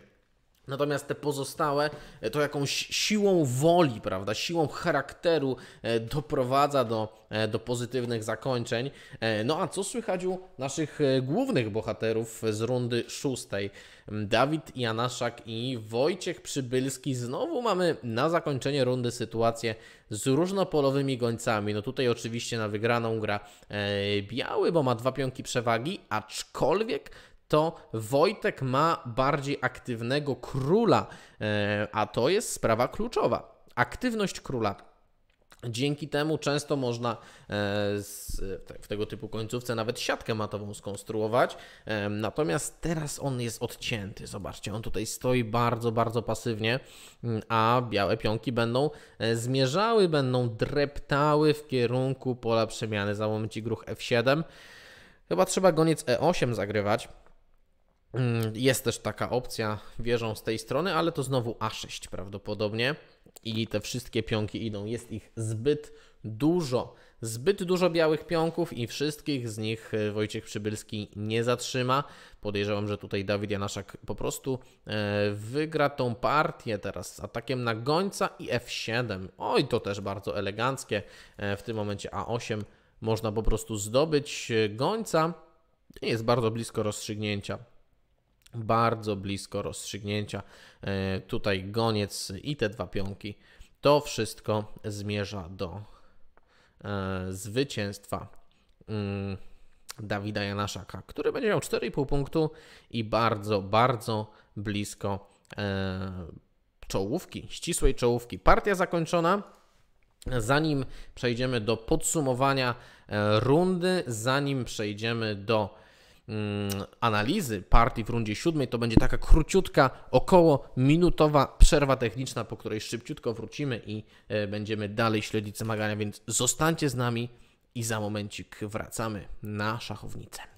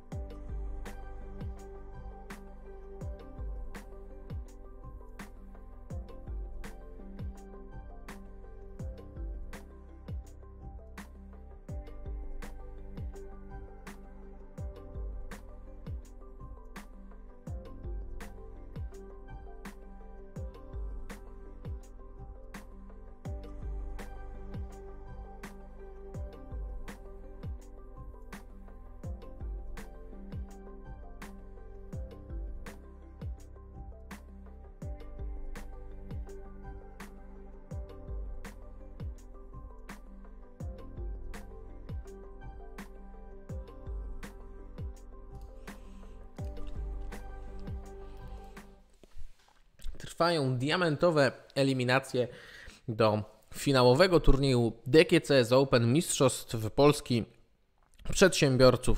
Trzy decydujące rundy przed nami. No już e, niektórzy mogą tutaj powolutku e, jedną nogą się poczuć w tym turnieju finałowym. Przede wszystkim e, Matt Kołosowski, który wygrał wszystkie dotychczasowe pojedynki. Mm, no, ale dużo jeszcze, dużo jeszcze przed nim. Trzy ostatnie partie. No i my przenosimy się na szachownicę, żeby śledzić te starcia. Może najciekawsze, najważniejsze będzie właśnie to. Pojedynek lidera z wiceliderem. Białym kolorem Arkadiusz Skawiński e, z firmy Skadar Radom, a, bia białym kolorem, może odwrócimy sobie od strony białych, e, Mateusz Kołosowski, mistrz międzynarodowy reprezentujący firmę Mat Chess Wrocław. Mm, no i cóż my tutaj mamy? Czego nie mamy? Może tak, zacznijmy. Nie mamy czasu.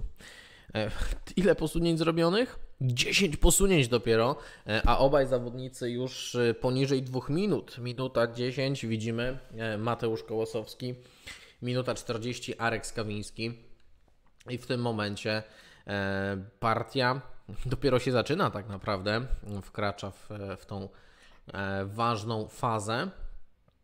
I wygląda na to, że taką delikatną dominację tutaj ma e, biały, bo jednak te figury skrzydła hetmańskiego nie są jeszcze wyprowadzone, ciągle ustawione na, na początkowych pozycjach, mm, ale raczej nie ma też e, możliwości biały wykorzystania tego, więc zgodnie z zasadą, że słabość jest wtedy, kiedy można ją wykorzystać, e, może należałoby zinterpretować, że tego nie można wykorzystać. No i mamy tutaj turniejową kalkulację, e, propozycja remisu i zgoda. Zawodnicy uznali, że podział punktu im się tutaj najbardziej opłaca.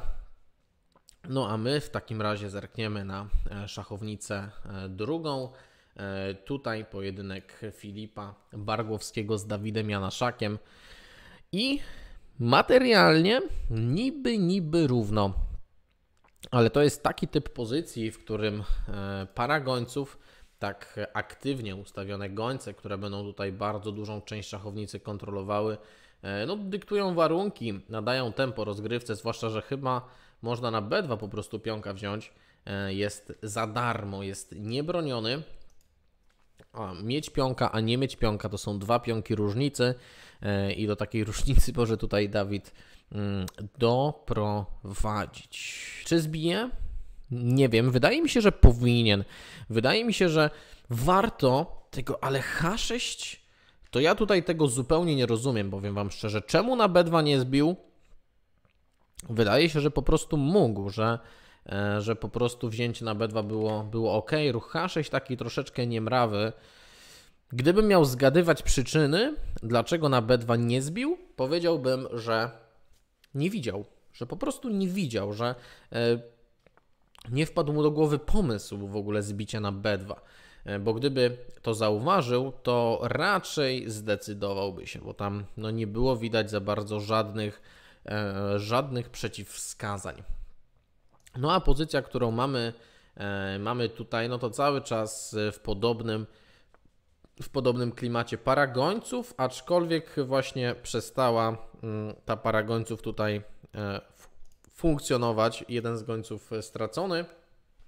No i po raz kolejny to chyba e, najbardziej typowy układ dla naszego dzisiejszego spotkania, czyli pozycja z różnopolokowymi gońcami.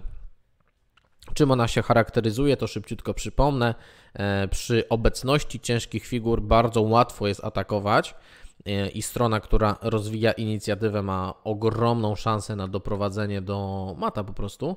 Nawet nie wiem, czy, czy tutaj zobaczcie, w tej pozycji e, chyba Dawid nie musiał odbijać, mógł zagrać ruch goniec D4 i ogromny problem z pionkiem. Jeszcze jedyna obrona to byłby hetman H4. Tutaj sytuacja się troszeczkę ustabilizuje, powinno to e, zakończyć się, chociaż teraz nie wiadomo, no przy wymianie hetmanów to już na pewno remis, e, ale myślę, że Filip powinien spróbować e, zagrać to na wygraną, powinien mm, zachować hetmana na szachownicy, taką samą decyzję podjął.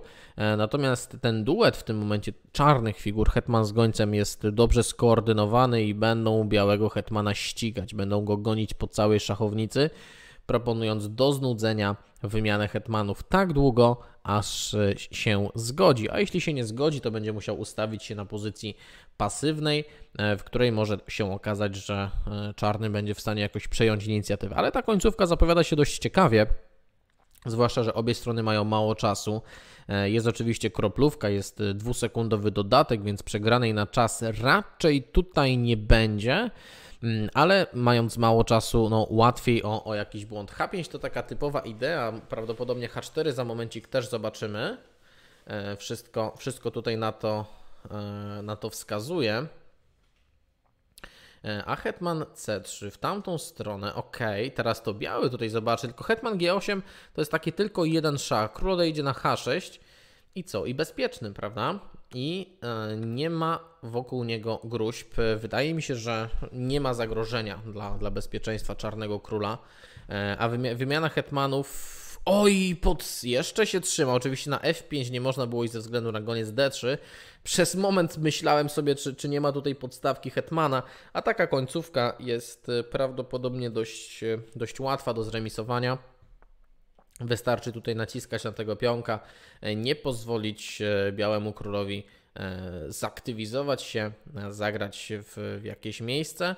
I teraz, czy tu nie wkradł się chochlik? Na król H4 powinniśmy mieć przygotowany goniec tutaj szach. Teraz może się okazać, że Filip zdoła to jakoś wygrać, aczkolwiek cały czas czarne figury są aktywne. Mimo dwóch pionków straty jest blisko, jest naprawdę blisko do remisu, aczkolwiek Czarny Król powinien chyba być przed pionkami. Wtedy bronić byłoby się nieco e, łatwiej. No i teraz uruchomił się, ruszył do przodu pionkiem na linii F. E, pytanie, czy pionek z G będzie w stanie dołączyć do, do swojego kolegi jeden ruch wykona, e, ale wtedy blokada po czarnych polach, prawda? E, utrzymanie pionków na polach koloru białego prawdopodobnie prowadzi do, do remisu, ale teraz pionek ucieka, zobaczcie, król nie jest w stanie gonić tego pionka i mamy ruch F7, król i król. Zła kolejność posunięć e, zawodnika. Powinien zacząć od ruchu król G6 i później dołączyć. Ta pozycja chyba remisowa. Chyba tutaj się obronił zawodnik grający czarnymi. E, będzie w stanie utrzymać tego pionka przed promocją. E, nie będzie absolutnie tutaj szans, żeby białymi jakoś to przełamać. Tylko Dawid wykona kilka czujnych ruchów, ale ma dwie sekundy dodatku na każde posunięcie, więc e, przegrana na czas nie wchodzi w grę. No i mamy podział punktu po bardzo interesującej końcówce. Wydawało się, że może coś z tego będzie, ale no, no nie było. Mm, zobaczmy na pojedynek zawodników, których nie śledziliśmy jeszcze dzisiaj. E, mamy e, tutaj białym kolorem e, Dariusz Allam gra z, ze Szkoły Języków Obcych Pleszew. Natomiast czarnym kolorem gra Maciej Kiełbratowski z firmy LKS Kajsa Lubsko. No i to już zakończyła się partia. Mm, wygrał Londoner Fan e, grający białym kolorem i co to oznacza? To oznacza, że runda siódma zakończyła się. Na pierwszym miejscu niezmiennie e, Mateusz Kołosowski. Widzimy tutaj zawodnicy, e, Dawid Janaszak z Arkiem Skawińskim już podzielili się punktami. Oni zmierzają, prawda, pewnym krokiem do czołowej ósemki. Nie trzeba tutaj się bić o miejsce pierwsze, drugie, trzecie, bo w turnieju eliminacyjnym e, tak, jako takich nagród nie ma. Tutaj nagrodą jest awans. Awans do turnieju e, finałowego. Mm, a ta walka będzie zacięta, prawda? Bo o ile te 3-2 zobaczymy e, miejsca wyglądają nieźle, no co będzie na innych szachownicach, to zobaczymy. Przeniesiemy się na pojedynek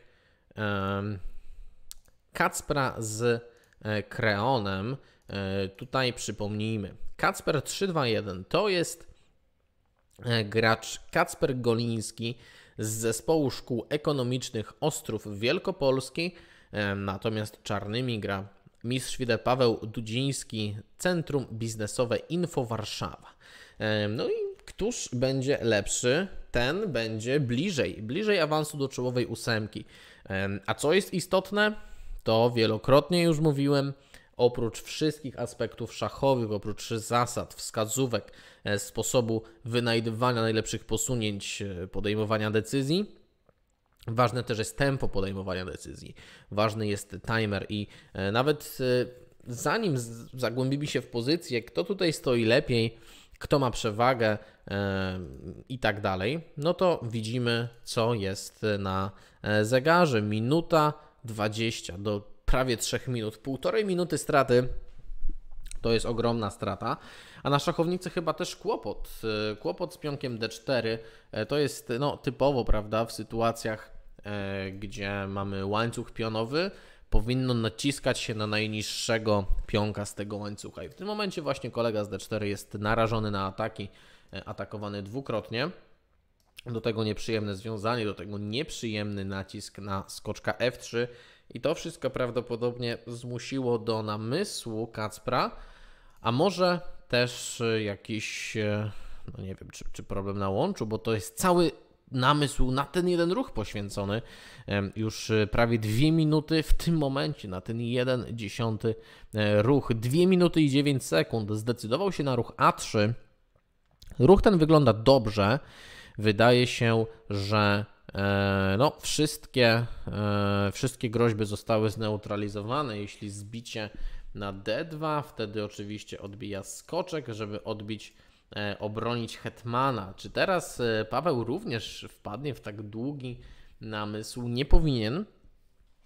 Kilkanaście, kilkadziesiąt sekund ok, prawda, żeby zastanowić się, czy tutaj przeciwnik nam nie zastosował jakiegoś wyjątkowego podstępu ale wszystko wskazuje na to, że, że na spokojnie można, e, można e, czarnymi odpowiedzieć cokolwiek i później kontynuować grę e, z nastawieniem na, na czas, prawda, na zegar, stwarzanie problemów przeciwnikowi, a tutaj Kacper przy małej ilości czasu do namysłu trudno byłoby mu się E, z tego wszystkiego później wytłumaczyć. Ale zobaczcie, tutaj Kreon też na spokojnie. Bardzo długi namysł, też już w okolicach minuty, minuta 10 i, i zbił na F3. Do, taka będzie troszeczkę nietypowa struktura pionowa, ale to słabości na razie nie są. E, te pionki będą wiele, wiele pól kontrolowały. I B5, dokładnie, bo na B4 był, był zaatakowany, nie za bardzo była opcja na obronę. E, chociaż tu skoczek bije D4, ale to jest wejście pod związanie. Mm, wejście pod związanie, po skoczek D4 jest po prostu hetman C3 e, i skocz. Chociaż jeszcze wtedy skoczek B5, to należałoby wszystko dokładnie przeliczyć.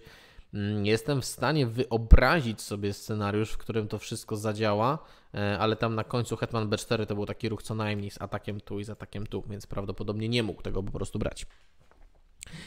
No i mm, chyba biały całkiem dobrą pozycję uzyskał, bo, bo zobaczmy, jak e, skoczek na D8 jest fatalnie ustawiony. Nie wiem, czy bylibyśmy w stanie pokazać dla tego skoczka, zaproponować jakąś gorszą pozycję. Wydaje mi się, że nie. Wydaje mi się, że gorszej pozycji dla niego nie byłoby w tej pozycji. E, no, będzie chciał go wyciągać przez F6, prawda? Skoczkiem na F7. To jest plan, to jest idea a biały w tym czasie może wymiana białopolowego gońca, może po prostu goniec D3, roszada, przerzutka wieży na C1, opanowanie tej otwartej linii, e, ale biały nastawiony na uproszczenia, na przejście do, mm, do końcówki. Dla kogo końcówka lepsza? Trudno powiedzieć, to, to są takie tutaj niuanse, ale e, z drugiej strony, mm, no, bardzo lubię zwracać uwagę na ten czas. To jest oczywiście bardzo ważny aspekt i, i dlatego tak na niego zwracam uwagę, ale tutaj Kreon troszeczkę zbyt wolno e, to rozgrywa, prawda? Kiedy tam dwuminutowy namysł ze strony przeciwnika został zastosowany, e, wtedy warto e, wokół tego, wokół tego grać, odbijać tą piłeczkę w kierunku przeciwnika, niech on podejmuje decyzję, a samemu pielęgnować, prawda, tą przewagę czasową, żeby było minutka chociaż więcej, chociaż 40 sekund.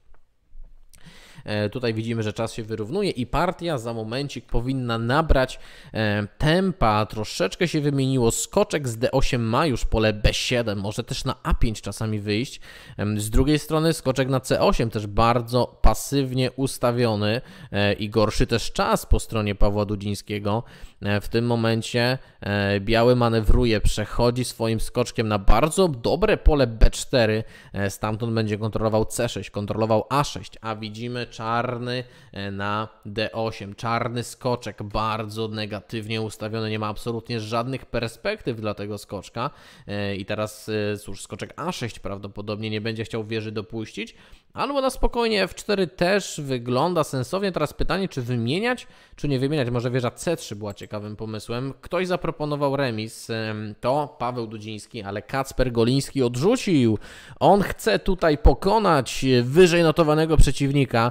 Ma ku temu argumenty, ma ku temu pionka więcej przede wszystkim i otwartą drogę do zwycięstwa. Jest pionek, jest aktywny skoczek, jest aktywny król, jest w końcu troszeczkę więcej czasu na zegarze. E, z tym e, na przestrzeni aktualnej partii bywały problemy, ale za momencik król F5 i E6 i to wszystko zamieni się w, prawdopodobnie w punkt za momencik. No ta falanga pionowa nic jej nie powstrzyma, chyba że jakiś wieczny szach z koczkiem, ale można wejść po prostu na D6, można wejść na C7 i uruchomić pionka na linii D. Tego, no nie da się tego chyba nie wygrać. To bym chyba zbyt dużo powiedział, gdybym tak powiedział. Zawsze jest pozycja, której można nie wygrać, ale teraz e, skoczek D6 po prostu wchodzi. Tam król C6 chyba był dokładniejszy, ale to nieważne. E, teraz można po prostu zbić, a na bezpiecznie. Kasper to na bezpiecznie e, rozegrał i no, nie wiem jak do tego doszło, ale jak na początku tam oddał przeciwnikowi dwie minuty e, w pozycji, w której no, chyba nikt nie spodziewał się dwuminutowego namysłu. Teraz oczywiście tutaj mat jeden ruch jest do zagrania. Brawo, brawo Kacper. E, no, ale odwrócił to. Odwrócił to. Mm, wyrównał najpierw czas, e, później grał bardzo dobrze na zegarze, no i w końcu zakończył to e, zwycięstwem. E, a tutaj e, jedna chyba z bardziej negatywnych niespodzianek dzisiejszego dnia. Michał Mazurkiewicz dopiero 4,5 punktu na jego koncie.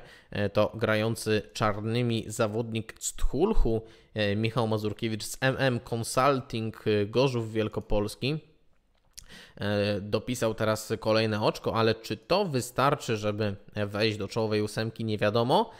Tymczasem walczy Mateusz Kołosowski, e, ale to co wywalczy to będzie remis w pojedynku z Damianem Danielem. E, no, Mateusz już prawdopodobnie zagwarantował sobie czołową ósemkę.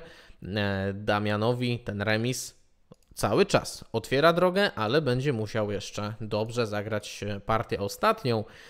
A teraz na naszych oczach e, finałowy pojedynek tej rundy ósmej e, białymi Sawyer, czyli e, Jarosław Sawicki, spółdzielnia Kominiarz Olsztyn, a czarnymi gra Leo Daniel. Kiemle, czyli Wipolimex, spółka z ograniczoną odpowiedzialnością Stare Babice. E, no i mamy wieża i skoczek na wieżę. To jest sytuacja teoretycznie remisowa. E, dość łatwy to jest remis, ale nie zawsze, nie zawsze. Tutaj jest mało czasu, tutaj też na pewno, nie wiem czy skoczek F6 czy teraz nie ma dużych kłopotów. Chyba są kłopoty, zupełnie to niepotrzebny był szach e, ale król może przez E7, o F7 to nawet dokładniej, ok. No i kłopoty chyba w tym momencie są już zażegnane. Czarny król powinien na spokojnie obronić się, ale będziemy świadkami prawdopodobnie 50-ruchowej próby wygrywania tej końcówki.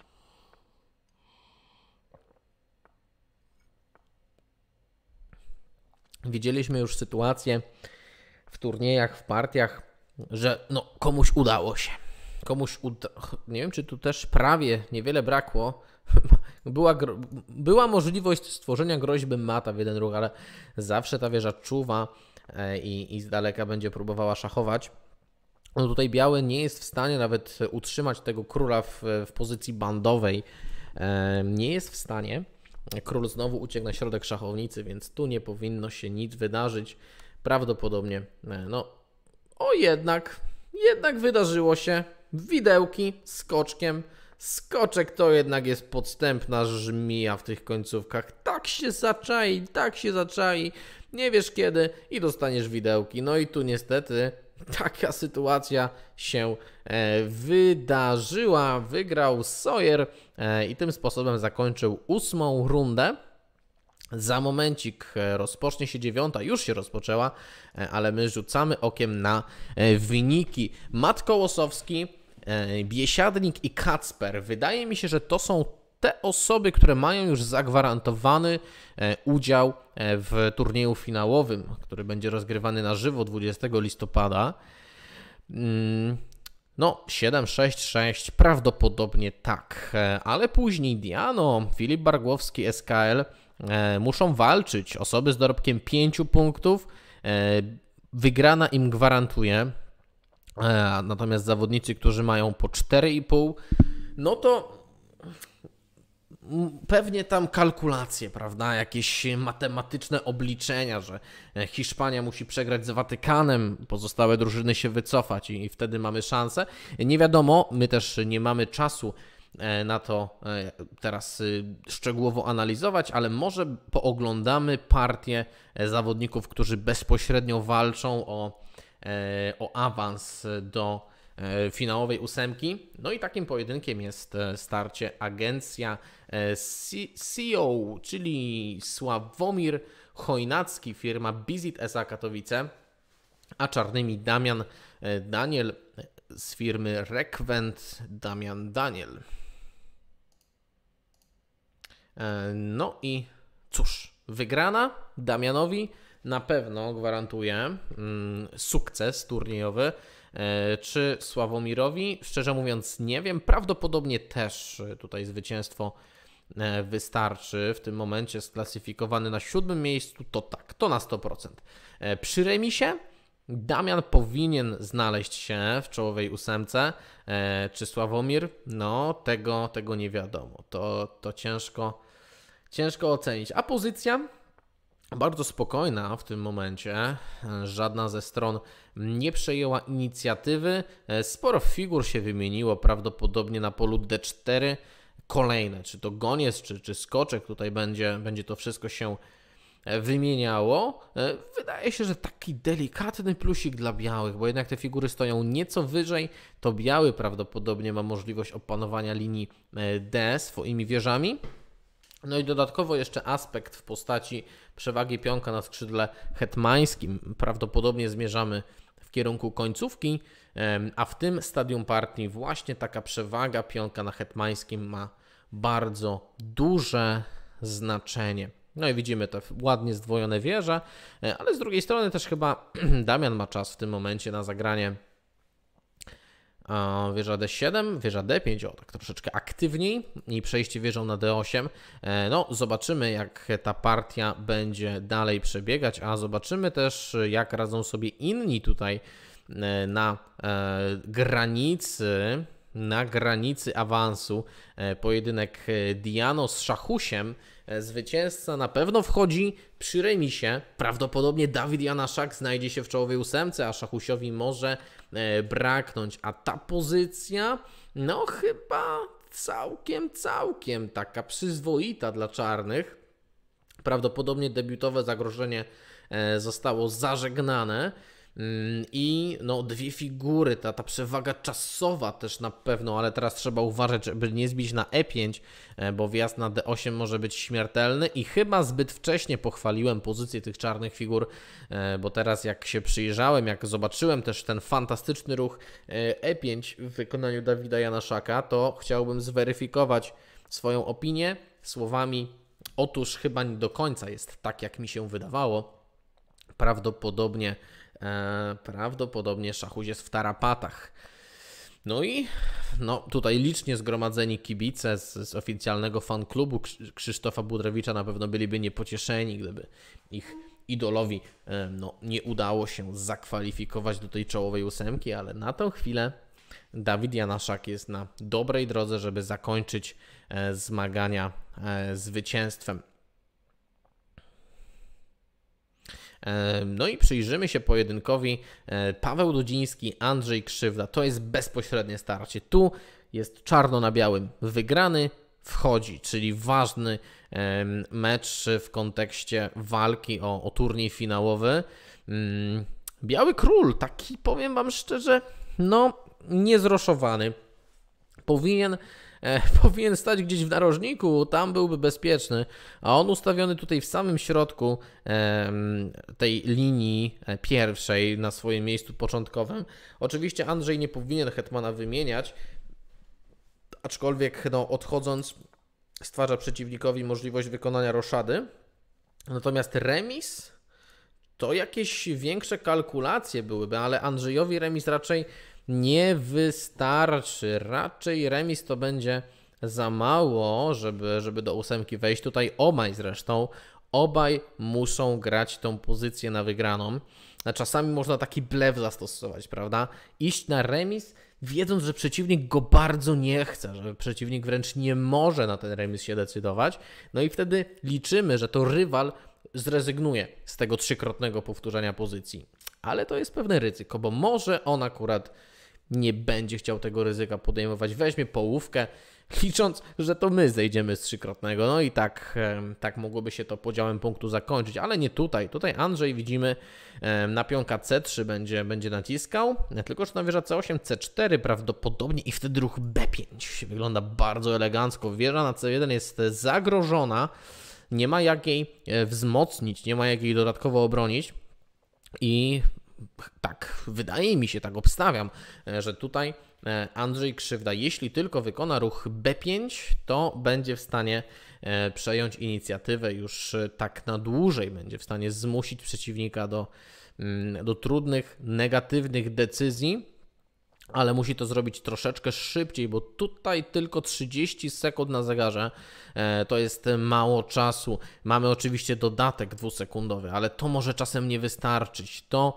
może być za mało, żeby zrealizować osiągniętą wcześniej przewagę. Teraz widzimy Paweł Dudziński się zastanawia 45-43 sekundy na jego zegarze i ubywa coraz mniej, a decyzja nie jest łatwa, bo na C4 jest podbiciem e, i zdecydował się na kontrę. Fantastyczne zagranie hetmanem z atakiem mm, na G4, może hetman E7 za momencik będzie chciał tutaj spenetrować tą pozycję, e, a przy okazji mamy też ruchy w stylu D6, D7.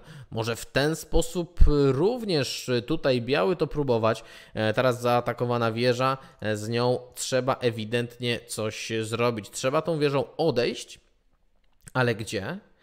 No właśnie tego nie wiem. Może ruch Hetman F6 jest dobrym pomysłem, żeby po biciu E, zagrać wieża F1 i naciskać tutaj bardzo intensywnie na pionka. E, taka, taka idea też funkcjonuje, ale zagrał na spokojnie to Paweł Dudziński i ma mało czasu, zobaczcie, tylko 12 sekund. Wziął co prawda ważnego pionka, ale sam również straci swojego. E, pionek może dojechać C3, C2, będzie tutaj bardzo, bardzo agresywny, blisko pola przemiany. Mm, też mało czasu po stronie Andrzeja Krzywdy. Musi przyspieszyć tą rozgrywkę, musi nadać tutaj odpowiednie tempo, e, ale boję się o pionka. Zobaczcie, jak on tu może szybko dojechać, ale nagle te czarne figury jakoś tak pasywne się zrobiły. Andrzej swobodnie z własnej woli cofnął tego hetmana. Nie rozumiem zupełnie dlaczego. E, I teraz Paweł Dudziński jest w natarciu, e, zajął czarne pola w pozycji przeciwnika. Świetnie ustawiona wieża, świetny pionek. Może tutaj dołączyć jeszcze kolejną wieżę na aktywną pozycję. Goniec H3 z atakiem. Andrzej swoją wieżę od odsunął i dokładnie przyłączenie e, kolejnej figury. Za momencik D7 będzie groźbą z planem zagrania e, wieża E8 i to jest blisko rozstrzygnięcia. Tutaj chyba zawodnik grający czarnymi nie będzie w stanie już się uratować. Plan jest bardzo prosty, wieża E8 e, i to blisko mata. Blisko mata, nie ma jak się obronić, po prostu bije, promuje kolejnego hetmana. No i Paweł Dudziński tą decydującą partię rozstrzygnie na swoją korzyść. Brawo, Kreongs, brawo Paweł Dudziński, który wygrywa i prawdopodobnie w ten sposób zakwalifikuje się do czołowej ósemki, ale na to jeszcze e, zaczekamy, bo tutaj te zacięte pojedynki o awans. E, Szachuś w starciu z e, Dawidem Janaszakiem, no widzimy te pionki, jak tutaj licznie zgromadzone na skrzydle królewskim. 3 na jednego spora przewaga liczebna pod tym względem. No i chyba to powinno wystarczyć i to Dawidowi zagwarantuje również udział w turnieju finałowym. Oczywiście tą całą ósemkę za momencik sprawdzimy, jak tylko turniej zostanie zakończony. E, w innej partii, którą oglądaliśmy, e, Damian Daniel pokonał e, Sławomira Chojnackiego i na pewno zagra w, w finale. No a niewiele partii już zostało. Najważniejsza na naszych oczach się w tym momencie mm, toczy. Dawid Janaszak i Szachuś.pl. Mati, widziałem, widziałem Cię, Twoje zmagania, gratulacje. Brawo, brawo, będę Cię oklaskiwał też w turnieju finałowym. No, zdominowałeś ten turniej, 8 punktów, samodzielne zwycięstwo. Szacuneczek. Szacuneczek. Tutaj Szachuś jeszcze walczy, też, e, też próbuje, też stara się, ale jednym skoczkiem to nawet Szachuś tego nie wygra. Mm, a Dawid e, no, całkiem nieźle rozegrał tą partię, może nawet bardzo dobrze tą partię rozegrał. E, aczkolwiek teraz dał chyba troszeczkę oddechu Krzysztofowi. Jeśli zakończyłoby się to remisem, to Szachuś ma szansę się zakwalifikować tak, licząc tutaj na szybko tą punktację pomocniczą, jeśli Szachuś zremisuje, to zajmie ósme miejsce. Tak mi się wydaje. Tak, tak to czuję. A to będzie remis. On to uratował. Jakim cudem Szachuś.pl uratował remis w tej pozycji? No, uratował i wskoczył na miejsce, a i dziewiąte jednak, ale to jeszcze punktacja się pomocnicza zaktualizuje. E, jest jeszcze starcie tutaj Wojciecha Przybylskiego z Rafałem Tymrakiewiczem, e, końcówka wieżowa. I teraz pewnie Szachuś ogląda i myśli sobie, no oby remis, tak? Wtedy nikt go nie dogoni punktowo, e, nikt nie przyłączy się do tej walki, ale to Wojciech Przybylski na pewno wygra. E, zastosuje po prostu e, motyw e, mostka, taki sprytny końcówkowy manewr, dzięki któremu zdoła tą partię po prostu mm, wygrać. No zobaczmy, zobaczmy jak technicznie to Wojciech Przybylski zakończy, dojedzie królem do końca, za momencik przestawi swoją wieżę na linię czwartą, no i tutaj ten motyw mostka będzie mógł elegancko zastosować. Tak jest, on wie jak to zrobić i teraz może po prostu wyjść swoim królem podejść tu, podejść na F6, podejść na G5. On to wie, on to potrafi zrobić. E, I czy wyprzedzi e, w ten sposób szachusia? Nie wiem, szczerze mówiąc nie wiem. Tam będą tak małe różnice e, między miejscem 8, 9, 10. Zobaczymy, jak te wyniki się przedstawią, ale niech to jeszcze Wojciech oficjalnie wygra. I tak w tym momencie mamy. Wiemy, że pierwsze miejsce zajął e, Mateusz Kołosowski. E, wiemy, że drugie miejsce zajął Arkadiusz Skawiński, ale spójrzmy na e, wszystko i po kolei w takim razie. Po kolei od góry. Pierwsze miejsce Mat Kołosowski, czyli mistrz międzynarodowy Mateusz Kołosowski z firmy Mat Chess Wrocław. Drugie miejsce Biesiadnik, czyli mistrz FIDE Arkadiusz Skawiński, Skadar Radom. Miejsce trzecie, e, kandydat master Damian Daniel, rekwent Damian Daniel. Czwarte miejsce, mistrz FIDE Dawid Janaszak e, z firmy Sapber Poznań. Piąte miejsce, Kacper Goliński, który reprezentuje przedsiębiorstwo Zespół Szkół Ekonomicznych Ostrów Wielkopolski. E, na szóstym miejscu Paweł Dudziński e, z Centrum Biznesowego Info Warszawa. E, na siódemkę wskoczył tutaj jakoś po zastosowaniu gambitu szwajcarskiego mistrz FIDE mm, Marek Zakrzewski z FitMind Mosina i ostatnie ósme miejsce Filip Bargłowski ze szkoły szachowej FIDE Master Filip Bargłowski, Warszawa. E, ale tu małe różnice, zobaczcie. Wojciech Przybylski, dziewiąte miejsce. Szachuś, dziesiąte. Brakło, mimo wszystko e, brakło. E, no i tak nasze turnieje eliminacyjne DGCS Open 2021 dobiegły końca, e, a w turnieju finałowym Mistrzostw Polski Przedsiębiorców e, zagra ośmiu najlepszych zawodników z grupy bursztynowej i ośmiu najlepszych zawodników z grupy diamentowej.